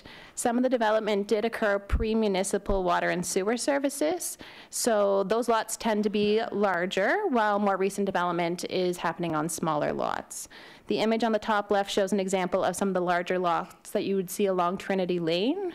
And then there's mature houses. The houses are further set back and set back from each other. And then the image on the bottom right shows the houses, some of the newer development on Daisy Drive that will be close to the proposed Carriagewood Estate subdivision. And those are um, obviously on smaller lots. So there are three levels of planning documents in HRM. The highest level is the regional plan, and it guides where population growth and investments in services like transit, piped water, and sewer should occur. The second level is community plans, and community plans focus on specific geographic areas and outline where and how different types of development should occur. So often planning applications that require council approval are enabled in the community plans, but in this application, the proposal was not enabled by the community plan.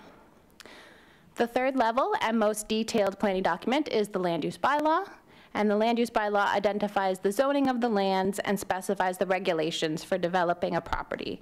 So any development that can meet the land use bylaw regulations can happen without council approval and without community engagement. So the site is serviced with municipal water and sewer. It's currently zoned R1 under the Beaverbank Hammonds Plains and Upper Sackville Land Use Bylaw, and this zone permits single-unit dwellings, two-unit dwelling, or sorry, existing two-unit dwellings and mobile dwellings, and accessory uses. The site is designated residential under the Beaverbank Hammonds Plains and Upper Sackville Municipal Planning Strategy, and this designation seeks to support and protect the existing low-density residential environment. And the site is currently vacant, but construction has begun for an as-of-right subdivision. So amendments to an MPS are significant undertakings, and council should only consider such amendments when circumstances have changed since the planning document was originally adopted.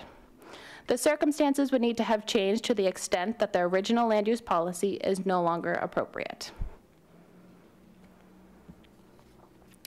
So this slide highlights the steps for this planning application. Regional Council initiated the process to consider the proposed amendments on April 12, 2022. And then since then, staff have completed a detailed review of the proposal, engaged with the public, and prepared a staff report which went for first reading in December of 2022. The application is now in its final stages, so following the public hearing tonight, council will make a decision to approve or refuse the proposed MPS and land use bylaw amendments. And if the proposed amendments are approved, then those would be forwarded to the province for review. And assuming that all was approved, then um, the, the amendments would be in effect and the applicant could apply for permits under the new rules. So as I mentioned, the subject site is currently zoned R1 and lots in the R1 zone must have at least 6,000 square feet of lot area and 60 feet of street frontage.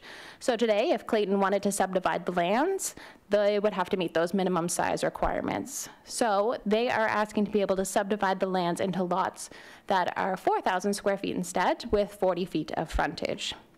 So they've specifically asked for the smaller lot requirements to only apply to the Carriagewood Estates subdivision in response to a previous application where they submitted um, an application to change the uh, R1 zone requirements itself so that it would affect all serviced um, and lots that are capable of being serviced zoned R1 in Beaverbank, Hammonds Plains, and Upper Sackville.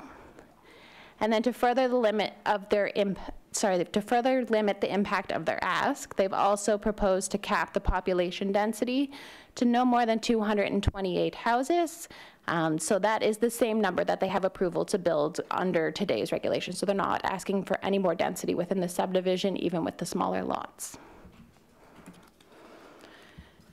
So the community engagement process is consistent with the intent of the HRM community engagement strategy, the HRM charter, and the public participation program approved by council in February of 1997. Staff provided information and sought comments through the HRM website. They had signage posted on the site, mailed 225 letters to property owners within the notification area, and hosted a virtual public information meeting on August 18th of 2022. The total number of web page views um, between April 2022 and January 18th of this year was 373. So of those, 302 were unique views. Visitors spent an average of four minutes and 15 seconds on the web page. We had approximately five people attend the virtual meeting, and then we had 13 uh, calls or emails with feedback as well. So the comments raised during the meeting included the following topics concerns about traffic on Beaverbank Road, need for additional sidewalks in the neighborhood, concerns about the response time for emergency vehicles, and concerns and questions relating to the development of the Carriagewood Estates subdivision itself. So the comments that we received via email and phone included all of those same comments we heard at the meeting, as well as the following. The impacts of the subdivision's development on residents and wildlife, challenges with turning left on Beaverbank Road, the need for an alternate route in and out of the community, concerns about a greater demand being put on municipal services such as water and sewer, concerns about school capacity, concerns that this application will set a precedent and other developers will be asking for the same thing. The aesthetic of smaller lots does not fit in with the community. The reason they chose to live in Beaverbank was for larger lots and open space. They don't want city-sized lots. The need for more crosswalks in the community and the need for the poor cell service to be fixed. So the proposed MPS policy, new MPS policy to enable this request is a little bit of a long one, so I'll just give an overview of it. The policy would be added to the residential designation, and it would enable the creation of a new zone that's based on the existing R1 zone, but permits smaller lots. So this new zone will be called the R1C zone, or the small lot single unit dwelling zone. The policy limits the application of this new zone to the subject site only, and it limits the number of single unit dwellings that can be built on this site to 228. So here is an overview of some of the key parts of the proposed R1C zone that would be added to the land use bylaw. So the permitted uses are single unit dwellings, uses accessory to single unit dwellings such as offices and daycares, and open space uses. The requirements are the same as the R1 zone, except for the minimum lot area and the minimum lot frontage, which would be 4,000 square feet and 40 feet respectively. The zone would also specify that the subject site could have a maximum of 228 single unit dwellings, which is carried through from the policy. So we have some rationale for this proposed policy. Um, firstly, HRM cannot regulate the cost of housing, but they can play a role in supporting housing affordability, and affordable housing is encouraged through the regional municipal planning strategy. The cost of construction it, for new public streets and services within a more compact development is typically less than would be in, an, in a new community with extensive road frontage. The average price of housing in HRM has increased dramatically over recent years, along with the cost of living. Opportunities for residential development on lots with less frontage, where there's already central services available, could help bring more affordable housing to the market. Further, the proposed amendments are also limited in their scope. So firstly, they're site-specific and don't enable the new enable the new zone's application to any other lots. Secondly, both the proposed municipal planning strategy amendments and land use bylaw text amendments explicitly state the maximum number of single unit dwellings that can be built on the site. And thirdly, the proposed new zone deviates from the existing R1 zone only with regards to minimum lot area and minimum frontage. So all of the other land use bylaw regulations including permitted uses, minimum setbacks, lot coverage, building height, accessory structures, um, and provisions for parking, watercourse buffers, and secondary suites all remain the same. So by keeping much of the land use controls the same, the character of the new development will better blend with the existing character in the area. So in summary, Clayton is asking for the ability to create smaller residential lots on one parcel of land in Beaverbank. To enable this ask, both the MPS and the land use bylaw for Beaverbank, Hammonds Plains, and Upper Sackville does need to be amended. A new policy would be added to the residential designation in the MPS that enables the creation of the new zone to permit smaller lots, and a new schedule will be inserted into the MPS to identify the subject site. The proposed land use bylaw amendments are to add a new residential zone that permits the smaller, the single-unit dwellings on smaller lots, as well as complementary uses, the rezoning of the subject site from R1 to R1C, and a new schedule to identify the subject site. So staff recommend that Regional Council adopt the proposed amendments to the municipal planning strategy and land use bylaw for Beaverbank, Hammonds Plains, and Upper Sackville, as set out in attachment A and B of the staff report dated December 7th, 2022. And that's everything. Happy to answer any questions. Thank you. Thank you very much, uh, Megan. A question of clarification uh, from Councillor uh, Lovelace. Uh, Certainly, yes, thank you, Megan, appreciate the presentation. Uh, Quick question um, on the use. Uh, Why wouldn't shared housing be included in this zone? Um, So the uses that we have chosen for the zone are copied and pasted directly from the existing R1 zone. So it's the single-unit dwellings, and the shared housing was not in the existing R1 zone. Um, There is a note in there that we have included bed and breakfasts as well as the, um, the new, the the proposed um, uh, housing, or the units for uh, rental that was discussed earlier this afternoon, and the, new- the word is escaping me, the short-term rentals. Short-term rentals Yeah. are in there, but shared housing is not? It's not, no. Okay. And then my other question is, what is the rationale for limiting this R1C zone if there are um, other R1s within um, a service boundary? Um, So, sorry, through you, Mr. Mayor, to the counselor. So the, the purpose of limiting this zone to the application of just the subject site was to limit the impacts of, of the application. So when Clayton first came forward with the idea of having smaller lots in this area, it was to apply it to all of the R1 zone lands. And there was quite a lot of pushback from the community in, in terms of concern that it would affect the character of all of Beaverbank. Um, So when we looked at the numbers, it would be affecting about 808 properties, um, and that could enable almost up to 50% of them to be further subdivided into small lots, which would have quite a significant impact on not only the character, but traffic and other things. So it was quite hard to um, understand the ramifications of that under that application. Okay, thank you. It's, it's important to have that background. Thanks, Megan. Thank you, Councillor Cuttell. Thank you, Mr. Mayor. Um, You mentioned that some of the concerns that were raised were about uh, traffic and traffic infrastructure, everything from um, crosswalks and lights. Was there a traffic study done, and will this have an impact on, on traffic infrastructure, required traffic infrastructure? Through you, Mr. Mayor, to the counselor. So uh, Clayton did submit an applica, or uh, TIS with their application. However, the nature of this application does not um, require that we have a TIS. So what they're asking to do is to amend the land use bylaw itself, and so then any further development would be reviewed through the permit application process or the subdivision application process. So Clayton does have applications, they have had an approved concept subdivision application um, for the Carriagewood Estates itself, and the TIS was submitted in support of that and reviewed through that process. Um, But the TIS was made available for this application as well.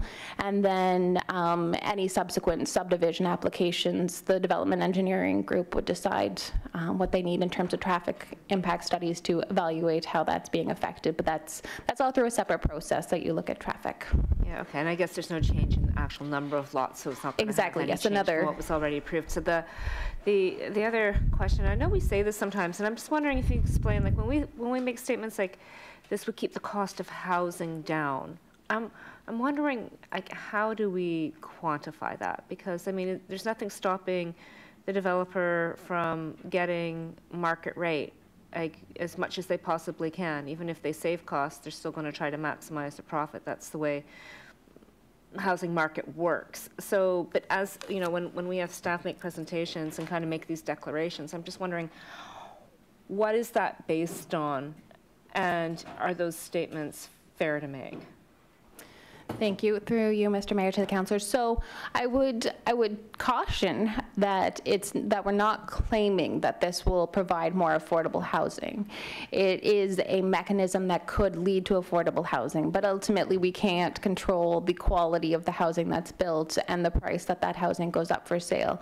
So if you look to our regional municipal planning strategy, it does talk about different techniques that we can use to better support, um, hopefully at the end of the day, having more affordable housing, but I wouldn't say that this is, because you have smaller lots, you can absolutely provide more affordable housing. It's, it's a tool that we have at our disposal that we can use as planners, um, but it's not something that can guarantee that the housing will be more affordable.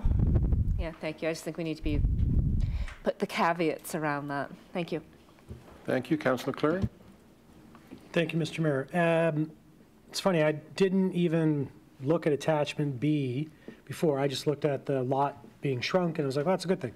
Uh, But then Councillor Lovelace brought up the shared housing, uh, and you said it isn't included as, as a use.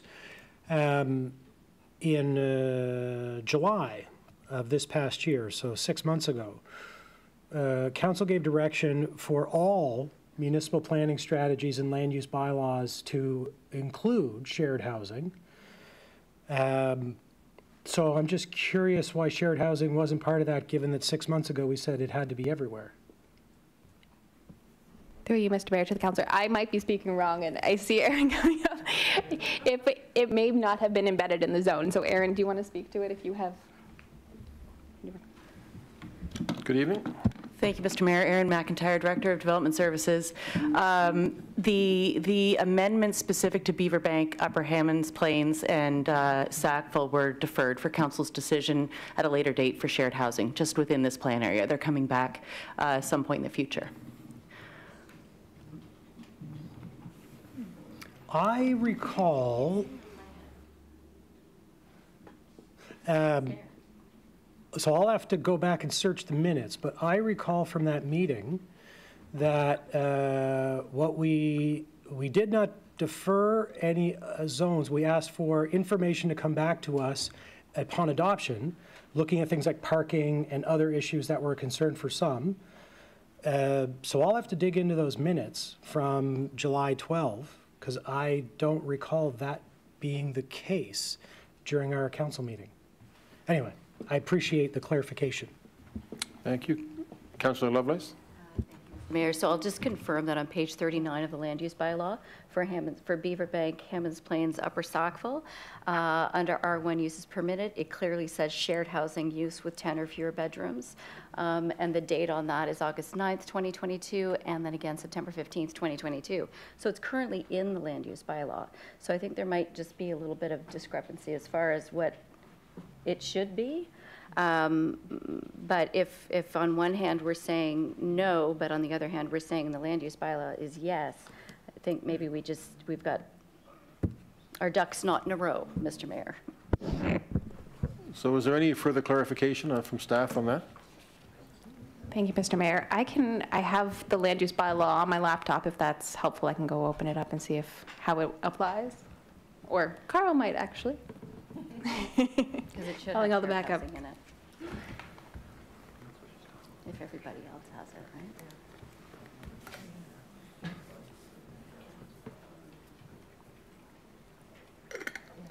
Our thing was the shared housing with enhanced care. Yeah, that's what I did. Hi again, sorry about that. I think I'm confusing things. I think it was the MU1 zone that was deferred. It might have just been specific to the MU1 zone. I was thinking it was plan-wide, so my apologies for that. Carl's confirmed, Megan's confirmed, it is in the R1 zone. Okay. Yeah, sorry about that. I'm good. Okay. So we'll make that Intrepid amendment. work by councillors, thank you. Uh, Councillor Cleary?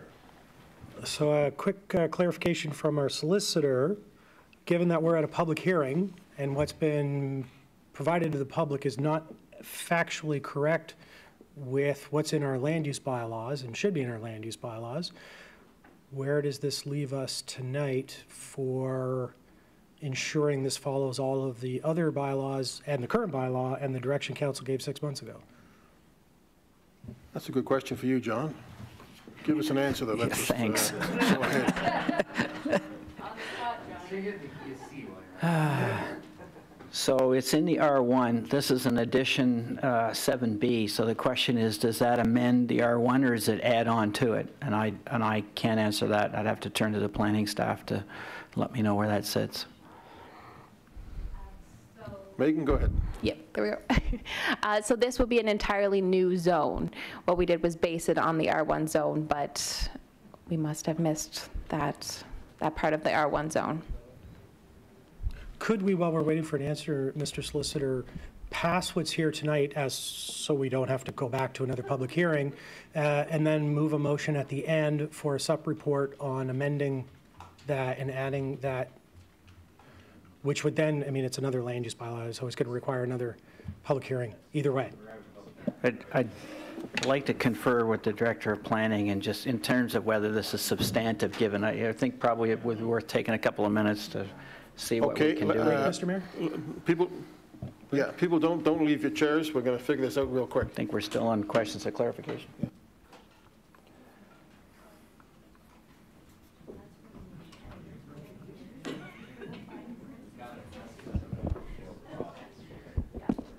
Yeah.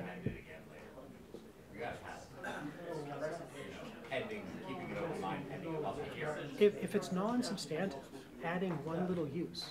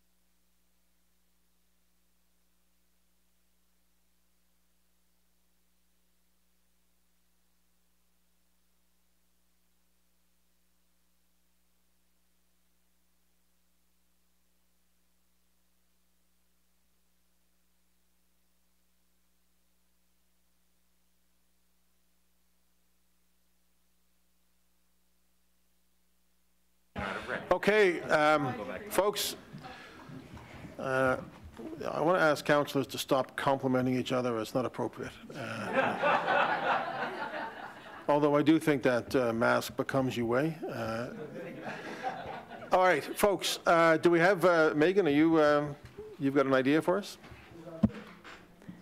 I will not uh, take credit for the idea, but yes, Mr. Mayor, we have an idea. Uh, So the MU1 amendment package will be coming forward within the next six months. So at that point, when we introduce the shared housing in that zone, um, or I I actually shouldn't speak to, I don't know what that application is for, um, we can also make the amendments to this zone. uh, Should council decide to pass the new zone today, then we could insert that new use into that, into the R1C zone at a later date. So does that, does that slow things down for tonight and for the development? No.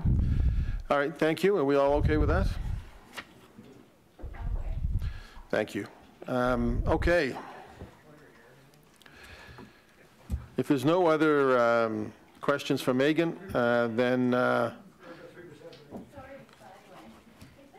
I'm going to ask for a motion to open the public hearing.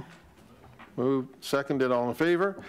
And we will invite the applicant to come up to uh, council. I believe it's Andrew Bone from Clayton Developments. Welcome.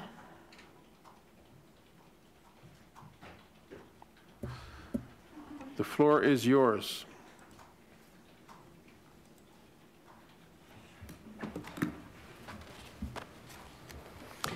Thank you, Mr. Mayor and members of council, and any members of the public here tonight, for allowing me to present on our amendment for Carriagewood Estates. My name is Andrew Bone. I'm the Director of Planning and Development with Clayton Developments. It's great to be back at council for the first time since my retirement two years ago. Um, I'm here with my colleague Jared Dial, uh, Senior Planner at Clayton. Clayton Developments has been in in existence since 1959, and we've developed over 18 communities throughout Atlantic Canada, including many in HRM, including Colby Village, Clayton Park, Bedford South, and Bedford West, to name a few. Our communities provide homes for over 75,000 people, and our larger, larger developments include a mix of, of uh, residential, office, and retail uses. The Shaw Group, our parent company, uh, has recently celebrated 160 years in business in Atlantic Canada. Next slide. The proposal we are discussing is about modernizing zoning and subdivision rules in the urban service area and specifically a portion of Beaverbank to create housing which is more affordable or attainable than current zoning enables, uh, while not increasing the density, not increasing the traffic over base, base requirements, not increasing the impact on other uh, facilities such as schools, while maintaining minimum standards relating to relationships between properties, creating a sim similar building form, and while reducing the amount of road the municipality has to take over and maintain. Next slide. This map sh shows the site uh, in Beaverbank, serviced by sewer and water, outlined in blue. Carriagewood Estates is the last large undeveloped uh, service site with sewer and water in Beaverbank at about, about uh, 76.6 acres, shown with the red star. The development on, of this site is currently underway with existing subdivision rules, they're 60-foot wide lots, uh, with an anticipated yield of 270 lots. This is an as-of-right process enabling development of the land by standard subdivision rules and permitting. The develop, development sections include Splinter Court, Daisy Drive, and Darner Drive, with 228 lots remaining. This is our second planning application related to this site based on public concern with our previous application, which was case 23213, we've placed that application on hold and made this application. This application covers a smaller area, thus limiting the impact to just our lands. The request maintains existing development yields, which do not increase the number of lots that are available. The request maintains separation distances and setback requirements and enables housing which is typical and present in the Beaverbank area. Ultimately, our request is for a new R1C zone. If approved, the proposed amendments would increase, improve affordability, maintain density of the site, reduce the length of public road, decrease HM road maintenance costs, enable to increase uh, setbacks from the wetland on watercourses on site, effectively creating more green space on the site or open space, and does not create any changes uh, outside the subdivision, uh, making this a site-specific amendment. This is our concept plan of Carriagewood Estates. Next slide. For context, the lands identified in blue are currently developed with 60-foot lots. Uh, the lands in red are proposed at 40-foot wide lots, uh, subject to the new R1C zone requirements. And the area in green is wetland and open space uh, that uh, becomes available because of the, the new rules. This slide shows the original approved concept and the updated proposed concept for the site. The existing portion of Daisy Drive and Darner Drive uh, are constructed at 60-foot wide lots and provide a transition to the existing neighborhood in areas such as Trinity Lane. Um, the red line shows the extent of the previous subdivision plan, the, the development closer to the wetland, and reduced amount of open space in the subdivision, or sorry, increased amount of open space. The new design for 40 foot with 40 foot lots provides a variety of benefits since the same number of units can be fit into the smaller area. There are three less cul-de-sacs which are being removed. The road length has been reduced by 700 meters, which means less maintenance costs. These, change, trans, these changes translate uh, into more undisturbed open space and a larger buffer against the wetland, and cost savings from reduced infrastructure allows these homes to be brought to market at a lower price point than 60-foot lots. I just want to highlight that um, there is a price difference uh, between 60-foot lots and 40-foot lots. The market itself uh, demands that. The uh, people will not pay the same amount for those, so there is a cost saving.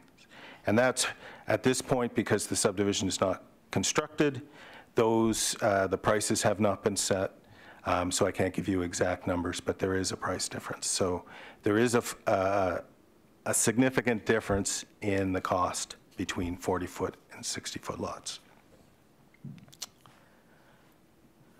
Uh, Public comment provided included concerns with traffic and other infrastructure.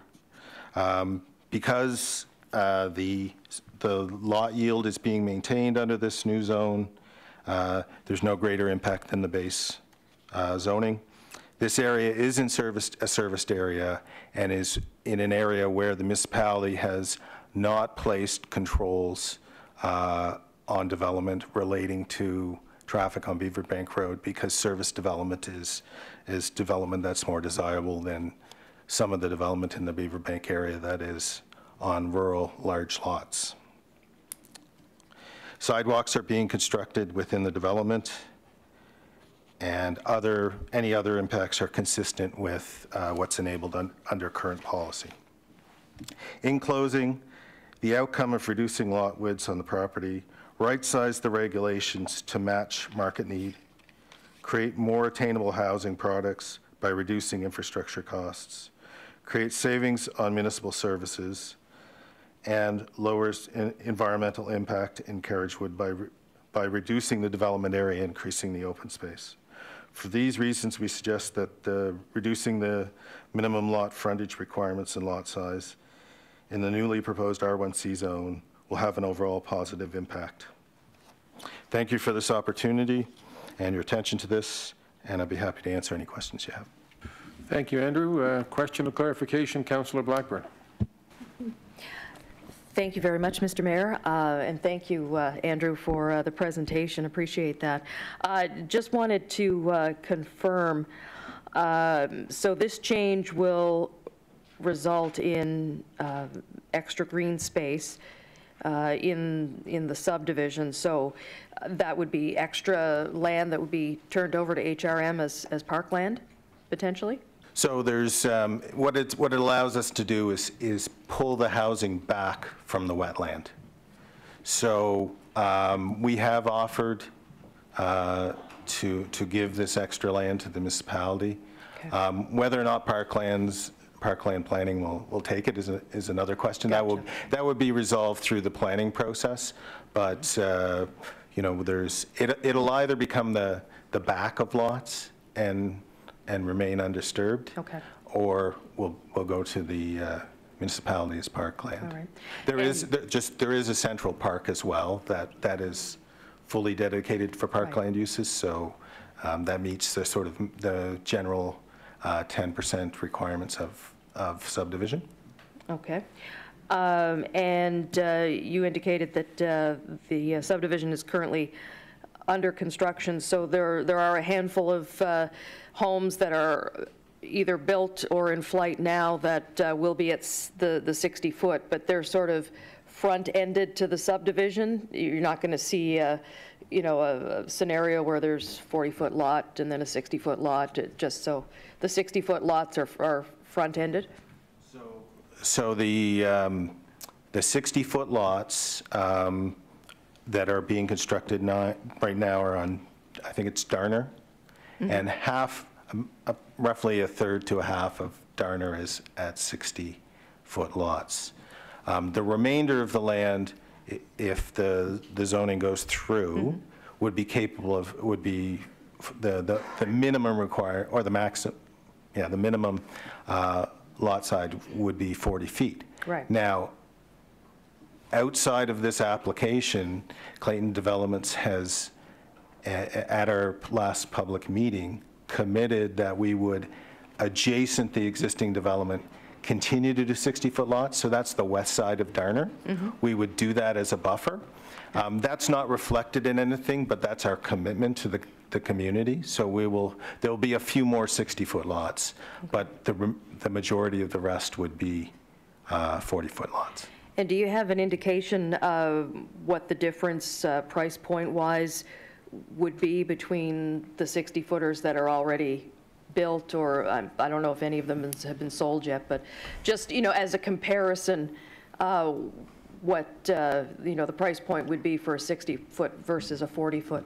Right. Um, I talked to our marketing people, and they said that the, the prices hadn't been set yet. Okay.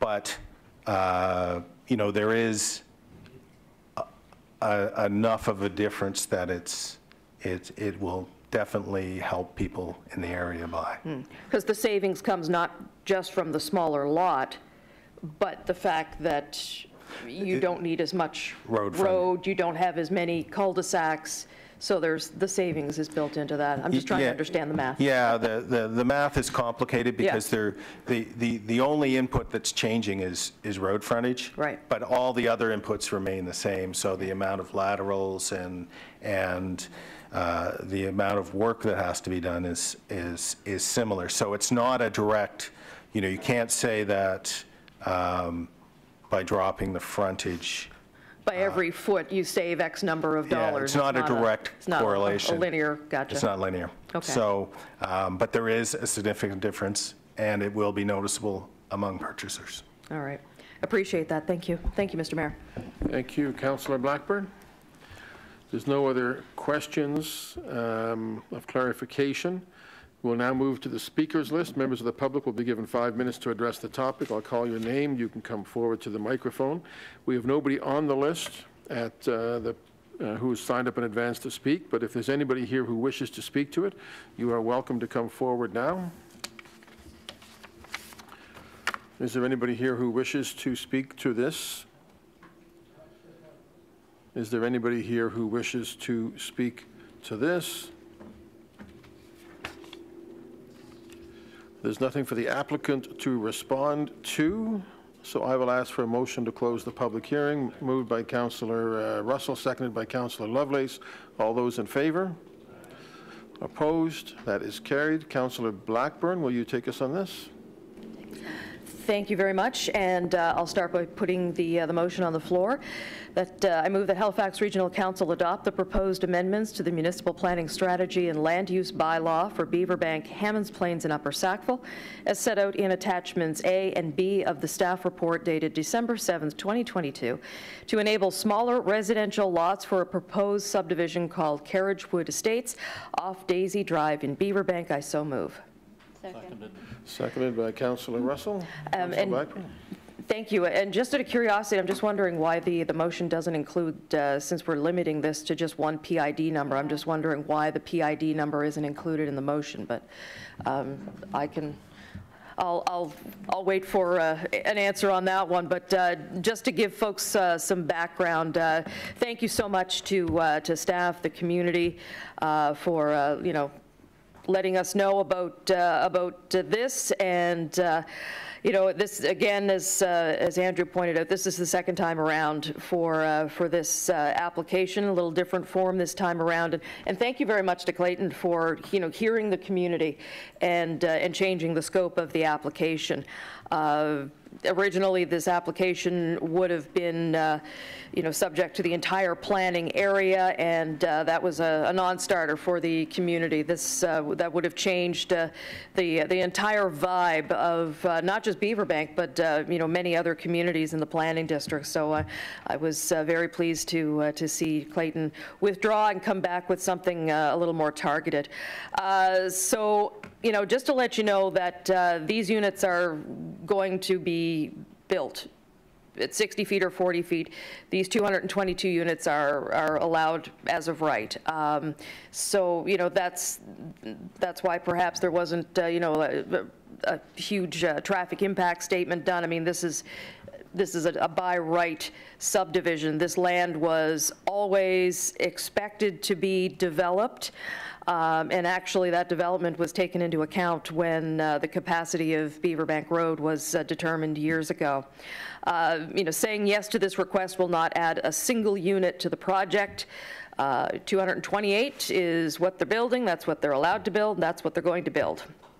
And as pointed out, uh, this will give some more green space, some more uh, uh, wider berth around the, uh, the wetlands in the area, which uh, certainly will be appreciated by the community. Um, Just wondering if we could quickly go to slide 11 on uh, the, do we still have access to that, the HRM um, uh, presentation? Yeah, slide 11.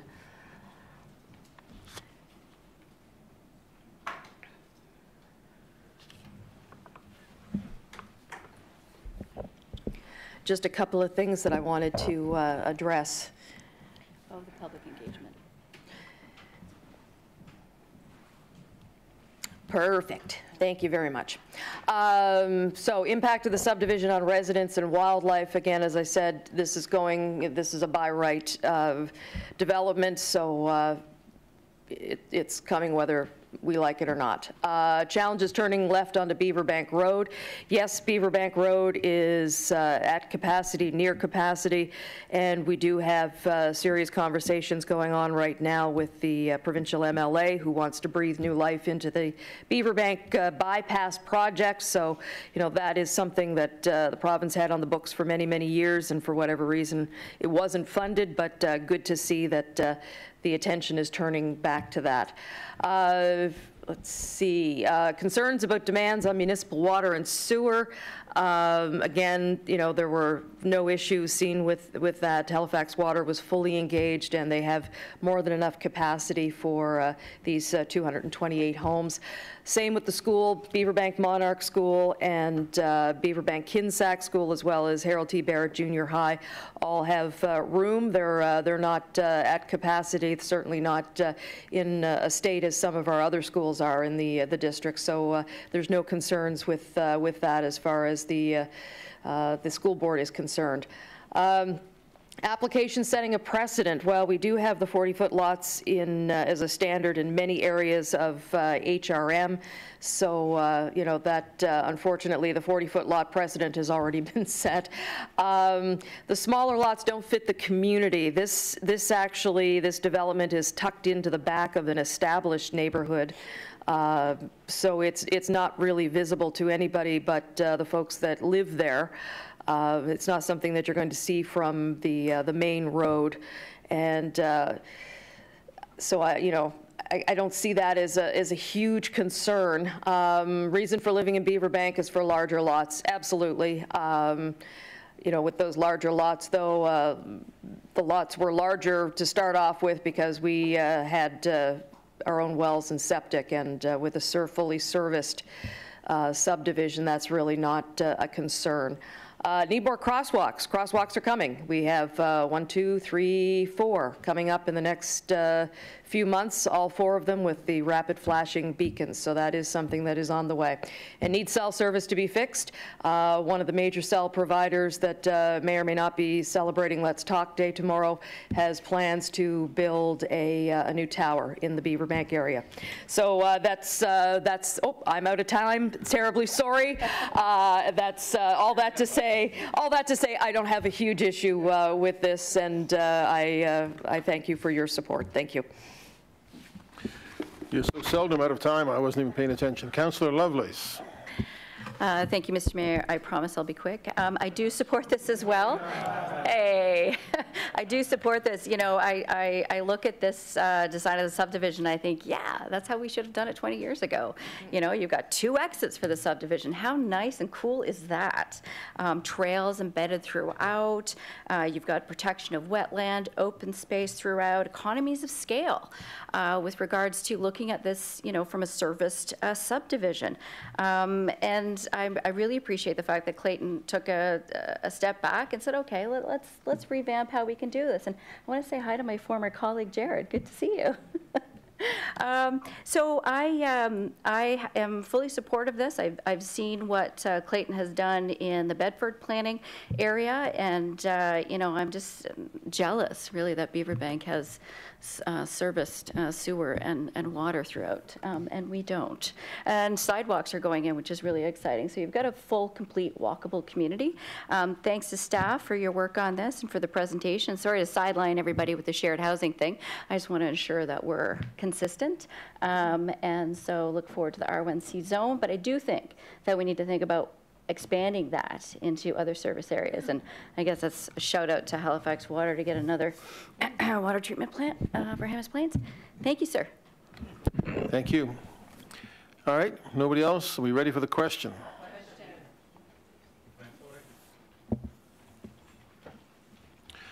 I'd like to thank the folks from Clayton for being here to, tonight and wish you well with this development. Thank our planning staff.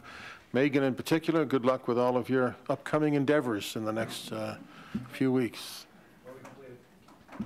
That motion is carried. We're done. We are adjourned.